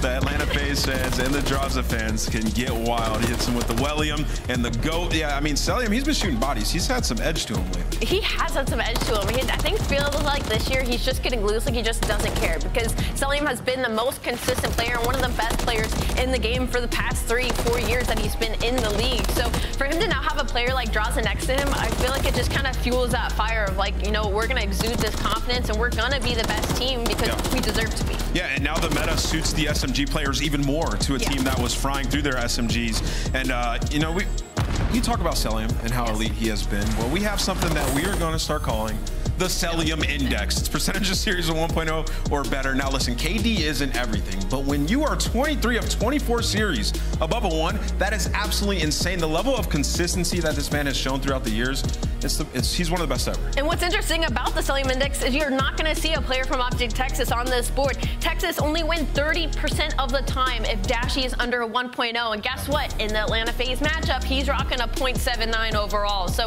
again, it comes down to these players just for some reason having that mental block versus Atlanta FaZe. What is satisfactory here for Optic Texas? Do they have to come out and win this series? What do you want to see in this matchup? They have to win this series. I mean, you're 0-5 right now. You're looking at maybe being 0-6. You do not want a team that has your number for the rest of the season. I said it earlier that ideally it would have happened at Major 2, Yeah. right? Like they would have gotten the win in the grand final. It would have been just an overhaul in who's best in the league, but it, it didn't. So Yeah. it needs to happen now. Yeah, you know, I, I would agree with that, but also I want to see them play the new maps, right? I think Optic Texas versus Atlanta FaZe. it was a tough matchup in some maps. They were losing Skid Row and Invasions, then we got rid of those. And you could see COD League 2. What maps do you want to see Optic Texas and Atlanta FaZe play on Sunday in this rematch? Well, I can tell you right now, we got some new maps. We're going to have six star as maps one and five. And we've just seen that all day today, man. The aggressive style of play, it should suit players like Shotzzy really well. It really should. And I guess on the flip side of that, like Atlanta FaZe is comfortable to play the new maps as well. We already saw them play Minnesota. They had Vista and Six Star in the lineup. We didn't see Six Star, but we did see Vista. And it was a very strong performance by Abe. He looked like he was spawning in on Rio or Bow Cage. That man dropped 30 kills. So we already know what to expect from that side of the map. What I don't like is that Texas banned Vista Hardpoint in this series. That's a map that I think they should try. I think Optic Texas, regardless,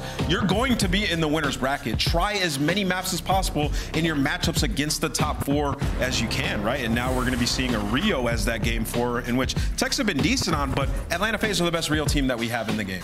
I have to echo what you just said and the fact that Optic Texas should be testing this new map pool because they're also one of the teams that praise, you know, scrims don't always equal the way that Yeah. people are going to play in matches. So when you're going up against a team like this that has your number, you've got to see if you can find any openings. Yeah, they're testing a little bit. Like when you talk about high rise S&D, haven't been great there. They actually lost Atlanta FaZe in that map, and then high rise control, one of their worst control maps. So we're getting some tests out there. Just would have loved to have seen Vista. Yeah. But now it's time for the SCUF pickums. Allie. Yeah. I am in the lead, You are in the lead. so I will go first here. Thank you. Uh, we got some new maps. This is a tough one, man. I'm like 50-50 in here. I'm gonna go with Atlanta FaZe. I think they take it. They're Dang 5 0 against them on the season. They're so confident. Draws is playing extremely well. I think it goes the wire though. I think we can game five. I'm trailing by four, and I don't think I'm going to try and catch up to you on this one either. I have to go with Atlanta FaZe. I mean, the stats 0 and 5. I mean, come on. You got to think Puckett probably would have gone Atlanta FaZe. Oh my God, Oh, he he went Optic. Texas. He did that just to spite us. I'm convinced. Who the are the fans, fans though, going with? Atlanta FaZe. Atlanta FaZe. That's fair. All right, well, it's time. We're going to throw it to some of your favorite casters. Shift and study. Take it away. It's going to be a banger. Gonna be a banger. Jay, how are we feeling? What's up, brother? I'm feeling fantastic. I'm ready to get into this matchup. We got some special teams with some special players that makes some special plays. But in all seriousness, Optic versus FaZe. We've seen this matchup multiple times this season. It's all been in favor of FaZe. We're talking about 7 and 2 in HP, 5 and 2 in Search and Destroy, 4 and 1 in Control. They have had the number on Optic Texas all season long. But even in the maps that they have lost, everyone has been really, really close. The only thing that scares me about this map set is that there's a whole bunch of maps that they have yet to play for both sides. But even in the middle too, with both of those high rises, Optic Texas haven't played high rise in both SD and Control in about two months. So So this is a test out series for Optic Texas. And obviously, if you're Atlanta FaZe, you're trying to stay flawless and make it 6 0 in the season. And on top of that, it, there, you know, the issues get kind of compounded here in certain ways. You know, for Optic Texas, yeah, it has been a little bit of a weird start for them in a lot of series where they really haven't, really, I would say like break the mold, but they don't come out as hot as you maybe would expect them to in some matchups that you wouldn't expect them to kind of overperform on. And on Yeah. the flip side, Atlanta, whenever they get a new map, they are one of the best teams and always approaching brand new maps into the pool. That's happened this year. They've never lost to Rio, happened in years previous. And you would have to think that with Six Star and Vista in the mix, they've put a lot of attention towards it. But maybe a chance for the Green Wall to surprise, get a clutch map number one win here on one of our brand new maps. Yeah, you need to get a clutch map number one because I feel like every time I watch Optic Texas, if they walk away with a map one victory, it's about an 80% chance, even better, to walk away with this series. So, unfortunately, versus Atlanta FaZe is sitting at one and four. You had to try to turn the tides here as we get early in towards the P1. It was Atlanta FaZe that started off with all the nades, all the attacks over the top, but at least Optic Texas still trying to contest it, but maintaining the spawns for that second hill. Looking decent, at least to this point. Essentially 50-50 battle over the top of the first hard point. This is when the motion starts to happen, though. It's a three for one exchange. Optic still got a couple of spawns down low, but it's going to be a long run to get back over here. Nabizi's already guarding this outer staircase area. Now right into the palm tree. Help already here by Simp. And you want to talk about not just the Cellium index. Simp versus Optic is just another monster. Dude, he's averaging a 1.2 in all five matchups they have played so far. That is an insane number. If he's not one of the best, he's probably the best current player in the game. And on the opposing side for Optic Texas it's been Dashy and Shotzzy, both averaging a 0.8 in this matchup. You need those guys to step up, and unfortunately, the break is not going to be here. So Atlanta FaZe, they just watched LAT put the beat down on Vegas on this last map, and they're trying to do the same exact thing. Only 30 seconds remaining at this P2. You win these next set of fights, you can easily win that rotation over towards next. But Optic with the bodies, able to find a couple kills, keep the scrap time going in their favor, and already have a player off the rotation. Critical early moment in this map, being able to hold off this scrap time and keep Atlanta's rotation towards three at least somewhat at bay. But clean follow-up from FaZe off their respawn. Now the motion across the halfway point of the map. Shotzzy guarding mid, Pred staying deep over towards the sky bridge, and that'll be Kenny and Dashy just at long range waiting to make contact front side pool bar. Yeah, now you just have to withstand where the pressure's coming in from from Atlanta. Yeah, players approaching the back end, players Wow. approaching the front as well. So they find the initiative fights, and they make that break look easy. Already able to flip the spawns. That's 10 seconds into the hill. They're able to lead to the break, but they haven't accounted for Pred. He's able to find a double through lobby, and Optic Texas right back in. Yeah, great recovery moment there from the SMGs for Optic. Still, without the spawns, will be hard pressed, you'd think, to hold on from the front of this hill, but decent nades coming through.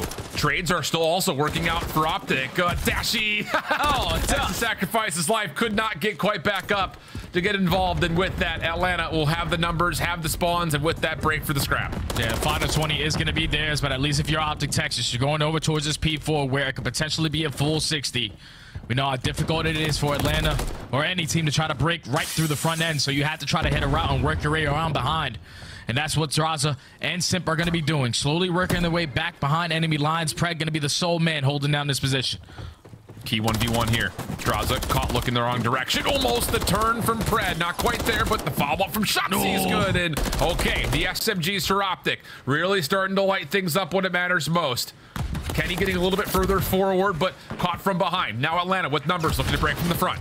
Yeah, you have to use your attacks though, because you know all of Optic know exactly where the pressure's coming in. You got to eliminate these trophy systems. They're able to use attacks at least now to make this a little bit more scrappy, but Optic Texas still spawning on the preferred side. They have those back spawns with only 25 seconds left. Atlanta are now forced. If you're going to attack this or hit that rotation, they have the bodies. They're just not trading effectively. And Optic Texas with the perfect response to get back into this game.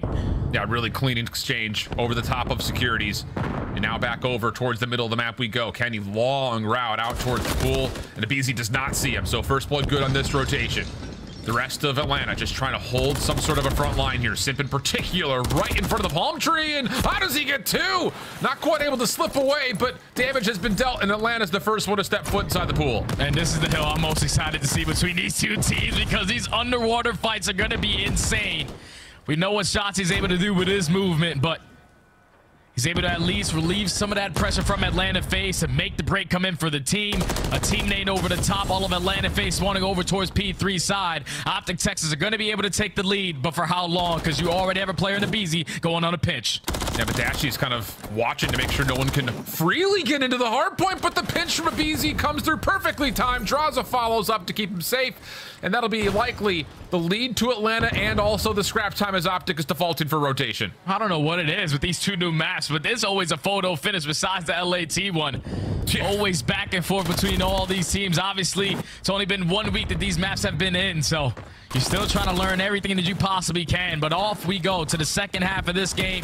Optic going to be the team initially to start off with this P1 time. You have Kenny watching the overextension to statue. He can't win the one-on-one, so here's another opportunity for Atlanta to open up a lane through the right side. I mean, what is it with Simp versus this Green Wall squad this year? He has been undeniable.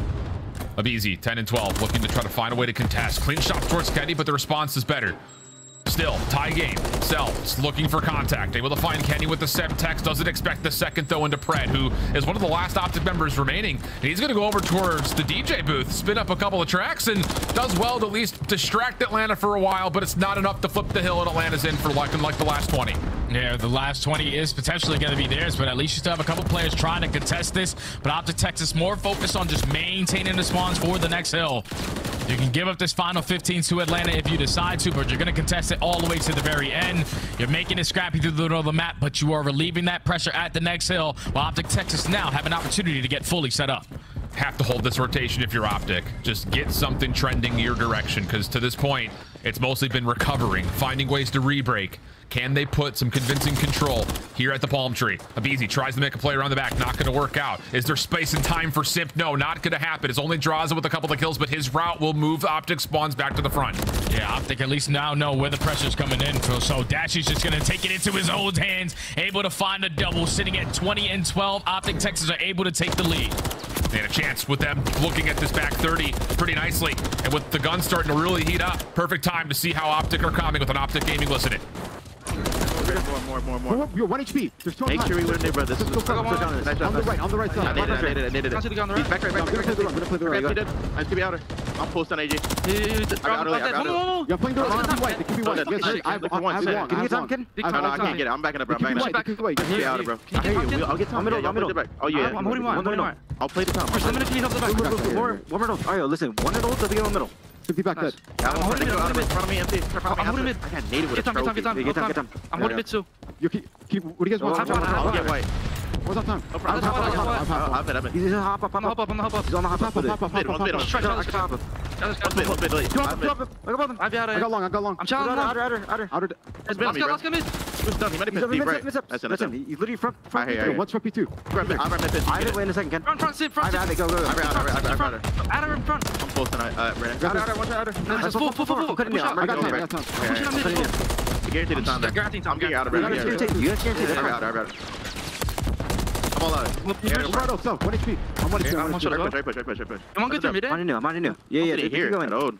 They come in. Yeah, we should push Must through. be two, we should right? push through. Let's push it to the They're front. giving me new. Copy I two. got time. All all you is new. I have yours, yo. Can I, they found me. can I crush this? Is it Uh, feasible? uh, yeah, yeah, yeah, you can. We're on the back though. We should go on the back Yeah, we though. go on Come the in, back. come in, come in. Yeah. We know it's good. Actually, I, I I'll think take it could be a check event, out could be event, could be event. Optic cooking, but Atlanta on rotation as we swap over to a phaseless today. I'm getting the white. I'm getting the white. I'm getting the white too. Martin crossing. Dog was using it. Shooting out. All pitching guys. The back, the back. One shot in the back. Hop up. Back, cat steps, cat steps. Sweet top white, top white. Front right, front right, Nice, front top white, top white. I don't see There's him top, one uh, you, top white. Kenny, Kenny, have me dead. Nice, Nice, nice. good job, Off front, off front, off front. Hey, hey, No, one top, top, top, top. One shot, one shot. See, Top still? top on you. Done, done, done. Nice. Nice. Look on Ivy, free, Ivy, free. Aye, aye, Offside, aye. offside. Are you, are you, I'm ready? I'm staying ready. down, I'm I'm staying ready. down. I'm ready. I'm staying down. I'm ready. Alright, it's good time. Later on, touch, touch, touch, touch, touch, I'll do touch. that, bro. Ivy first, Ivy first, guaranteed. Hold up, hold up, hold up, hold up. I- I hear you, I hear you, say. Ivy first. Hey, Hold bench, hold bench, hold bench. Ivans. We're just, we're just rotating too. Shit, Ivy first. You want pitching, pitching. What's he play for that guy? I'm on the top, I'm on the top, I'm on the top. He run, he run, he run. We didn't flip either. I'm on I'm on the I'm on the deep, Zach. I'm on the deep. Yeah. I'll see the Right, enemy, It's right, Fred, it's Fred. right, I'm right, I'm gonna right, go right, open, right, okay? right. But Yeah, Brandon, yeah, our yeah, our yeah. team, our team, our team, I think so. Oh, Tyler. I want wood or wants lights and- Then there's like, then there's like. What's up, what's up? Lights? That's not him. Ask, ask P3, P3, P3 P3 in time, P3 in time. I hear, P3 I'm going open, I'm going open. I'm trying to. Yeah, try to slide, try to slide. I'm starting, I'm starting, I'm starting. I'll team Chris. Starting, and take it, take it, take it, take it. And take it, take it. Take it, One one jump point, down, take it, one point. And take a point, take a point. Outer, outer, outer, Brandon, outer, Outer right, Brandon. weak. Alright, outer wooden point. In the in the water. Wooden point, and, wooden point. and the water. Yeah, in the water. Oh, this he's our left. How many, side. how many Our- iron ups? How many our iron ups? Upstairs. Yeah, I'm- I'm- I'm- upstairs water. Alright, I'm trying to stun in, I'm trying to stun I in. got him, I got him. Yeah, out of out of range, out of range, shot, dead. Nice. I have, I have, I have, I have, I hear, I hear. Uh, our curve, our curve, Kenny. Yo, He's in the water behind me. He's on our side of water. Our side water. I could one shot, I could one shot. Hey, Can't, How many our water's mid? still, How many mid? How can't. many mid? I hear. One of five. I I already went our side level.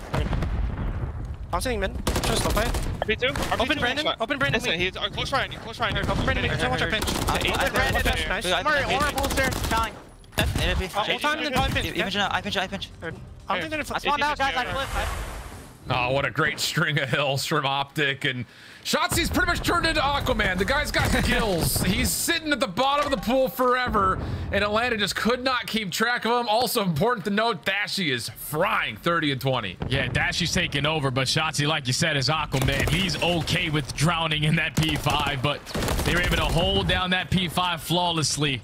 Tony now need 20 points to close out game number one. But if you are Atlanta FaZe, this is where they start to hit a different level. In these closing moments, they always have that clutch gene, but you have to find a couple kills, and Optic Texas are finding everyone in the feed. Yeah, absolutely perfectly set up over the top of this bar.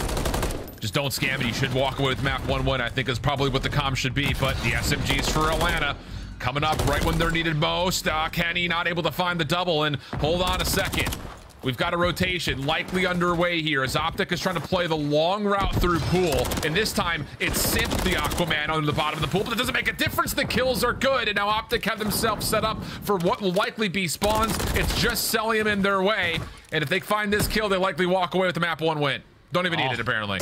Yeah, that's going to be the game, man. Optic Texas coming out and turning the page on game ones versus Atlanta FaZe. That's now two and four on the season.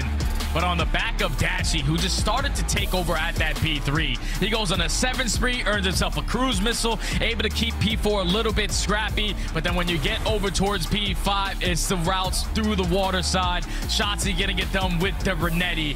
And Optic Texas come out and make some special plays in game number one to secure map one. At a certain point, we're gonna need to start like superimposing like a hold your breath counter for yeah. P5, dude. I mean, legitimately, Shotzzy was at the bottom of the pool. What felt like for 30 seconds, unreal stuff. But yeah, I think a lot of that came down to their adjustments on P3 in particular. I mean, the quick break, the first rotation while we were there from Atlanta was definitely one of those moments that I think you look back on if you're optic to say, okay, that's just inexcusable. We have the perfect setup. How are we letting them just walk behind us like this? And then the second time we're there, it's absolutely polished. There's a moment of maybe confusion in the comms of like, hey, what are we looking? But as soon as they get it figured out, much better the second time around. And you'd love to see that if you are a Green Wall fan, because Optic Texas, they have struggled versus Atlanta when you talk about hard points, especially in those final moments. When it comes down to the clutch factor at the end of the game, it's usually when the opposites start to crumble and Atlanta FaZe just hit a whole different level. But they were able to equalize them the entirety of the map. And even in those final moments, Dashy stepped up, Shotzzy with the water routes, even Kenny with a couple double kills around the map. Able to secure the map number one, and you're feeling good. New map, already 1-0 versus Atlanta FaZe. That's how you start. Yeah, well played for both teams, if we're being honest. And yeah, I mean, outside of a couple of messy moments here and there, because let's be honest, this play here from Shotzzy is ridiculous.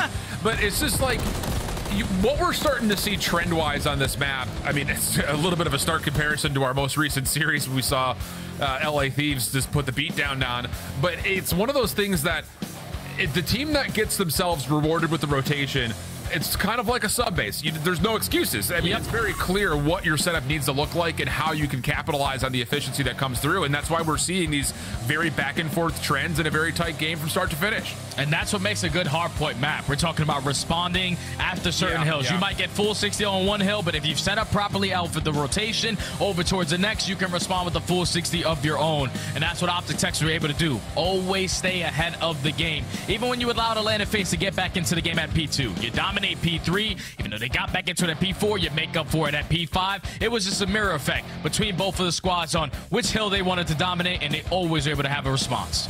Big time. So great opening map for this. What we often classify as the classic Call of Duty history matchup, but like we've already seen in all the statistics, it has been very one-sided in this title. 5 and 0, 16 and 5 map count favoring Atlanta FaZe, but a key first map, and now the question marks start to pop up. Yeah. Because double dose of high rise, Optic has not been great here, and they also haven't played it very much just on the season. And then also the Rio hard point, if we were to get there, it's one of Atlanta's bread and butter since it was entered into the map pool. So it's a tough stretch of maps coming up right here for Optic, and I think if you're the green wall, you just want to see improvements, especially on these two high rises back to back. Oh yeah, without question. I know it might be a, couple of tough maps, especially versus a team like Atlanta FaZe, who love themselves some high-rise S&D, who love themselves some high-rise control, and as you said, they love themselves some Rio. But that's sometimes the best practice you can get when you're playing the best team on it, and in a match that's very important. It's not practice. You can go out there and win the match in practice, but you can win it in an actual match versus a team who's had your number all season long. That's where the confidence gets shot through the roof. So even though Optic Texas is 0-3 so far on high-rise search and destroy, they struggle at finding first blood. They struggle at also, even when they find the first blood, converting into a round win. So I think versus a team like Atlanta FaZe, you can definitely work on both of those categories. Agreed. So lots of polish that we're expecting from one side and just general show of force from the other. As you look at the search and destroy from the side of Atlanta, who during the major looked incredible, save just one map loss really when they played up against Optic. Everything else was pretty much perfect against teams like New York, teams like Thieves in their opener. It's just one of those, it's like we often say, Search and Destroy wins championships, and they have really polished it up through Major 2. And now you're forced to win this high rise search and destroy where you have a couple more reps compared to Optic Texas. Haven't played this map in two months, but that's a beautiful picture of the cat and a plant sitting right next to it. As Atlanta are going to be the team early on the attacking side. No trophy systems to work with, but look at how aggressive Optic are, more specifically Shotzzy, already in the spawn. And this should be a freebie for sure. Cell's going to be completely caught off guard by this. It's just a question of can Simp provide the trade in time? And oh, the trigger discipline is perfect. Simp tries to avoid it, but it's inevitable. Two for Shotzzy, and with that, the round has just completely gone awry for Atlanta. Yeah, that one's done and dusted. First 15 seconds into the round, he's already bottom pit working behind enemy lines, and he's able to use the trigger discipline to the full effect. See, he finds a double to start that one off, but okay, Optic Texas, I see you. That's some new strategies already on display. And how much of that do you think is just a pure out counter? Because whenever we see Atlanta play this map, it's often in round one of their offense, a double hit down blue in towards that pit connector. But this time, it's just I don't even care about taking that gunfight. I'm just going to run right through the outer lanes, get behind, and it works out perfectly. So maybe a little bit of counter shredding done there by Optic. Yeah, I don't really think it's counter, though. I think it's just more the confidence on Shotzzy because we saw him on maps like Karachi, first 15 seconds, he's getting behind enemy lines. When he finds an opening, he's going to take full advantage of it, and he finds one there to secure the round. Oh, and here we go again. Shotzzy already forward over towards A. Stun checks him out. Doesn't make a difference. Avoids the majority of the gunfight versus aBeZy. And that leads to a smoke, giving him a little bit extra cover. Selling him backside windows can really not do much here. And maybe you look to Drazah. He may have to like pop up and find somebody backside blue to even get this defense going. And Shotzzy continues to keep the throttle down. 4-0 start. Another 4v2 instantly on the back of Shotzzy. Left up to Simp and Drazah. Simp is able to take down one, but now it's Drazah left in the 1v3. Bomb is yet to be planted, but positioning now known. And Optic Texas, two really quick rounds to start off this high-rise search and destroy. More on just the confident plays coming in on a Shotzzy. You hit routes like that to start it off, there's no way in hell Atlanta FaZe is going to be able to get a read on it. 2-0, Optic Texas. And this is going to play a lot of mind games here with Atlanta. I mean, when you come out like this and get your subs not just forward, but around you, challenging your ARs that are in spawn, what do you put together as a response here for Atlanta? It's almost one of those like you either have to have everyone commit to playing passive or everyone commit to playing forward. You just don't want to stay in the gray area with optics running at you like this. Just gotta read on Shotzzy. You have to find a read on what he's doing because he's making play after play. And unfortunately, the team fire from Cellium takes down Simp. So already the man advantage for Optic Texas. They find themselves on a eight team streak, make it nine before Drazah does take down Kenny. But now it's a 2v3. Oh, maybe a little bit of overheating here, though, from Optic. Getting caught just a touch and what was a 4v2. Now down to the 2v2, and Drazah continues to collect. So now it's just on to Shotzzy for the 1v2 situation. Good read onto aBeZy, but it's mutual.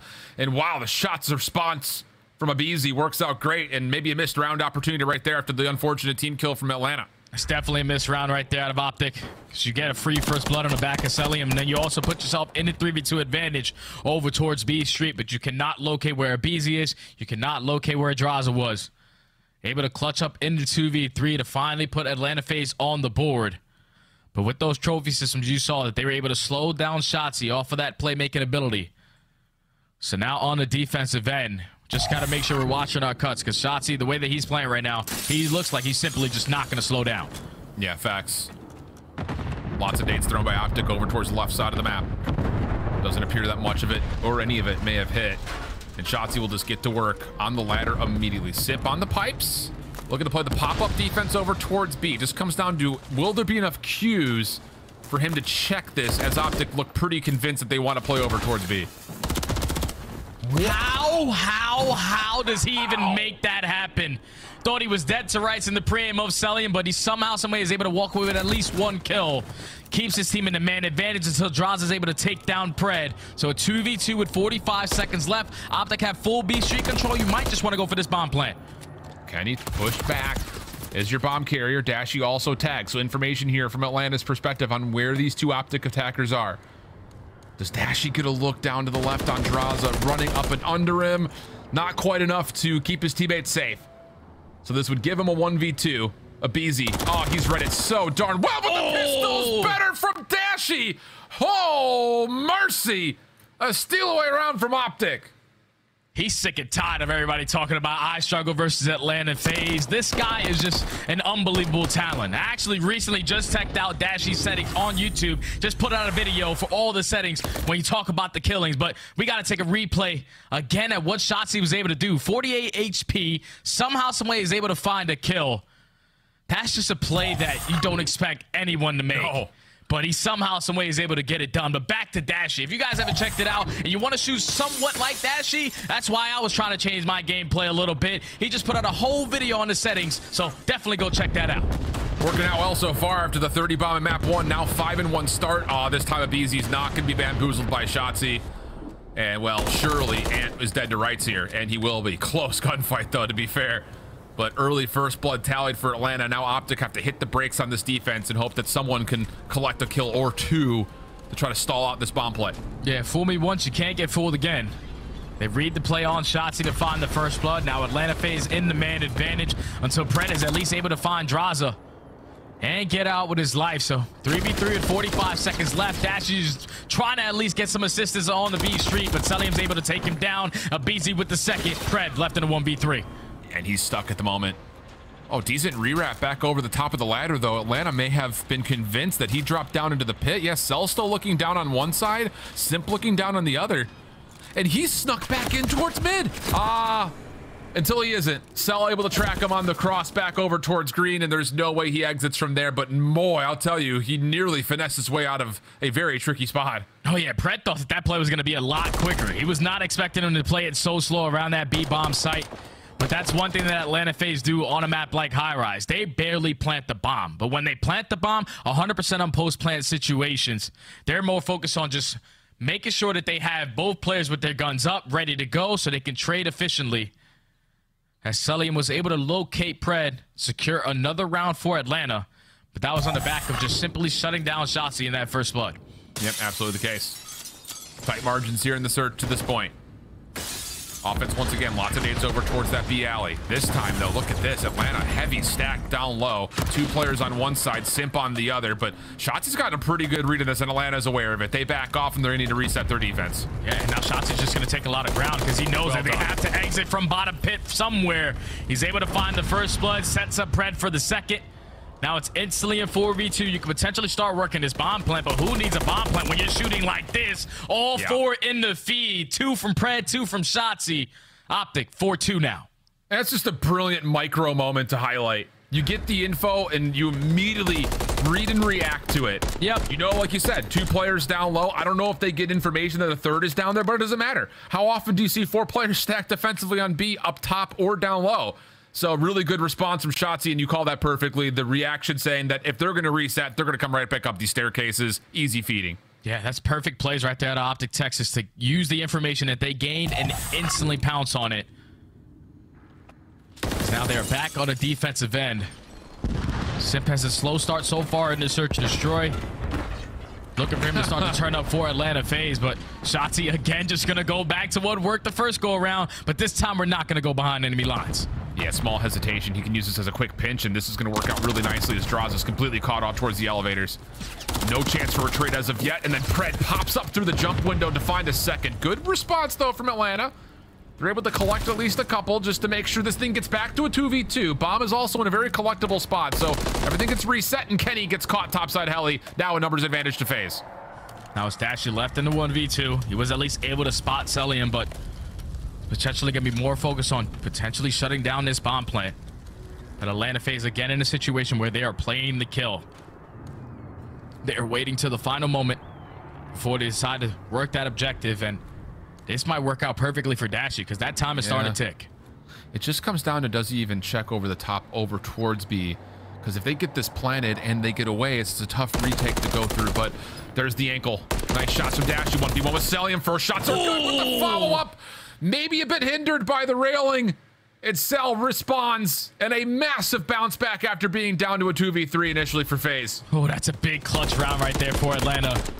Shotzzy versus Dash. We always love the AR battles between those two young men. Some of the best shots that we have in Call of Duty, but it's Cellium able to get the better of him this time around to keep Atlanta FaZe into this search and destroy. Now down 4-3, and if you are Atlanta, we're definitely not going back to that pit setup. We gotta have people over towards the B Street side. Yeah, 100%. I mean, it, it's one of those things that the strange setups, like the unexpected plays, are definitely being more successfully carried out by Optic than for FaZe at the moment. But this is much more close to what they normally do on a default. Sid playing forward on towards B. Cellium watching over him at a pretty aggressive angle just outside the B propane. And aBeZy's just checking for tags at mid. He's going to at least contact a couple of players, which is enough to alert the defense over towards the B site. One for one goes the exchange. Now it's into the 3v3.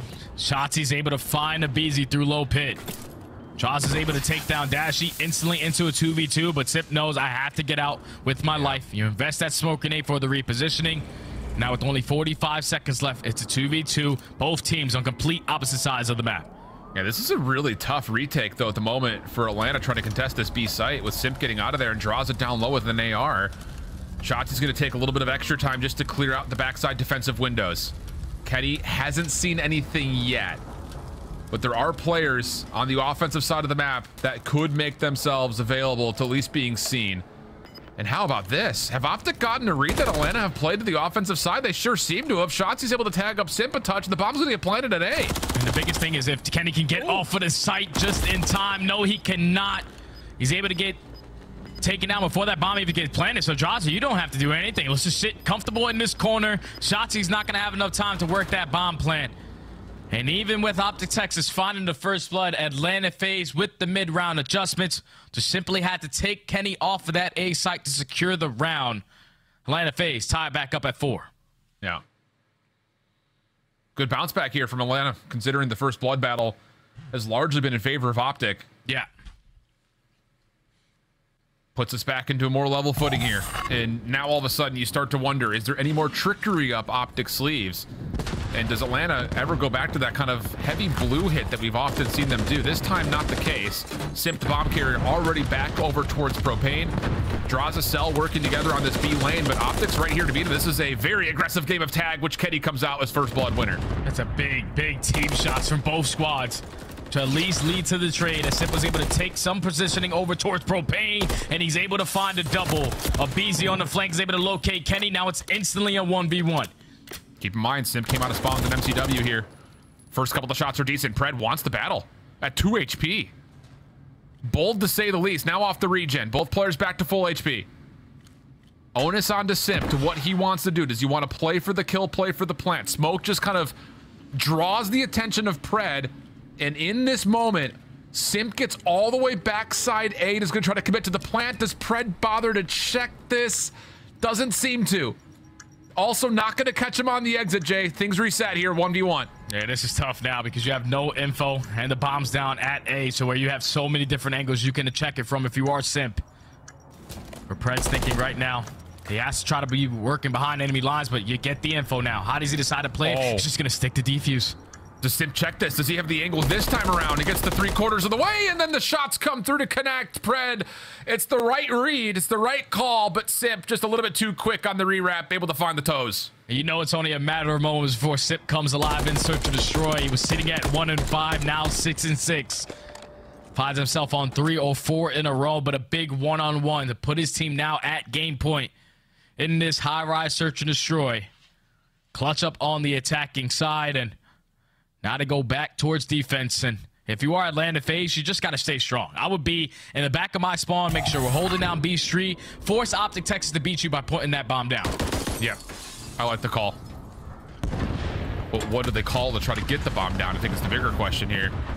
Pred Dashy flying over towards the blue side. aBeZy looking to get aggressive. Steps forward. I don't think Dashy's seen it. Nope, he hasn't. Pred gets caught looking the opposite direction. And First Blood, once again, collected by Atlanta, and they're going to back off and just play this thing straight up 4v3. Yeah, this is perfect. You don't want to try to get too overzealous, potentially get picked off, but Simp is able to take down Shotzzy instantly a 4v2. Bomb still slowly working his way up through the B Street, but Dash and Kenny have their hands full with only 15 seconds to try to clutch this one up. Yeah. It's just Atlanta's ability to find First Blood is only part of the problem. Their ability to play down a man is ridiculous. Yep. Dashy, maybe the barrel of the gun being seen. Yep, sure seems that way. aBeZy finds the kill very quickly as soon as that information was processed. And it's just on to Kenny, who gets some decent shots into one, but no chance for the follow-up. And I mean, give me a break, dude. I mean, we're going to see it in the first blood tally. It's going to be pretty even, but what, two different 2v3, 2v4s that Atlanta are able to pull back? And a lot of that maybe just kind of gifted in a certain way because Optic are playing so stretched, so forwards that it kind of isolates them just by almost voluntary margins. Yeah, that's where you have to make the adjustments if you are Optic Texas. Early on, it was the aggression finding a lot of success. Shotzzy with multiple different routes, finding first blood, and that led to a lot of W's. But then when you get towards the middle half of the game, that's where Atlanta FaZe start making those mid-round adjustments, making sure that they're changing their setups properly and making sure that their teamwork is now on full display as we get into the later half of the S&D. They were just simply outclassing Atlanta FaZe from down 4-2 to win four straight to secure the S&D. It just, in my opinion, if Pred just checks that A bomb site and wins the one-on-one, yeah. we're definitely going to round number five. But when you allow him to plan at A, get away with his life for free, and then try to stick the defuse is not the best way to play versus Atlanta FaZe, because then they're slowly but surely gaining momentum. They're able to win four rounds in a row to close out the search to destroy, now to tie the series up at one. But that's a map where Optic Texas were, tex were testing. You never 0-3 on it. Now it makes it 0-4, but at least you gave Atlanta FaZe a fight there on that high rise. Here's the number, Jay, and buckle up. You're not ready for it. Okay. Obviously, the scoreboard's not working, but our boy Easy Mac was tallying it live. 8 to 2. First ah. oh. Bloods favor Optic Texas. So you want to talk about again those numbers not mattering in the end. That has often been the case, and Atlanta continues to find ways to punish, even though they find themselves down a man early. So 1-1 the map count. High Rise still on the menu for our next course for control. And then, of course, Rio Hardpoint, map number four. A tough stretch of maps here based on the history between these two squads. But after map one win, Optic looking finding ways to try to change the trends and find the way to extend this series. We'll be back after the break.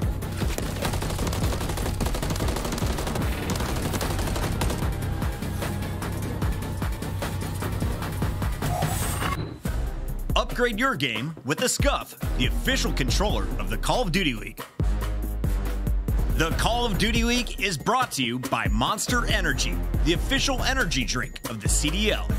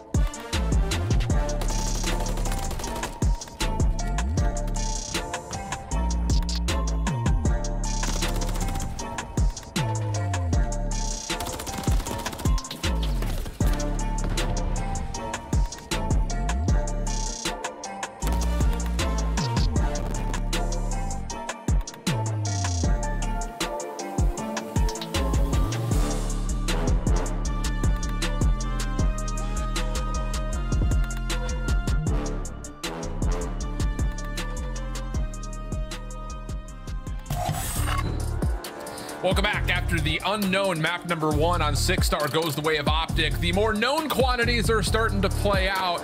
The unfortunate part for the Green Wall, 8 to 2 in first bloods, a couple of different 2v3s, 2v4s not going their way means that Atlanta will capitalize, sending us to a 1-1 map count and another high-rise control. I'm shit. That study. And, uh, well, brother, the news doesn't get any better going for Optic fans here into map number three, not only because their record on control versus Atlanta is not the greatest in the world. Yeah. This map has also not been particularly strong for them at all. Oh yeah, Optic Texas basically didn't play it all throughout stage two. Last time they played this was all the way into February. They were more focused on playing Karachi, playing Invasion. This is basically their auto veto a majority of the season. But now you know, we're going already in the middle half of the year. We have to try to play a couple maps that we're not really comfortable at. So we can throw a couple curveballs versus some of these top teams. And none other than High Rise Control going up against Atlanta FaZe, who are literally the best team at this map. Try to test your practice but it has to be the focus on defense for Optic Texas. 11th overall in the league compared to Atlanta FaZe, who are number one. That's where they have to adjust. That is by far the biggest nomenclature we could possibly put up together. Two for one, the opening exchange. Atlanta already off to the races on B, aBeZy. Oh boy. Not what you want as aBeZy on your front line like this. It doesn't get any better. Uh, Pred's completely dead to rights. Shotzzy does at least find some sort of a response. Kind of cauterizes the wound for now, but clock stays paused at 106, and the first tick of progress is looking pretty inevitable. This is where if you're Optic Texas, they know there's no trophy systems to work with yet. The gunny is going to be hot though, so they don't need to use their tax to invest the break in towards B. Just got to now find a trade onto aBeZy, but Shotzzy's not able to get it done. So the first segment is going to be complete, and aBeZy just with the heads up play to get the segment done and get away with his life is just Yeah. enough for Atlanta FaZe to still keep map control. Defense, though, starting to establish itself for Optic. Shotzzy down low, seen at range. Clean Oh. shots, though, from aBeZy. Simp also following up on the Kenny up top. Here comes the hit for FaZe, trying to get back on towards this B zone.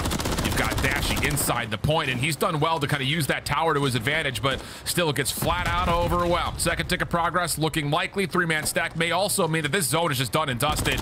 One more attempt, possibly, but aBeZy makes sure no one can contest, and an extra 60 gets tallied for FaZe. Man, they are putting the beat down right now. That was a very quick, efficient beat play. You had players consistently pushing behind enemy lines, just keeping the kill stagnant. Whenever they needed a two to three dead, they got it done to secure that beat point. Now a minute and 25 on the game clock. All of Optic Texas more focused on maintaining the map control. And Kenny with that reach pinch up through B Street, at least allow his teammates to work out of their base. Yeah, really well done. Dashy also makes sure that no one can make moves over towards the blue side of the map. So good stuff here from Texas to reduce the life lead just down to, well, now level. Shotzzy on three in a row. Has a plethora of weapons, I imagine, to play with, depending on what the situation calls for. And Dashy continues to just lock things down over towards the A side of the map. So this is all about what can Shotzzy do in terms of trying to get together a bit of a spawn trap. And he's made his way at least down to bottom pit of BZ at range, Oh. also dealt with it at Shotzzy on five. And this is perfect place from Optic Texas. You can tell that the practice ads are working out to perfection. They usually struggle when you talk about the slaying column on the defensive end. But Shotzzy finds himself on seven in a row. Just trying to be the playmaker again for this Optic squad. Already a cruise missile in the back pocket. Yikes. He doesn't plan on slowing down. All the kills in defeat for Optic. Atlanta FaZe forced to hit the reset in the back of their spawn. And that just might be it. Optic Texas Yeah. dominant on this defense. I mean, at one point, this was a 19 play 17 in favor of FaZe. And now it's 12 to 5. And Shotzzy is threatening for a double digit streak. An absolute takeover here on the round one defense. Drazah just oh, not quite. Doesn't make much of a difference. The cruise missile already earned an optic build, a convincing A defense, and a huge life margin lead. And that's how you get it done, man. You only allowed three segments to go to in favor to Atlanta FaZe, but Shotzzy just absolutely dominates with his movement, with that MCW in hand. He usually does it with the Rival 9, but this guy is one of the best players in Call of Duty for a reason. Ends on a 10 streak before getting taken down, was potentially trying to break the record, but that's a great defensive round from Optic Texas. Already showing the adjustments on that side of the map.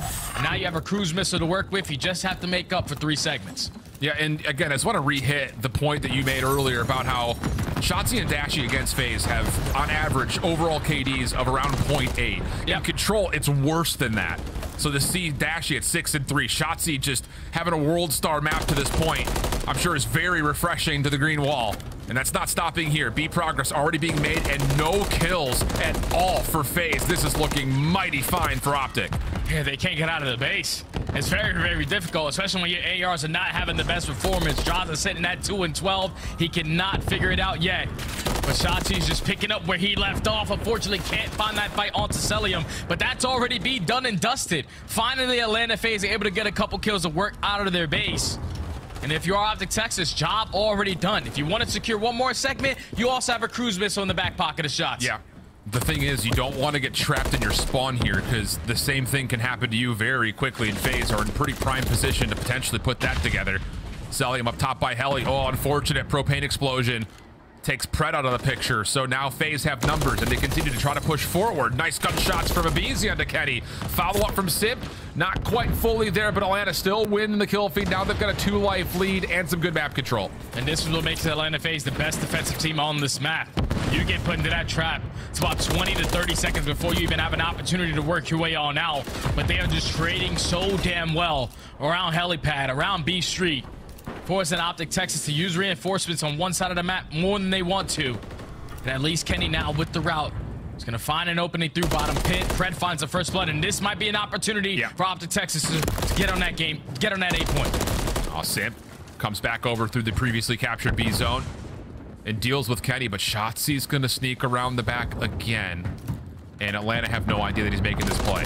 Small moments of hesitation here from FaZe, but they are not going to have the luxury of staying back for too long because here comes Dave from Optic from the front. Clean kills all across the board. Beezy, last one standing, and he gets dealt with. So the clock will pause at 50 seconds. Shotzzy getting what? Shots through walls, kills from what feels like through five walls, and Kenny's right there on the cross to make sure Atlanta can't get out of spawn. A convincing moment here for Optic. Oh yeah, that's already the second segment going to be done. You better try to hit some nades, some stuns to try to take him off at this point. But Dashy with the beams through the middle of map is able to find a double. None other than Shotzzy to find the third. Shotzzy Oh, with the double of his own. Finds himself on five in a row and again.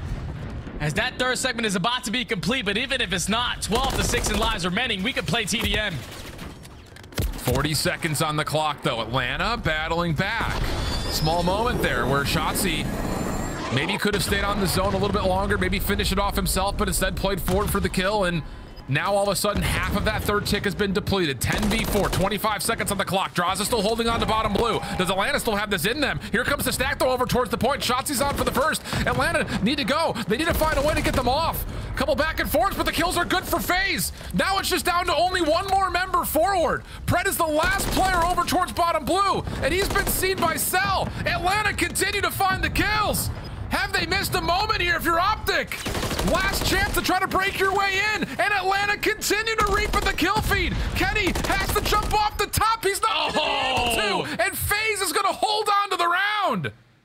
Oh man, if you're Optic Texas, you want that one back. You invest the cruise missile. You were outslaying 12 to 6. But when it came down to Atlanta FaZe just clutching up in the fights once they got out of their base, they did not fall short. Drazah and Cellium with multiple two pieces around the map. Optic Texas just could not find an opening through bottom blue. And Atlanta FaZe able to secure the defensive round. They're down by two seconds, but at least you get the cruise missile to get invested. And Optic Texas are thinking, all right, we're going to be up 2-0, but Atlanta FaZe shut the door on that opportunity. Now we're all tied up at one. Just got to make up for these segments now if you're Atlanta. I think there are going to be some Optic fans that are going to be breaking down every millisecond of that decision from Shotzzy to try to push forward where maybe he could have captured. Hard to say one way or the other. Hindsight's a hell of a drug, friends. Don't get caught. First couple of kills here for Optics defense. Very clean, very polished. First three will fall. And Atlanta's really not had good breakoffs in any No. of these rounds to this point. They've been getting shut out from Optic Texas. Over toward the B Street side, even towards Helipad, as they find another three in the feed. Last player out is going to be Simp. But you can already see Optic Texas are more focused on just keeping these players in the back of their spawn. aBeZy with a great spawn, at least through the underground steps, is able to take down Pred, but still a lot of map control being obtained by Optic Texas. Map control is starting to get to that precipice of possible spawn trap conditions. Atlanta trying to teamwork their way out, but just not finding any exits. I mean, Dashy 15 and 9, almost able to collect number 16, just couldn't quite get the regen off. Pred through the middle of the map, uh, gets shot just a couple of times through mid-map, and that's enough for Drazah to help out, find a double, and now Atlanta stacked up, finding the first tick of progress, if not more. Yeah, first segment already going to be complete, but Shotzzy knows it's at least a double stack on the point, and he just spotted the third player over towards the B Street. So when do we decide to attack? And unfortunately, aBeZy was more prepared for that gunfight. With that rival nine in hand, that's already going to be beat out of the way. But if you are Optic Texas, now you have an opportunity with a lot of map control to pe keep them in the spawn. But for how long? Pred, ooh, a little caught here, tried to chase down a kill with the Renetti. Gets punished. Follow-up elimination from Dashy decent, but the trade still allows Atlanta a chance to use blue as an opportunity to set themselves up for an A attack. Trophy system down for Cell. Tagged up through mid-map, but still finds a way to get one kill. It's just not fully enough for the rest of FaZe to follow up on it. So we kind of neutralize the map with the touch. Both teams coming off of spawn, not fully getting trapped up. We have a 17 v 14 favoring Optic. And there's only a minute left on the game clock. So if you are Optic Texas, just got to continue to hold down your iron trade efficiently. 2-2 in the feed for both squads. But it's still Optic Texas in the lives remaining up by a couple. Pred finding that double at least relieves the pressure on the farthest players pushed out. And now Atlanta FaZe again forced to hit the reset. Optic just doing a great job of holding down all their lanes. Yeah, now Shotzzy has the freedom to get forward. And I mean, look at the movement. Nearly slips away. It's enough for at least Kenny to confirm his trade, which is more than enough, to say the least. 12v4. Tick progression is going to heavily favor Optic as they look to lock up the rest of this defense, and there's really no chance Atlanta does much more damage than maybe a couple of kills here or there. So major advantage for Optic through three rounds. Lots of a call here for Atlanta defensively to really stand tall if they're going to try to even out these tick progression. Yeah, it needs to be a shutout because right now Optic Texas are only down by one segment, but the adjustments that they have shown so far on this high-rise control has been beautiful. On the defensive side, they were 11th overall in the league. I know it's because they haven't played the map a lot, but they struggled every time that they spawned in on this map, and it was due to the sling ability. They just could not keep up on the defensive side. We're basically put in the trap on the opposing side where you usually do not see. But the plays right now out of Shotzzy, the plays right now out of Dashy, both average a point eight versus Atlanta FaZe. They are dominating so far in the respawns. Yep, absolutely agree. Pred's even picked it up in that last round. Kind of a slow start from him, but on four in a row brings him back to about level. Focus towards B alley. Lots of shots connecting for Atlanta, enough to at least get the first. Shotzzy off the regen though. Pred also the long route will create some problems here for Atlanta and Spawn, and the FaZe defense is gonna have to kind of figure out, make a decision of what do you want to deal with. As Pred gets onto a cruise missile before being dropped, and with a one life advantage and a little bit of time ticked off the clock, Atlanta's trying to hopefully counter in their minds to get forward and take away the map. Yeah, they just want to take away map control. They want to try to put Optic Texas in the trap as fast as they possibly could because they got to try to play for a shutout round. Do not give up one segment to Optic or they will have that defensive side. Yeah. It's now all of Optic Texas rallying the troops over towards the B Street side, but they cannot find an opening. Shotzzy finally does take down Cellium, but it's Atlanta FaZe ready for the trade fights as they find three in the feed. All you have to do is take care of Shotzzy, and there's only 25 seconds left. You might have to invest the cruise. Oh, look at Draws on the other side of the map. He's still finding kills and forcing Optic to kind of keep their focus at multiple points. aBeZy taken down at range. Shotzzy's position is known, but Cell really cannot shell with just 8 HP. 10 seconds on the clock. It's going to have to be Kenny to jump into the zone. Everyone else supporting him from pretty much long range. And they're finding good support at this moment. First tick of progress being worked on. Cell able to track a couple of the shadows, but it doesn't make a difference. Now the stack is on, and Optic should be able to get at least two ticks here. Yeah, the second segment is going to guarantee themselves defense just in case it does go to a round number five, but it's still Optic Texas in, in the lead of the lives remaining. They're still not slowing down in the slaying department. That's another three dead in the feed. You can easily hit that transition over. But with Pred being the player coming off the respawn, that cruise missile is not going to get Yeah. invested early on. So you have to try to maintain map control before you decide to invest that missile. It may not even be invested at all because now a second gets for Shotzzy on another impressive streak. It gets to seven before he's felled. Pred once again taking the scaffolder out. Cellium gonna try to check this. Simp at range, almost dealt with before Cell can get there, but the help arrives just in the nick of time, and the lives are back to level. And an unfortunate team nade actually swings that over to FaZe. 12 plays 11. Yeah, 12 plays 11, and now it's all in the hands of Shotzzy. Unfortunately, he does fall, and all of Optic Texas forced to now hit the reset in the back of their spawn. And with only 20 seconds left, Optic Texas already did the job. They already completed the segment. Now you have a cruise missile on the defensive end just to work with in case anything gets a little bit fishy.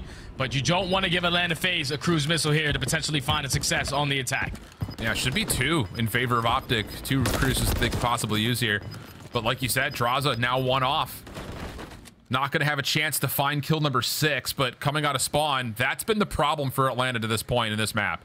Finding a way to even get trades, let alone kills. So we'll see. That could be a key for FaZe to get an extra resource and try to mitigate what's already been built up and kind of stack the deck for this Optic defense coming up. I think it all is going to fall into the hands if Drazah can earn himself that cruise. Yep. Like you said, Optic Texas have two to work with on the defensive side. And just the way that they have been shooting on defense, they have outslayed the hell of Atlanta FaZe on that side of the map. This round number five, I feel like every time we watch both of these teams, specifically in control, it always goes to a round five. And it's usually Atlanta FaZe coming out on top, but Optic Texas in the heavy advantage, trying to put themselves up to it in the series. Drazah is just going to try to play up top and see if he can catch aBeZy's trade. I mean, they're already on towards A. Dashy, oh, at range. Dealt with by aBeZy. And now Drazah can actually just get into a kind of a one-for-one position, but he gets red and dealt with. So the extra resource not going to get tallied here for FaZe, and the first tick of progress on top of that does not get completed. So focus for FaZe goes back towards B. Yeah, that's tough. Because Drazah was definitely looking for that one kill, but wasn't expecting that many players from Optic Texas whoa. still in their base. The first second is potentially going to come in over towards this B point, but Optic Texas are right now just solely focused on taking down Simp. There's no trophy system in towards the B point. Brent over the top is able to eliminate him from that positioning, and Shotzzy is already in the spawn. 38 and 25. Now you have to get past this young man. Wow. Well done, Drazah. Uh, good clean clean shots coming through. Even life count. Only one tick tallied at B. Kenny slipping forward, catches aBeZy completely off guard, and the Optic defense is in prime position for this next opportunity for a hold. Lots of work needs to be done here for Atlanta. May start with Cell. He's just lingering up mid-map. Pred trying to do the same thing on the other side, but kills for Atlanta are pretty decent. Pred's the only one to collect, and the clock will stop at 38 with two members on for FaZe. Yeah, 20 to 20 in lives remaining. Two players on the point, like you said, but Shotzzy is at least able to take down one. So now you know where is the Beezy at. He does find a kill up to the B Street side, but that's going to be three dead in the fade for Optic Texas. This might be a moment where you have to try to invest one cruise missile to at least allow your teammates to get out of the spawn. Yep, that's exactly what's going to happen. Shots is going to call it as soon as he pops up. Third tick of progress was on the way. Everyone backs off the zone. Cell stays alive behind pro, uh, part of the propane tank. But if Easy does drop down to 20 seconds on the clock. Drazah and Cell, one of the last two left that could possibly make some motion happen. And actually, Simp is going to sneak on towards A to stop the clock there instead. Hoping that maybe Cellium can isolate this 1v1 and then try to finish the progress over towards B, which he gets the isolation he wants, but the gunfight isn't clean. Has to reset. Pred on the chase finds the kill, but progress from Simp is still going completely unchecked. Eventually they get the kill. Drazah on the other zone, able to get just enough help for the extra 60 to get tallied, and now FaZe have a four life lead and a minute 15 to play with. This is where it gets scary because if you're Optic Texas, you got to try to invest this cruise now. And that's exactly what going to do, but do not read the play. How to Drazah working his way underground on the deep pitch. That second segment is going to be complete. You're able to take Atlanta FaZe off for Two a little on. bit, but the triple stack is here. Can they get into the touch in time? The contest is over. Cell, 1v3 situation denied. Now down to Drazah versus Dashy. Oh, what a save. Not done yet, though. No more respawns for Optic. 4v8 situation. Third tick of progress fully depleted. Optic cleanly get out of spawn and also clear BZ off the high ground, and Atlanta are going to take their time and try to reset. But Optic Texas so far maintaining a lot of the map control. They're also finding all the kills. Was a 4v8, is now a 3v5. We've seen them clutch up 3v11s. Can they try to clutch up this one? No more respawns now for Atlanta. Everyone's playing on an island if you're Optic. Can you catch this Atlanta offense a bit by surprise? Pred seems to say yes, and what a light up he's had in these last two rounds. Pistol nearly locks on in time, but the 3v2, 23 seconds on the clock. Shotzzy sniffing pixels, sees both. Just comes down to when does he want to pop up? It's him versus the world in this 1v3. First one, tally cleanly, pistol out, wants aBeZy at range, slips around, but they're on the zone. Both players are there. Shotzzy doesn't have a lot of time, also doesn't have a lot of ammunition, needs to clear off the zone. He gets on for the contest and only finds the first. Atlanta find the final kill and take away the round five offense to steal away the control. Oh man, if you're Atlanta, if you're Atlanta FaZe, you're feeling great. But if you're Optic Texas, that's two maps in a row now where you were set up for the W. Yeah, we gotta lean back a little bit, scratch your head, put your face to the, I don't know, man. That's just demoralizing. They were outslaying on the defensive end. You get defensive round number five. You have two cruise missiles to work with, but Atlanta FaZe again find that clutch factor in those final moments. Withstand both cruises, outslay the hell out of Optic Texas in that final round, and even when it went down to the wire, they were able to sniff out the players from Optic Texas, solo them out, and then turn it into a 2v1 for Shotzzy. I thought he found the timing, at least through top heli, but he knew it was the double stack was there, so we had to play that one quickly. And Atlanta FaZe are somehow, some way able to clutch up again in the nail biter map against Optic Texas. They always have photo finishes, but it's always Atlanta FaZe coming out on top. Now up 2-1 in the series, and you couldn't feel any better if you are Atlanta. I mean, wow. And the thing about it was, there's another break off for Atlanta in the opening offense that did not really find much success. Yeah. You know, it's essentially a one-dimensional play. aBeZy runs with Drazah. They want to get him to cruise, and it doesn't work out. And everything resets in favor of Optics defense. And then there's a moment in there where the round almost ends before it gets to the drama of the 1v3 at the B zone, where Optic have gotten full control back at B, but Simp just stays alive forever on A. No one goes to check him, and he gets what? A tick and a half worth of progress for free at A, and how much of a difference maker that could have been, let alone the ability for Atlanta to recover off of their spawn and re-hit B to get the extra 60. Oh man, there's so many small micro moments in this one, but wow, we got a heater, Jay, between these two squads. Oh yeah, what? Shotzzy puts up another 40 piece. Dashy was also slaying to hell alongside Pred. Optic did everything right. It just came down to those final moments. Atlanta FaZe just a little bit more icy to close out the control. But that was another map where Optic Texas haven't played it for two months. And you went all the way Yep, down to the yep. wire. You definitely should have potentially walked away with the W. But at least you played Atlanta FaZe really close on one of their best control maps. But you want to be the team walking away with the W. Now you find yourself down 2-1 going into a Rio HP where Atlanta FaZe are the best. It's just as Yeah, simple as that. They are the best team at Rio HP. Yeah, not good. Uh, 4 0 overall. On average, they win 250 to around 180. So a near full hard point worth of time that gets in between Atlanta and whoever finds themselves squaring up on the other side of spawn. Uh, and on top of that, just the straight up demoralization that just happens right there where Optic looked like they're going to close out the defense at round five, not once, not twice, maybe three times, doesn't come through. So got to take a deep breath, got to reset, and maybe lean onto the fact that Shotzzy's having himself a, a very uncharacteristic, great series versus Atlanta FaZe team. What can he provide in terms of another spark for this Optic team here in map four? Oh yeah, they're playing great. Shotzzy and Dashy both average a point eight versus Atlanta FaZe, but they are definitely over a 1.0 so far in this series.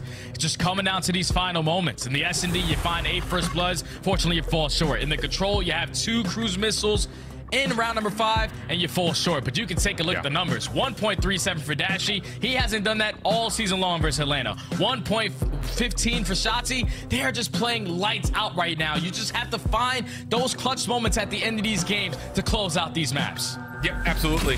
And I think for a lot of Optic fans, it is rejuvenating a certain way to see these two guys stepping up to the table. But at the same rate. And also, again, other side of the sword is uh, what else do we have to do to beat these guys? I mean, their two bottom performers against FaZe are popping off. We still can't find ways to close out these tight maps. So, looking at the overall Rio season stats, again, it's pretty much perfect across the board for Atlanta. One yep. of the best rotating, one of the best at holding, and they still find a lot of success breaking, which, to be fair, they don't have to do all that often. So, Lots to ask here if you're Optic trying to respond and get this thing to a map five. And that's the crazy thing about it is that Atlanta FaZe in hardpoint specifically, they're not usually the best team on rotations and hold percentage. But on a map like Rio, when they are doing the fundamental part correctly, that's what makes them even more unstoppable. So if you are Optic Texas, you have to run rotations. You have to set up properly try to force this game five. Well, after the initial opening from Optic was pretty calm and collected with the favored spawns, Atlantis break very polished, very clean, and they will not just match the tally from Optic, they will surpass it with the opportunity to flip the map and find themselves in control for the favored sides towards P2. So great start here for FaZe. Optic need to get themselves on the rails here. Just keep things moving straight forward. Yeah, they have to try to at least push through the old or overextend and try to flip these spawns. And so far, they're not finding any success up through the middle of the map. At least they're able to take down Drazah before he earns that cruiser missile.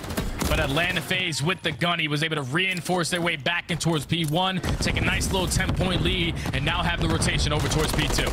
Thing is, Optic have already made their way pretty close over towards the jump wall and this ramp. Team shot from Cell take one of the pictures of FaZe's defense out of it. And okay, neutral is not bad at all from the front here in the first 20 seconds for Optic.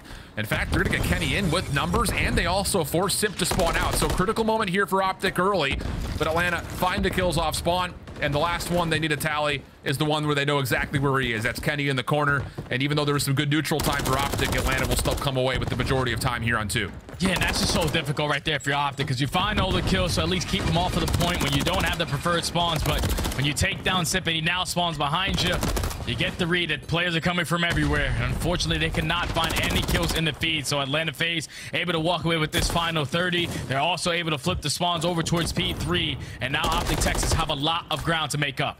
Yeah, Celium watching towards the old time. We'll make sure there's no long routes taken here in the bottom. aBeZy will just throw shoulders over this corner, make sure the window stays safe, which means that Optic will either have to work through him or force their way down through the staircase. Definitely not an opportunity that you would think Atlanta will miss out on. And the kills are being collected and tallied very cleanly. aBeZy even gets a read on the last and Dashy, which he does at least keep his life a little while longer, but can't turn it into anything more than just the first kill. And Atlanta continue to soak up time here on three. Yeah, and Optic Texas, they just can't find a way on in. Like Atlanta FaZe just way too strong on their setups. Trading efficiently around this P3. You're holding down your street side over towards Bridge as well, but finally Optic Texas with a couple of kills are able to relieve that pressure. Even though Atlanta FaZe still spawning in towards the back end, at least you don't give up a full 60. You should allow your teammates now to get fully set up towards the next. Have to be able to hold this next push through, though, from Atlanta. Got Pred on one side, Shotzzy on the other, and as Pred drops, now it all rests largely with Shotzzy towards boxes. Your both your ARs will get over towards the railing, but there's just not enough eliminations coming through here for Optic to stall out this roto from Atlanta FaZe.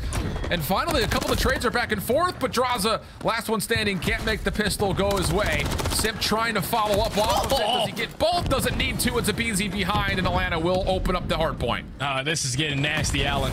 Atlanta yep. FaZe, even when they're late off the rotation, they're finding Brick early on into this HP. And now you're continuously putting Optic on the back foot. Now trying to bake again with only 30 seconds left. You can't hit the rotation now. You have to try to fight this time, and Simp is making you pay time and time again. 12 and 8 already to start this one off. The trade is going to be there for Drazah, but Atlanta faced with this final 20 are going to find themselves already up by 100. Optic Texas, a long road ahead to try to get back into this game. Yeah. And if you're Optic, you need to take a breath, get yourself set up, and start to get something positive to get your mojo back. Because at the moment, it is all FaZe all the time. Shotzzy, well done through mid-map. Simp, the only one to collect a kill, and this is exactly what the doctor ordered. Now it's just down to the follow-up. Atlanta, very predictably going to be spawning on the left side of the map. Optic should be aware of this, but they've kind of missed Cell. And he can just hold this spot, win out the middle of the map plus extra, and that's enough to deter a lot of this Optic setup. Here comes FaZe, first back off spawn. Optic trying to hold from inside the hill. It's essentially a 2v4, and well, Simp will at least neutralize. Not a bad moment, but Optic still holding on strong. Yeah, Optic still doing a great job of just maintaining map control over towards bridge side, not allowing Atlanta to even step in towards the HP. Great shots from both the main ARs on both sides, but it's Dashy able to come out on top in that engagement. Now, Optic Texas slowly but surely starting to climb their way back into this game. They needed a response at the Bridge Hill, but you're still down by 60. A lot more that you have to cover. It has to be the rotation over towards P1, and right now they have a lot of mid-map control, especially over towards Bridge. Drazah gets the trophy system down. Support from Simp wasn't enough, but it may not matter. Drazah now on 18 and 8, four in a row again. aBeZy there to help with the team shots on to Pred. And Atlanta will hold the numbers right on top of the hard point with Drazah finding kill number five. He's going to get an isolated 1v1 potentially, bottom side P5. He's got to read that Kenny's nearby. This is for the cruise missile. A pivotal one, but Pred beats him to the punch. And at least some of the wound gets cauterized, but Texas still have work to do to clear out the hard point, which they do in a fell swoop. Yeah, Drazah's still showing why he dominates Optic. He said it in his interview after Major 2, but it's already sitting at 19 and 9. This has a number so far on these guys as they still find themselves up by 80, but Optic Texas trying to at least walk away with this remaining 15. Instantly gets broken, and you already have a player in the BZ off the rotation to next. He doesn't see Shotzzy, though. So maybe a chance as Shotzzy realizes he's in a very key position. Stun comes through. That's enough for him to isolate on Drazah. Help from the front also there just in the nick of time. Simp red on the back line doesn't make a difference. And that's enough likely to at least block spawns, if not maybe win them for Atlanta. Drazah off the pinch, nearly takes down two of his own. Optic still hanging around though. A long route here from FaZe isn't even enough for them to guarantee spawn. So now Optic have the numbers over the hot dog card, and that's enough for Kenny to win the gunfight and give Optic another lease on life. Yeah, and they need this 40 to get back into this game. They were able to flip the spawns as well, so Atlanta FaZe are at least going to do a great job of investing those tacks over the top, try to take them over this time as much as they possibly could, but you can already see the route coming in from Shotzzy. Just taking the step ahead, re-wrapping through boxes, and potentially is going to spawn Atlanta FaZe out. No, they're still going to spawn it towards the back, so you still have a lot of work to do. Yeah, three of the four will spawn in. Kenny gets one after being stunned. Nothing more. So now it's just on to Pred to hold his life, which Cell beats him with the pistol. Unreal stuff. But the scrap time fully earned. And Kenny will actually get all the way around the back just to hold and play his life. Help on the way now for Texas as Kenny will catch Drazah a bit off guard on the rotation. Clean shots towards Simp. Trade should surely be here in. It's a laborious one, but eventually does get tallied. Shotzzy not done yet on 1 HP. Gets himself two, and Optic win the rotation to three. They're starting to fight back, man. The P2 to P3 chain now only down by 40 points. Optic Texas have flipped this game on its head. Atlanta FaZe not forced to try to find a break going in. You have players approaching through boxes, players trying to attack up the middle and also through bridge. So they're trying to hit every single route, but Optic Texas have gotten a read on it to perfection. Where were they down 100? Now it's only a 20-point difference. Shotzzy now finds himself on five in a row. All the kill feed is going to be green. And now Optic Texas winning the rotation fights again, this time over towards P4. Two to three is good. Can three to four also be collected? Atlanta not so fast, they oh! say. Clean shots coming out, plus the stun. Locks Shotzzy in place. Dashy still a little bit of a scuffle with Cellium over the last three seconds, which he wins, but Atlanta will get onto the hard point initially. Spawn out for Cellium deep over towards the backside at P2. Here come Optic, knowing they've got an advantage and an opportunity to try to break this hard point open, but the kills just simply put are not there. Kenny has to keep his head in a swivel, just trying to predict which angle Simp's going to chail him on, and he picks wrong. Atlanta will win the rotation and a chance to regrow their lead. And this is where if you were Shotzzy, you were on a five came down to a one-on-one between him and Drazah. Gonna potentially earn the cruise missile to find a break on towards P4. But now Atlanta FaZe are not slowing down. They are trading efficiently over towards the white van, but it's Optic Texas currently in the lead in the kill department. They're able to find a break, but with only 20 seconds left, looks like we're gonna have another photo finish of a hardpoint between these two teams. And Atlanta are still, they're gonna have to commit to try to play off this old time here with these two members that are standing. Drazah doing what he can, but he gets taken down, no worries. Sell on rotation. Able to win a key versus pistol fight versus Dashy. aBeZy, mid-map. Hasn't had a particularly great game to this point in the kill feed, but this could be a big one, and okay, that's a little bit of extra clearance here for Atlanta. They're going to get past the 200 point mark. And they can win it here at the Bridge Hill, but you're not expecting them to walk away with the full 50 seconds on this hill.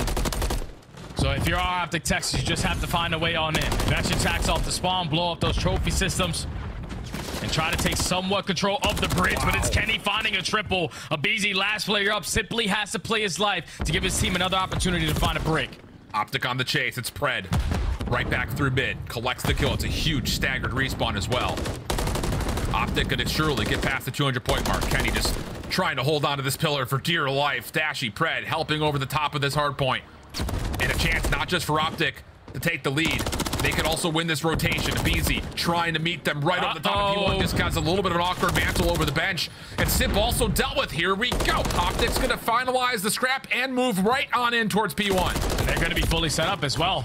Every single player from Optic Texas is currently sitting around the middle of the map. The lead change is finally going to come in. Optic Texas had two demoralizing maps, but they are not worried about it. They're trying to force this game number five. And Pred with the snap is able to find himself on two in a row. But here comes the pitch from Simp. Always somehow, someway finds the timing, finds three in a row. Atlanta FaZe get the break.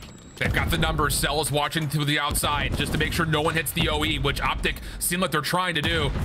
So tall moment here. Optic need to find a way to break on in. They deal with Cellium very quickly. Simp looking to get forward. Denied over the top of the staircase. Now Optic with numbers. Team Nade comes out from aBeZy. Should surely be a break plus more. Atlanta will still spawn on the right side of the map, which is preferred with three of their four members. But Shotzzy, another massive opportunity for him to foil the setup of FaZe by himself. Tucked in a corner by Gate, which Drazah gets the read on. Optic can't win here. Atlanta are set up for new. And that's a perfect rotation Cellium was able to catch a double off the back end of everyone from Optic Texas trying to hit the overextension, but it's 241 to 241. Optic have a couple plays to the back end. Atlanta FaZe get a read on it. They only need five to close out this series. Got a touch. Shotzzy from one side, Pred from the other. There goes the clearance around the hard point. They need a... Oh! And they can't find the kill. Cell steps up through ramp, finds the initial damage, and the finish on the last member of Optic in the hopes of Optic Texas to send this to a map 5 end in a number of wild ways as Atlanta continue to run through the green wall full steam ahead. Every single time we watch these two teams play, it's never a blowout map. The final three maps was very, very close. 6-4 search and destroy. Round five in the control, but 241 to 250. Atlanta FaZe just clutching up again in the final moments of this game. I thought Optic Texas played it great. You did a phenomenal job at that bridge hill. You were able to finally get a lead change going in towards P1. But then off the rotation, Atlanta FaZe knew we just had to play it super slow. Cellium was watching the super overextension over through the bridge side. He's able to find a double. And then even with Shotzzy hitting that early rotation over towards P2, over towards the gate area, when two of his teammates fall, he knows he now has to try to go Superman. And unfortunately, he was not able to find anything. Atlanta FaZe were able again to clutch up in the final moments. It almost got scary though because they were up by 100. Optic started to fight back, but Atlanta FaZe again with the clutch gene, able to close out the series in four and keep that record versus Optic Texas flawless. Now at 6 0. That's unreal. But I mean, again, I think from both sides' perspectives, obviously FaZe fans can walk away super happy because they continue to dominate the green wall. But on the other side, do you take away small monikers of success oh, yeah. here for Optic? You we pull away your first ever go on six star hardpoint. You played the map well. Your high rise search and destroy. You went eight and two in first blood, just couldn't finish round. So there's clearly things you can look at in terms of how do we finalize these 4v2s. And then honestly, three different moments in the round five control on a map you don't often play that you could have, if not should have had you still have to feel pretty good about your chances, I think, if you're Optic reflecting on this series and moving forward, surely, right? Oh yeah, without question. You're thinking we should have walked away with this series, but you played them on, really tight on some of the tough maps, and at least you go now know going forward we can square up with them on maps like High Rise. Well, we'll send it back to the desk to consider the question of is this even a rivalry anymore? FaZe six and zero as you head back to Alley and Ant. Listen, that was an absolute banger. Well done by Study and Shift. I mean, every map came down to the wire. When these teams match up, it just comes down to the wire every time. It's one of the best series we've seen so far. Absolutely. Every single time it comes down to the wire. Even that grand finals, you know, you talk round five control, you talk 20 mm-hmm. point hard points, round 11 S&D. I think if you're off to Texas, if you take anything away from this matchup, it is taking that W on this six star hard point. You have been on the losing end of these respawns versus Atlanta FaZe, who are up on you seven to two. So take the wins where you can. A map you can add to the map pool that you now can feel comfortable as you move forward to maybe Major 3 matching up against Atlanta FaZe on land. Listen, Optic, at least slang-wise, this was the best performance yeah. they've had against Atlanta FaZe yet. I mean, Dashy came out clearly with a vengeance, wanting to prove a lot of the narratives wrong, had himself a hell of a performance throughout this series. Really, everybody on Optic Texas. And honestly, Ali, I feel like we were robbed of a beautiful game five. We I mean, we saw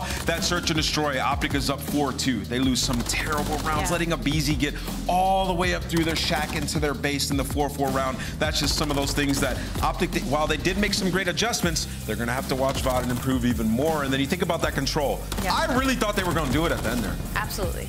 I mean, it literally came down to a 1v1. Unfortunately, Shotzzy gets put in an unfortunate situation in a 1v2, but they were doing the damn thing. They were 4v like 7 at one point, and they got it all the way down to 1v1, and they were on defense, right? So when you talk about Optic Texas, they're typically a team that clutches up in a lot of these series against the rest of the league.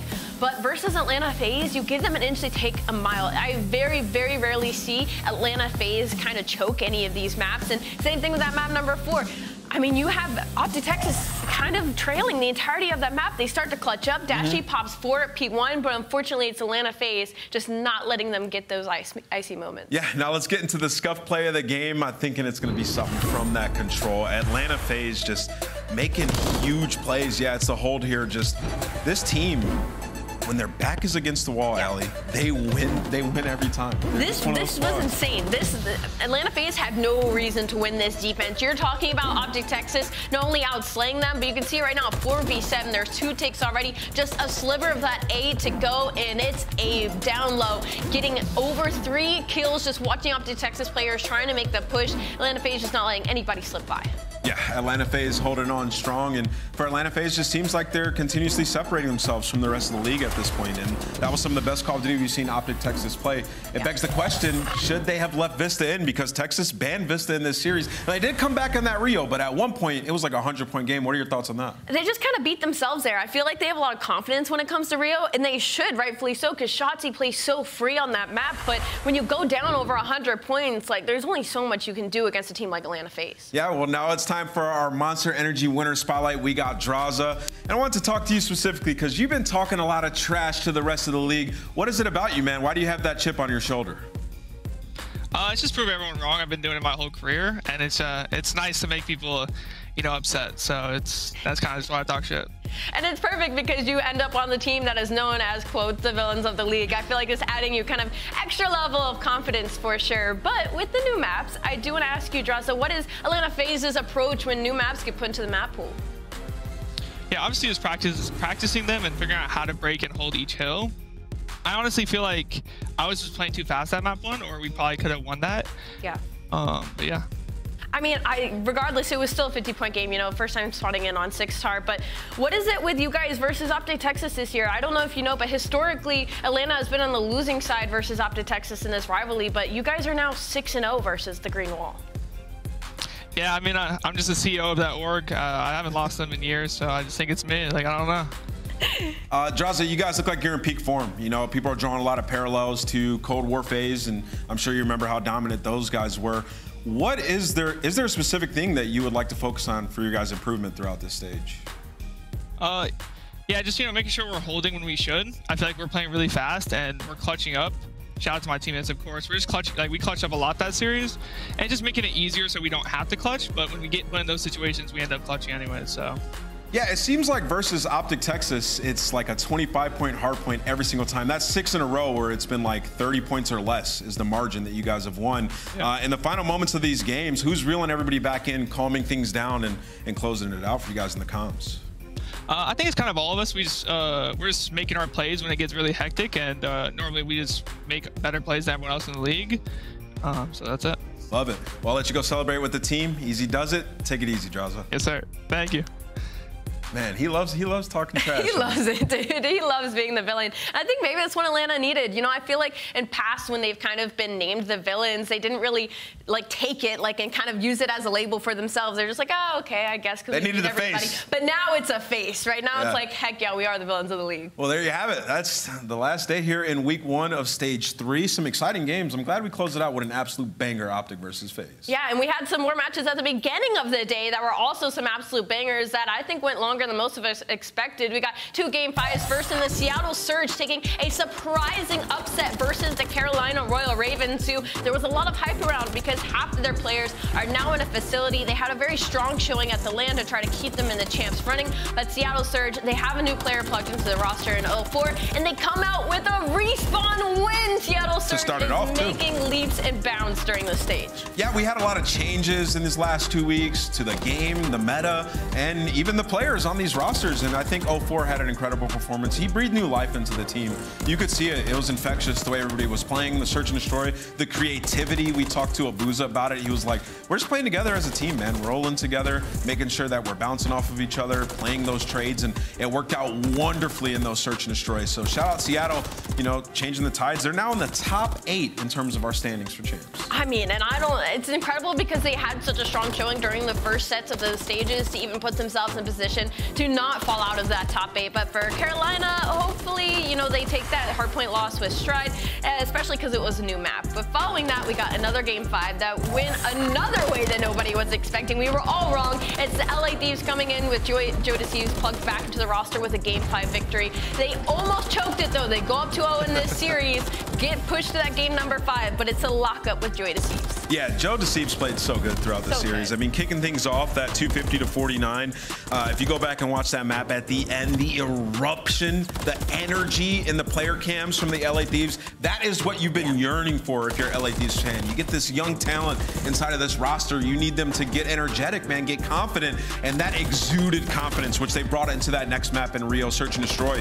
Now, listen, lot, they only had three reps on all these maps combined, and that was all through that invasion control from stage two until now. So this was just new territory for these guys in these maps. They start off 2-0 in the series. Now, Vegas are a fantastic team. They do rally back. Nero had back-to-back banger of maps. When we get to that game five, six-star search and destroy, it's all LA Thieves, LA. I don't know if I ever want to see uh, Las Vegas Legion load in a six-star hardpoint ever again. That might start having to be an auto veto because 250 to 50, like Ann said, that's only happened four to five times in CDL history, and now they get added to the board. Yeah, that shouldn't be happening in the Pro League. And I think I think it is that franchise as well that has a majority of those clubs too. All right, well, we'll forget about that. It. They can't escape. Let's see how today affected the standings because we had some shifts. You see Surge, they bump out the Carolina Royal Ravens now sitting at top eight. LAG holding on, and uh, LA Thieves getting some points. Yeah, LA Thieves need those points as well, especially because they're doing so well right now. They could, with their next matchup, even jump Carolina Royal Ravens since they got handed that loss today. So you're looking at teams like Miami, LAG, Minnesota ROKKR that are getting a lot of losses early on. They could get bumped out by the end of the stage. Yeah, uh, let's uh, check out the KD leaderboard for this weekend. See players who turned up when they needed to. It was CleanX. You know, I talk a lot about the Toronto Ultra and sort of their regression. Well, CleanX was the actual best player in the world in stage one. Yeah. They win that, as we know, and now CleanX is back to being him. So Toby finding that confidence, and then also Dashy having something to say about the community. You know what? Dashy played fairly well against Atlanta FaZe today, and you know we talk about him and Shotzzy. You don't really enjoy that matchup, so to see them kind of being a little bit more comfortable in the slaying department today is a W you can take away if you're a Green Wolf fan. Yeah, we had a lot of 3-0s this week, but we had some bangers today, and we hope that continues next week. This is the schedule that you have. I'm looking up and I'm seeing Optic versus Seattle, Optic versus Vegas. Obviously, for the Green Wall are still in chat. Those will be your matchups there. But we're going to get some New York versus Carolina. That one's always a pretty good one. And we're also going to get Toronto versus Atlanta FaZe on Sunday. That's going to be the last match of the day. W schedule makers, we're getting some bangers to close out these weekends. Couldn't have scripted it any better. Puckett, we'll miss you. We'll see you next week. It's been a fantastic, fantastic opening weekend here in Stage 3. We hope you guys enjoyed it, and we'll see you next week on Friday for Headquarters. Way, way, way, way, way, way, way up. Way, way, way, way, way, way, way up. Way, way, way, way, way, way, way up. Way, way, way, way. Going back and forth like it's east and west. But the whole team up, say that's north side. Am I lonely if I shoot the tech? And I'm 10 seasons in, still I'm coincide. Every day I'm going back to back to back to back to back, so ain't no neck to neck. No. Bitch pressing in the valley, growing stronger, only open up to check the text. Really know it's superhuman, I'm in overtime, they hate, so they check the chest. I've been doubting all my odds and crossing all my T's right now, I'm trying to curve the S. Young set apart and I'm passionate. I've been in my lane, ain't no passing. I'm truly from the bottom. I've been fighting for the light. When you in the dark, man, all you get is flashes. My whole team know that it's do or die. On the top, I see newer highs. I'ma make a move when I make a move. Ain't no thinking I'll let you decide. On the gas with the vision, I've been out to get it here to do it different. Ripping through the tension, rallied in the streets. Now we in the building and it's going way, way, way. Way, way, way, way, way, way, way Way, way, way, way, way, way, way. On the gas and I'm smashing it. I've been in my lane, I'll probably crashing it. Way, way, way.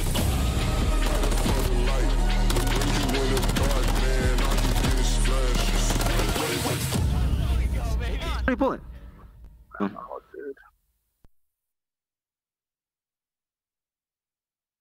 Heading, close up Teddy, close up timer. Time and touch. He's not hitting C1, C1, Euro. Light, light, two lights, one, more lights, one lights. C1, one, one, statue, one top, Okay, four. let's- One top, four, on the forward. Keep our iron. It's up to you. It's up to you. Weak, Nero. Shut him out. He's shouting. He's going back to that. Back to that. One shot, one shot, time. Dead. Not me, not me, not me, everybody, it's not me. I want to go. One shot, one shot. I'm pitching lobby. Turn for ring. I'm dead, I'm dead. You can be back. Side red, I'll two trip more. in. I'm going out. I'm going out. Pull, pull, pull, pull, pull, pull. I'm on, on, on. All four, all four, four, all in front. Dead, dead, one more, dead. All four, all four, all more. He's big, big, really right there.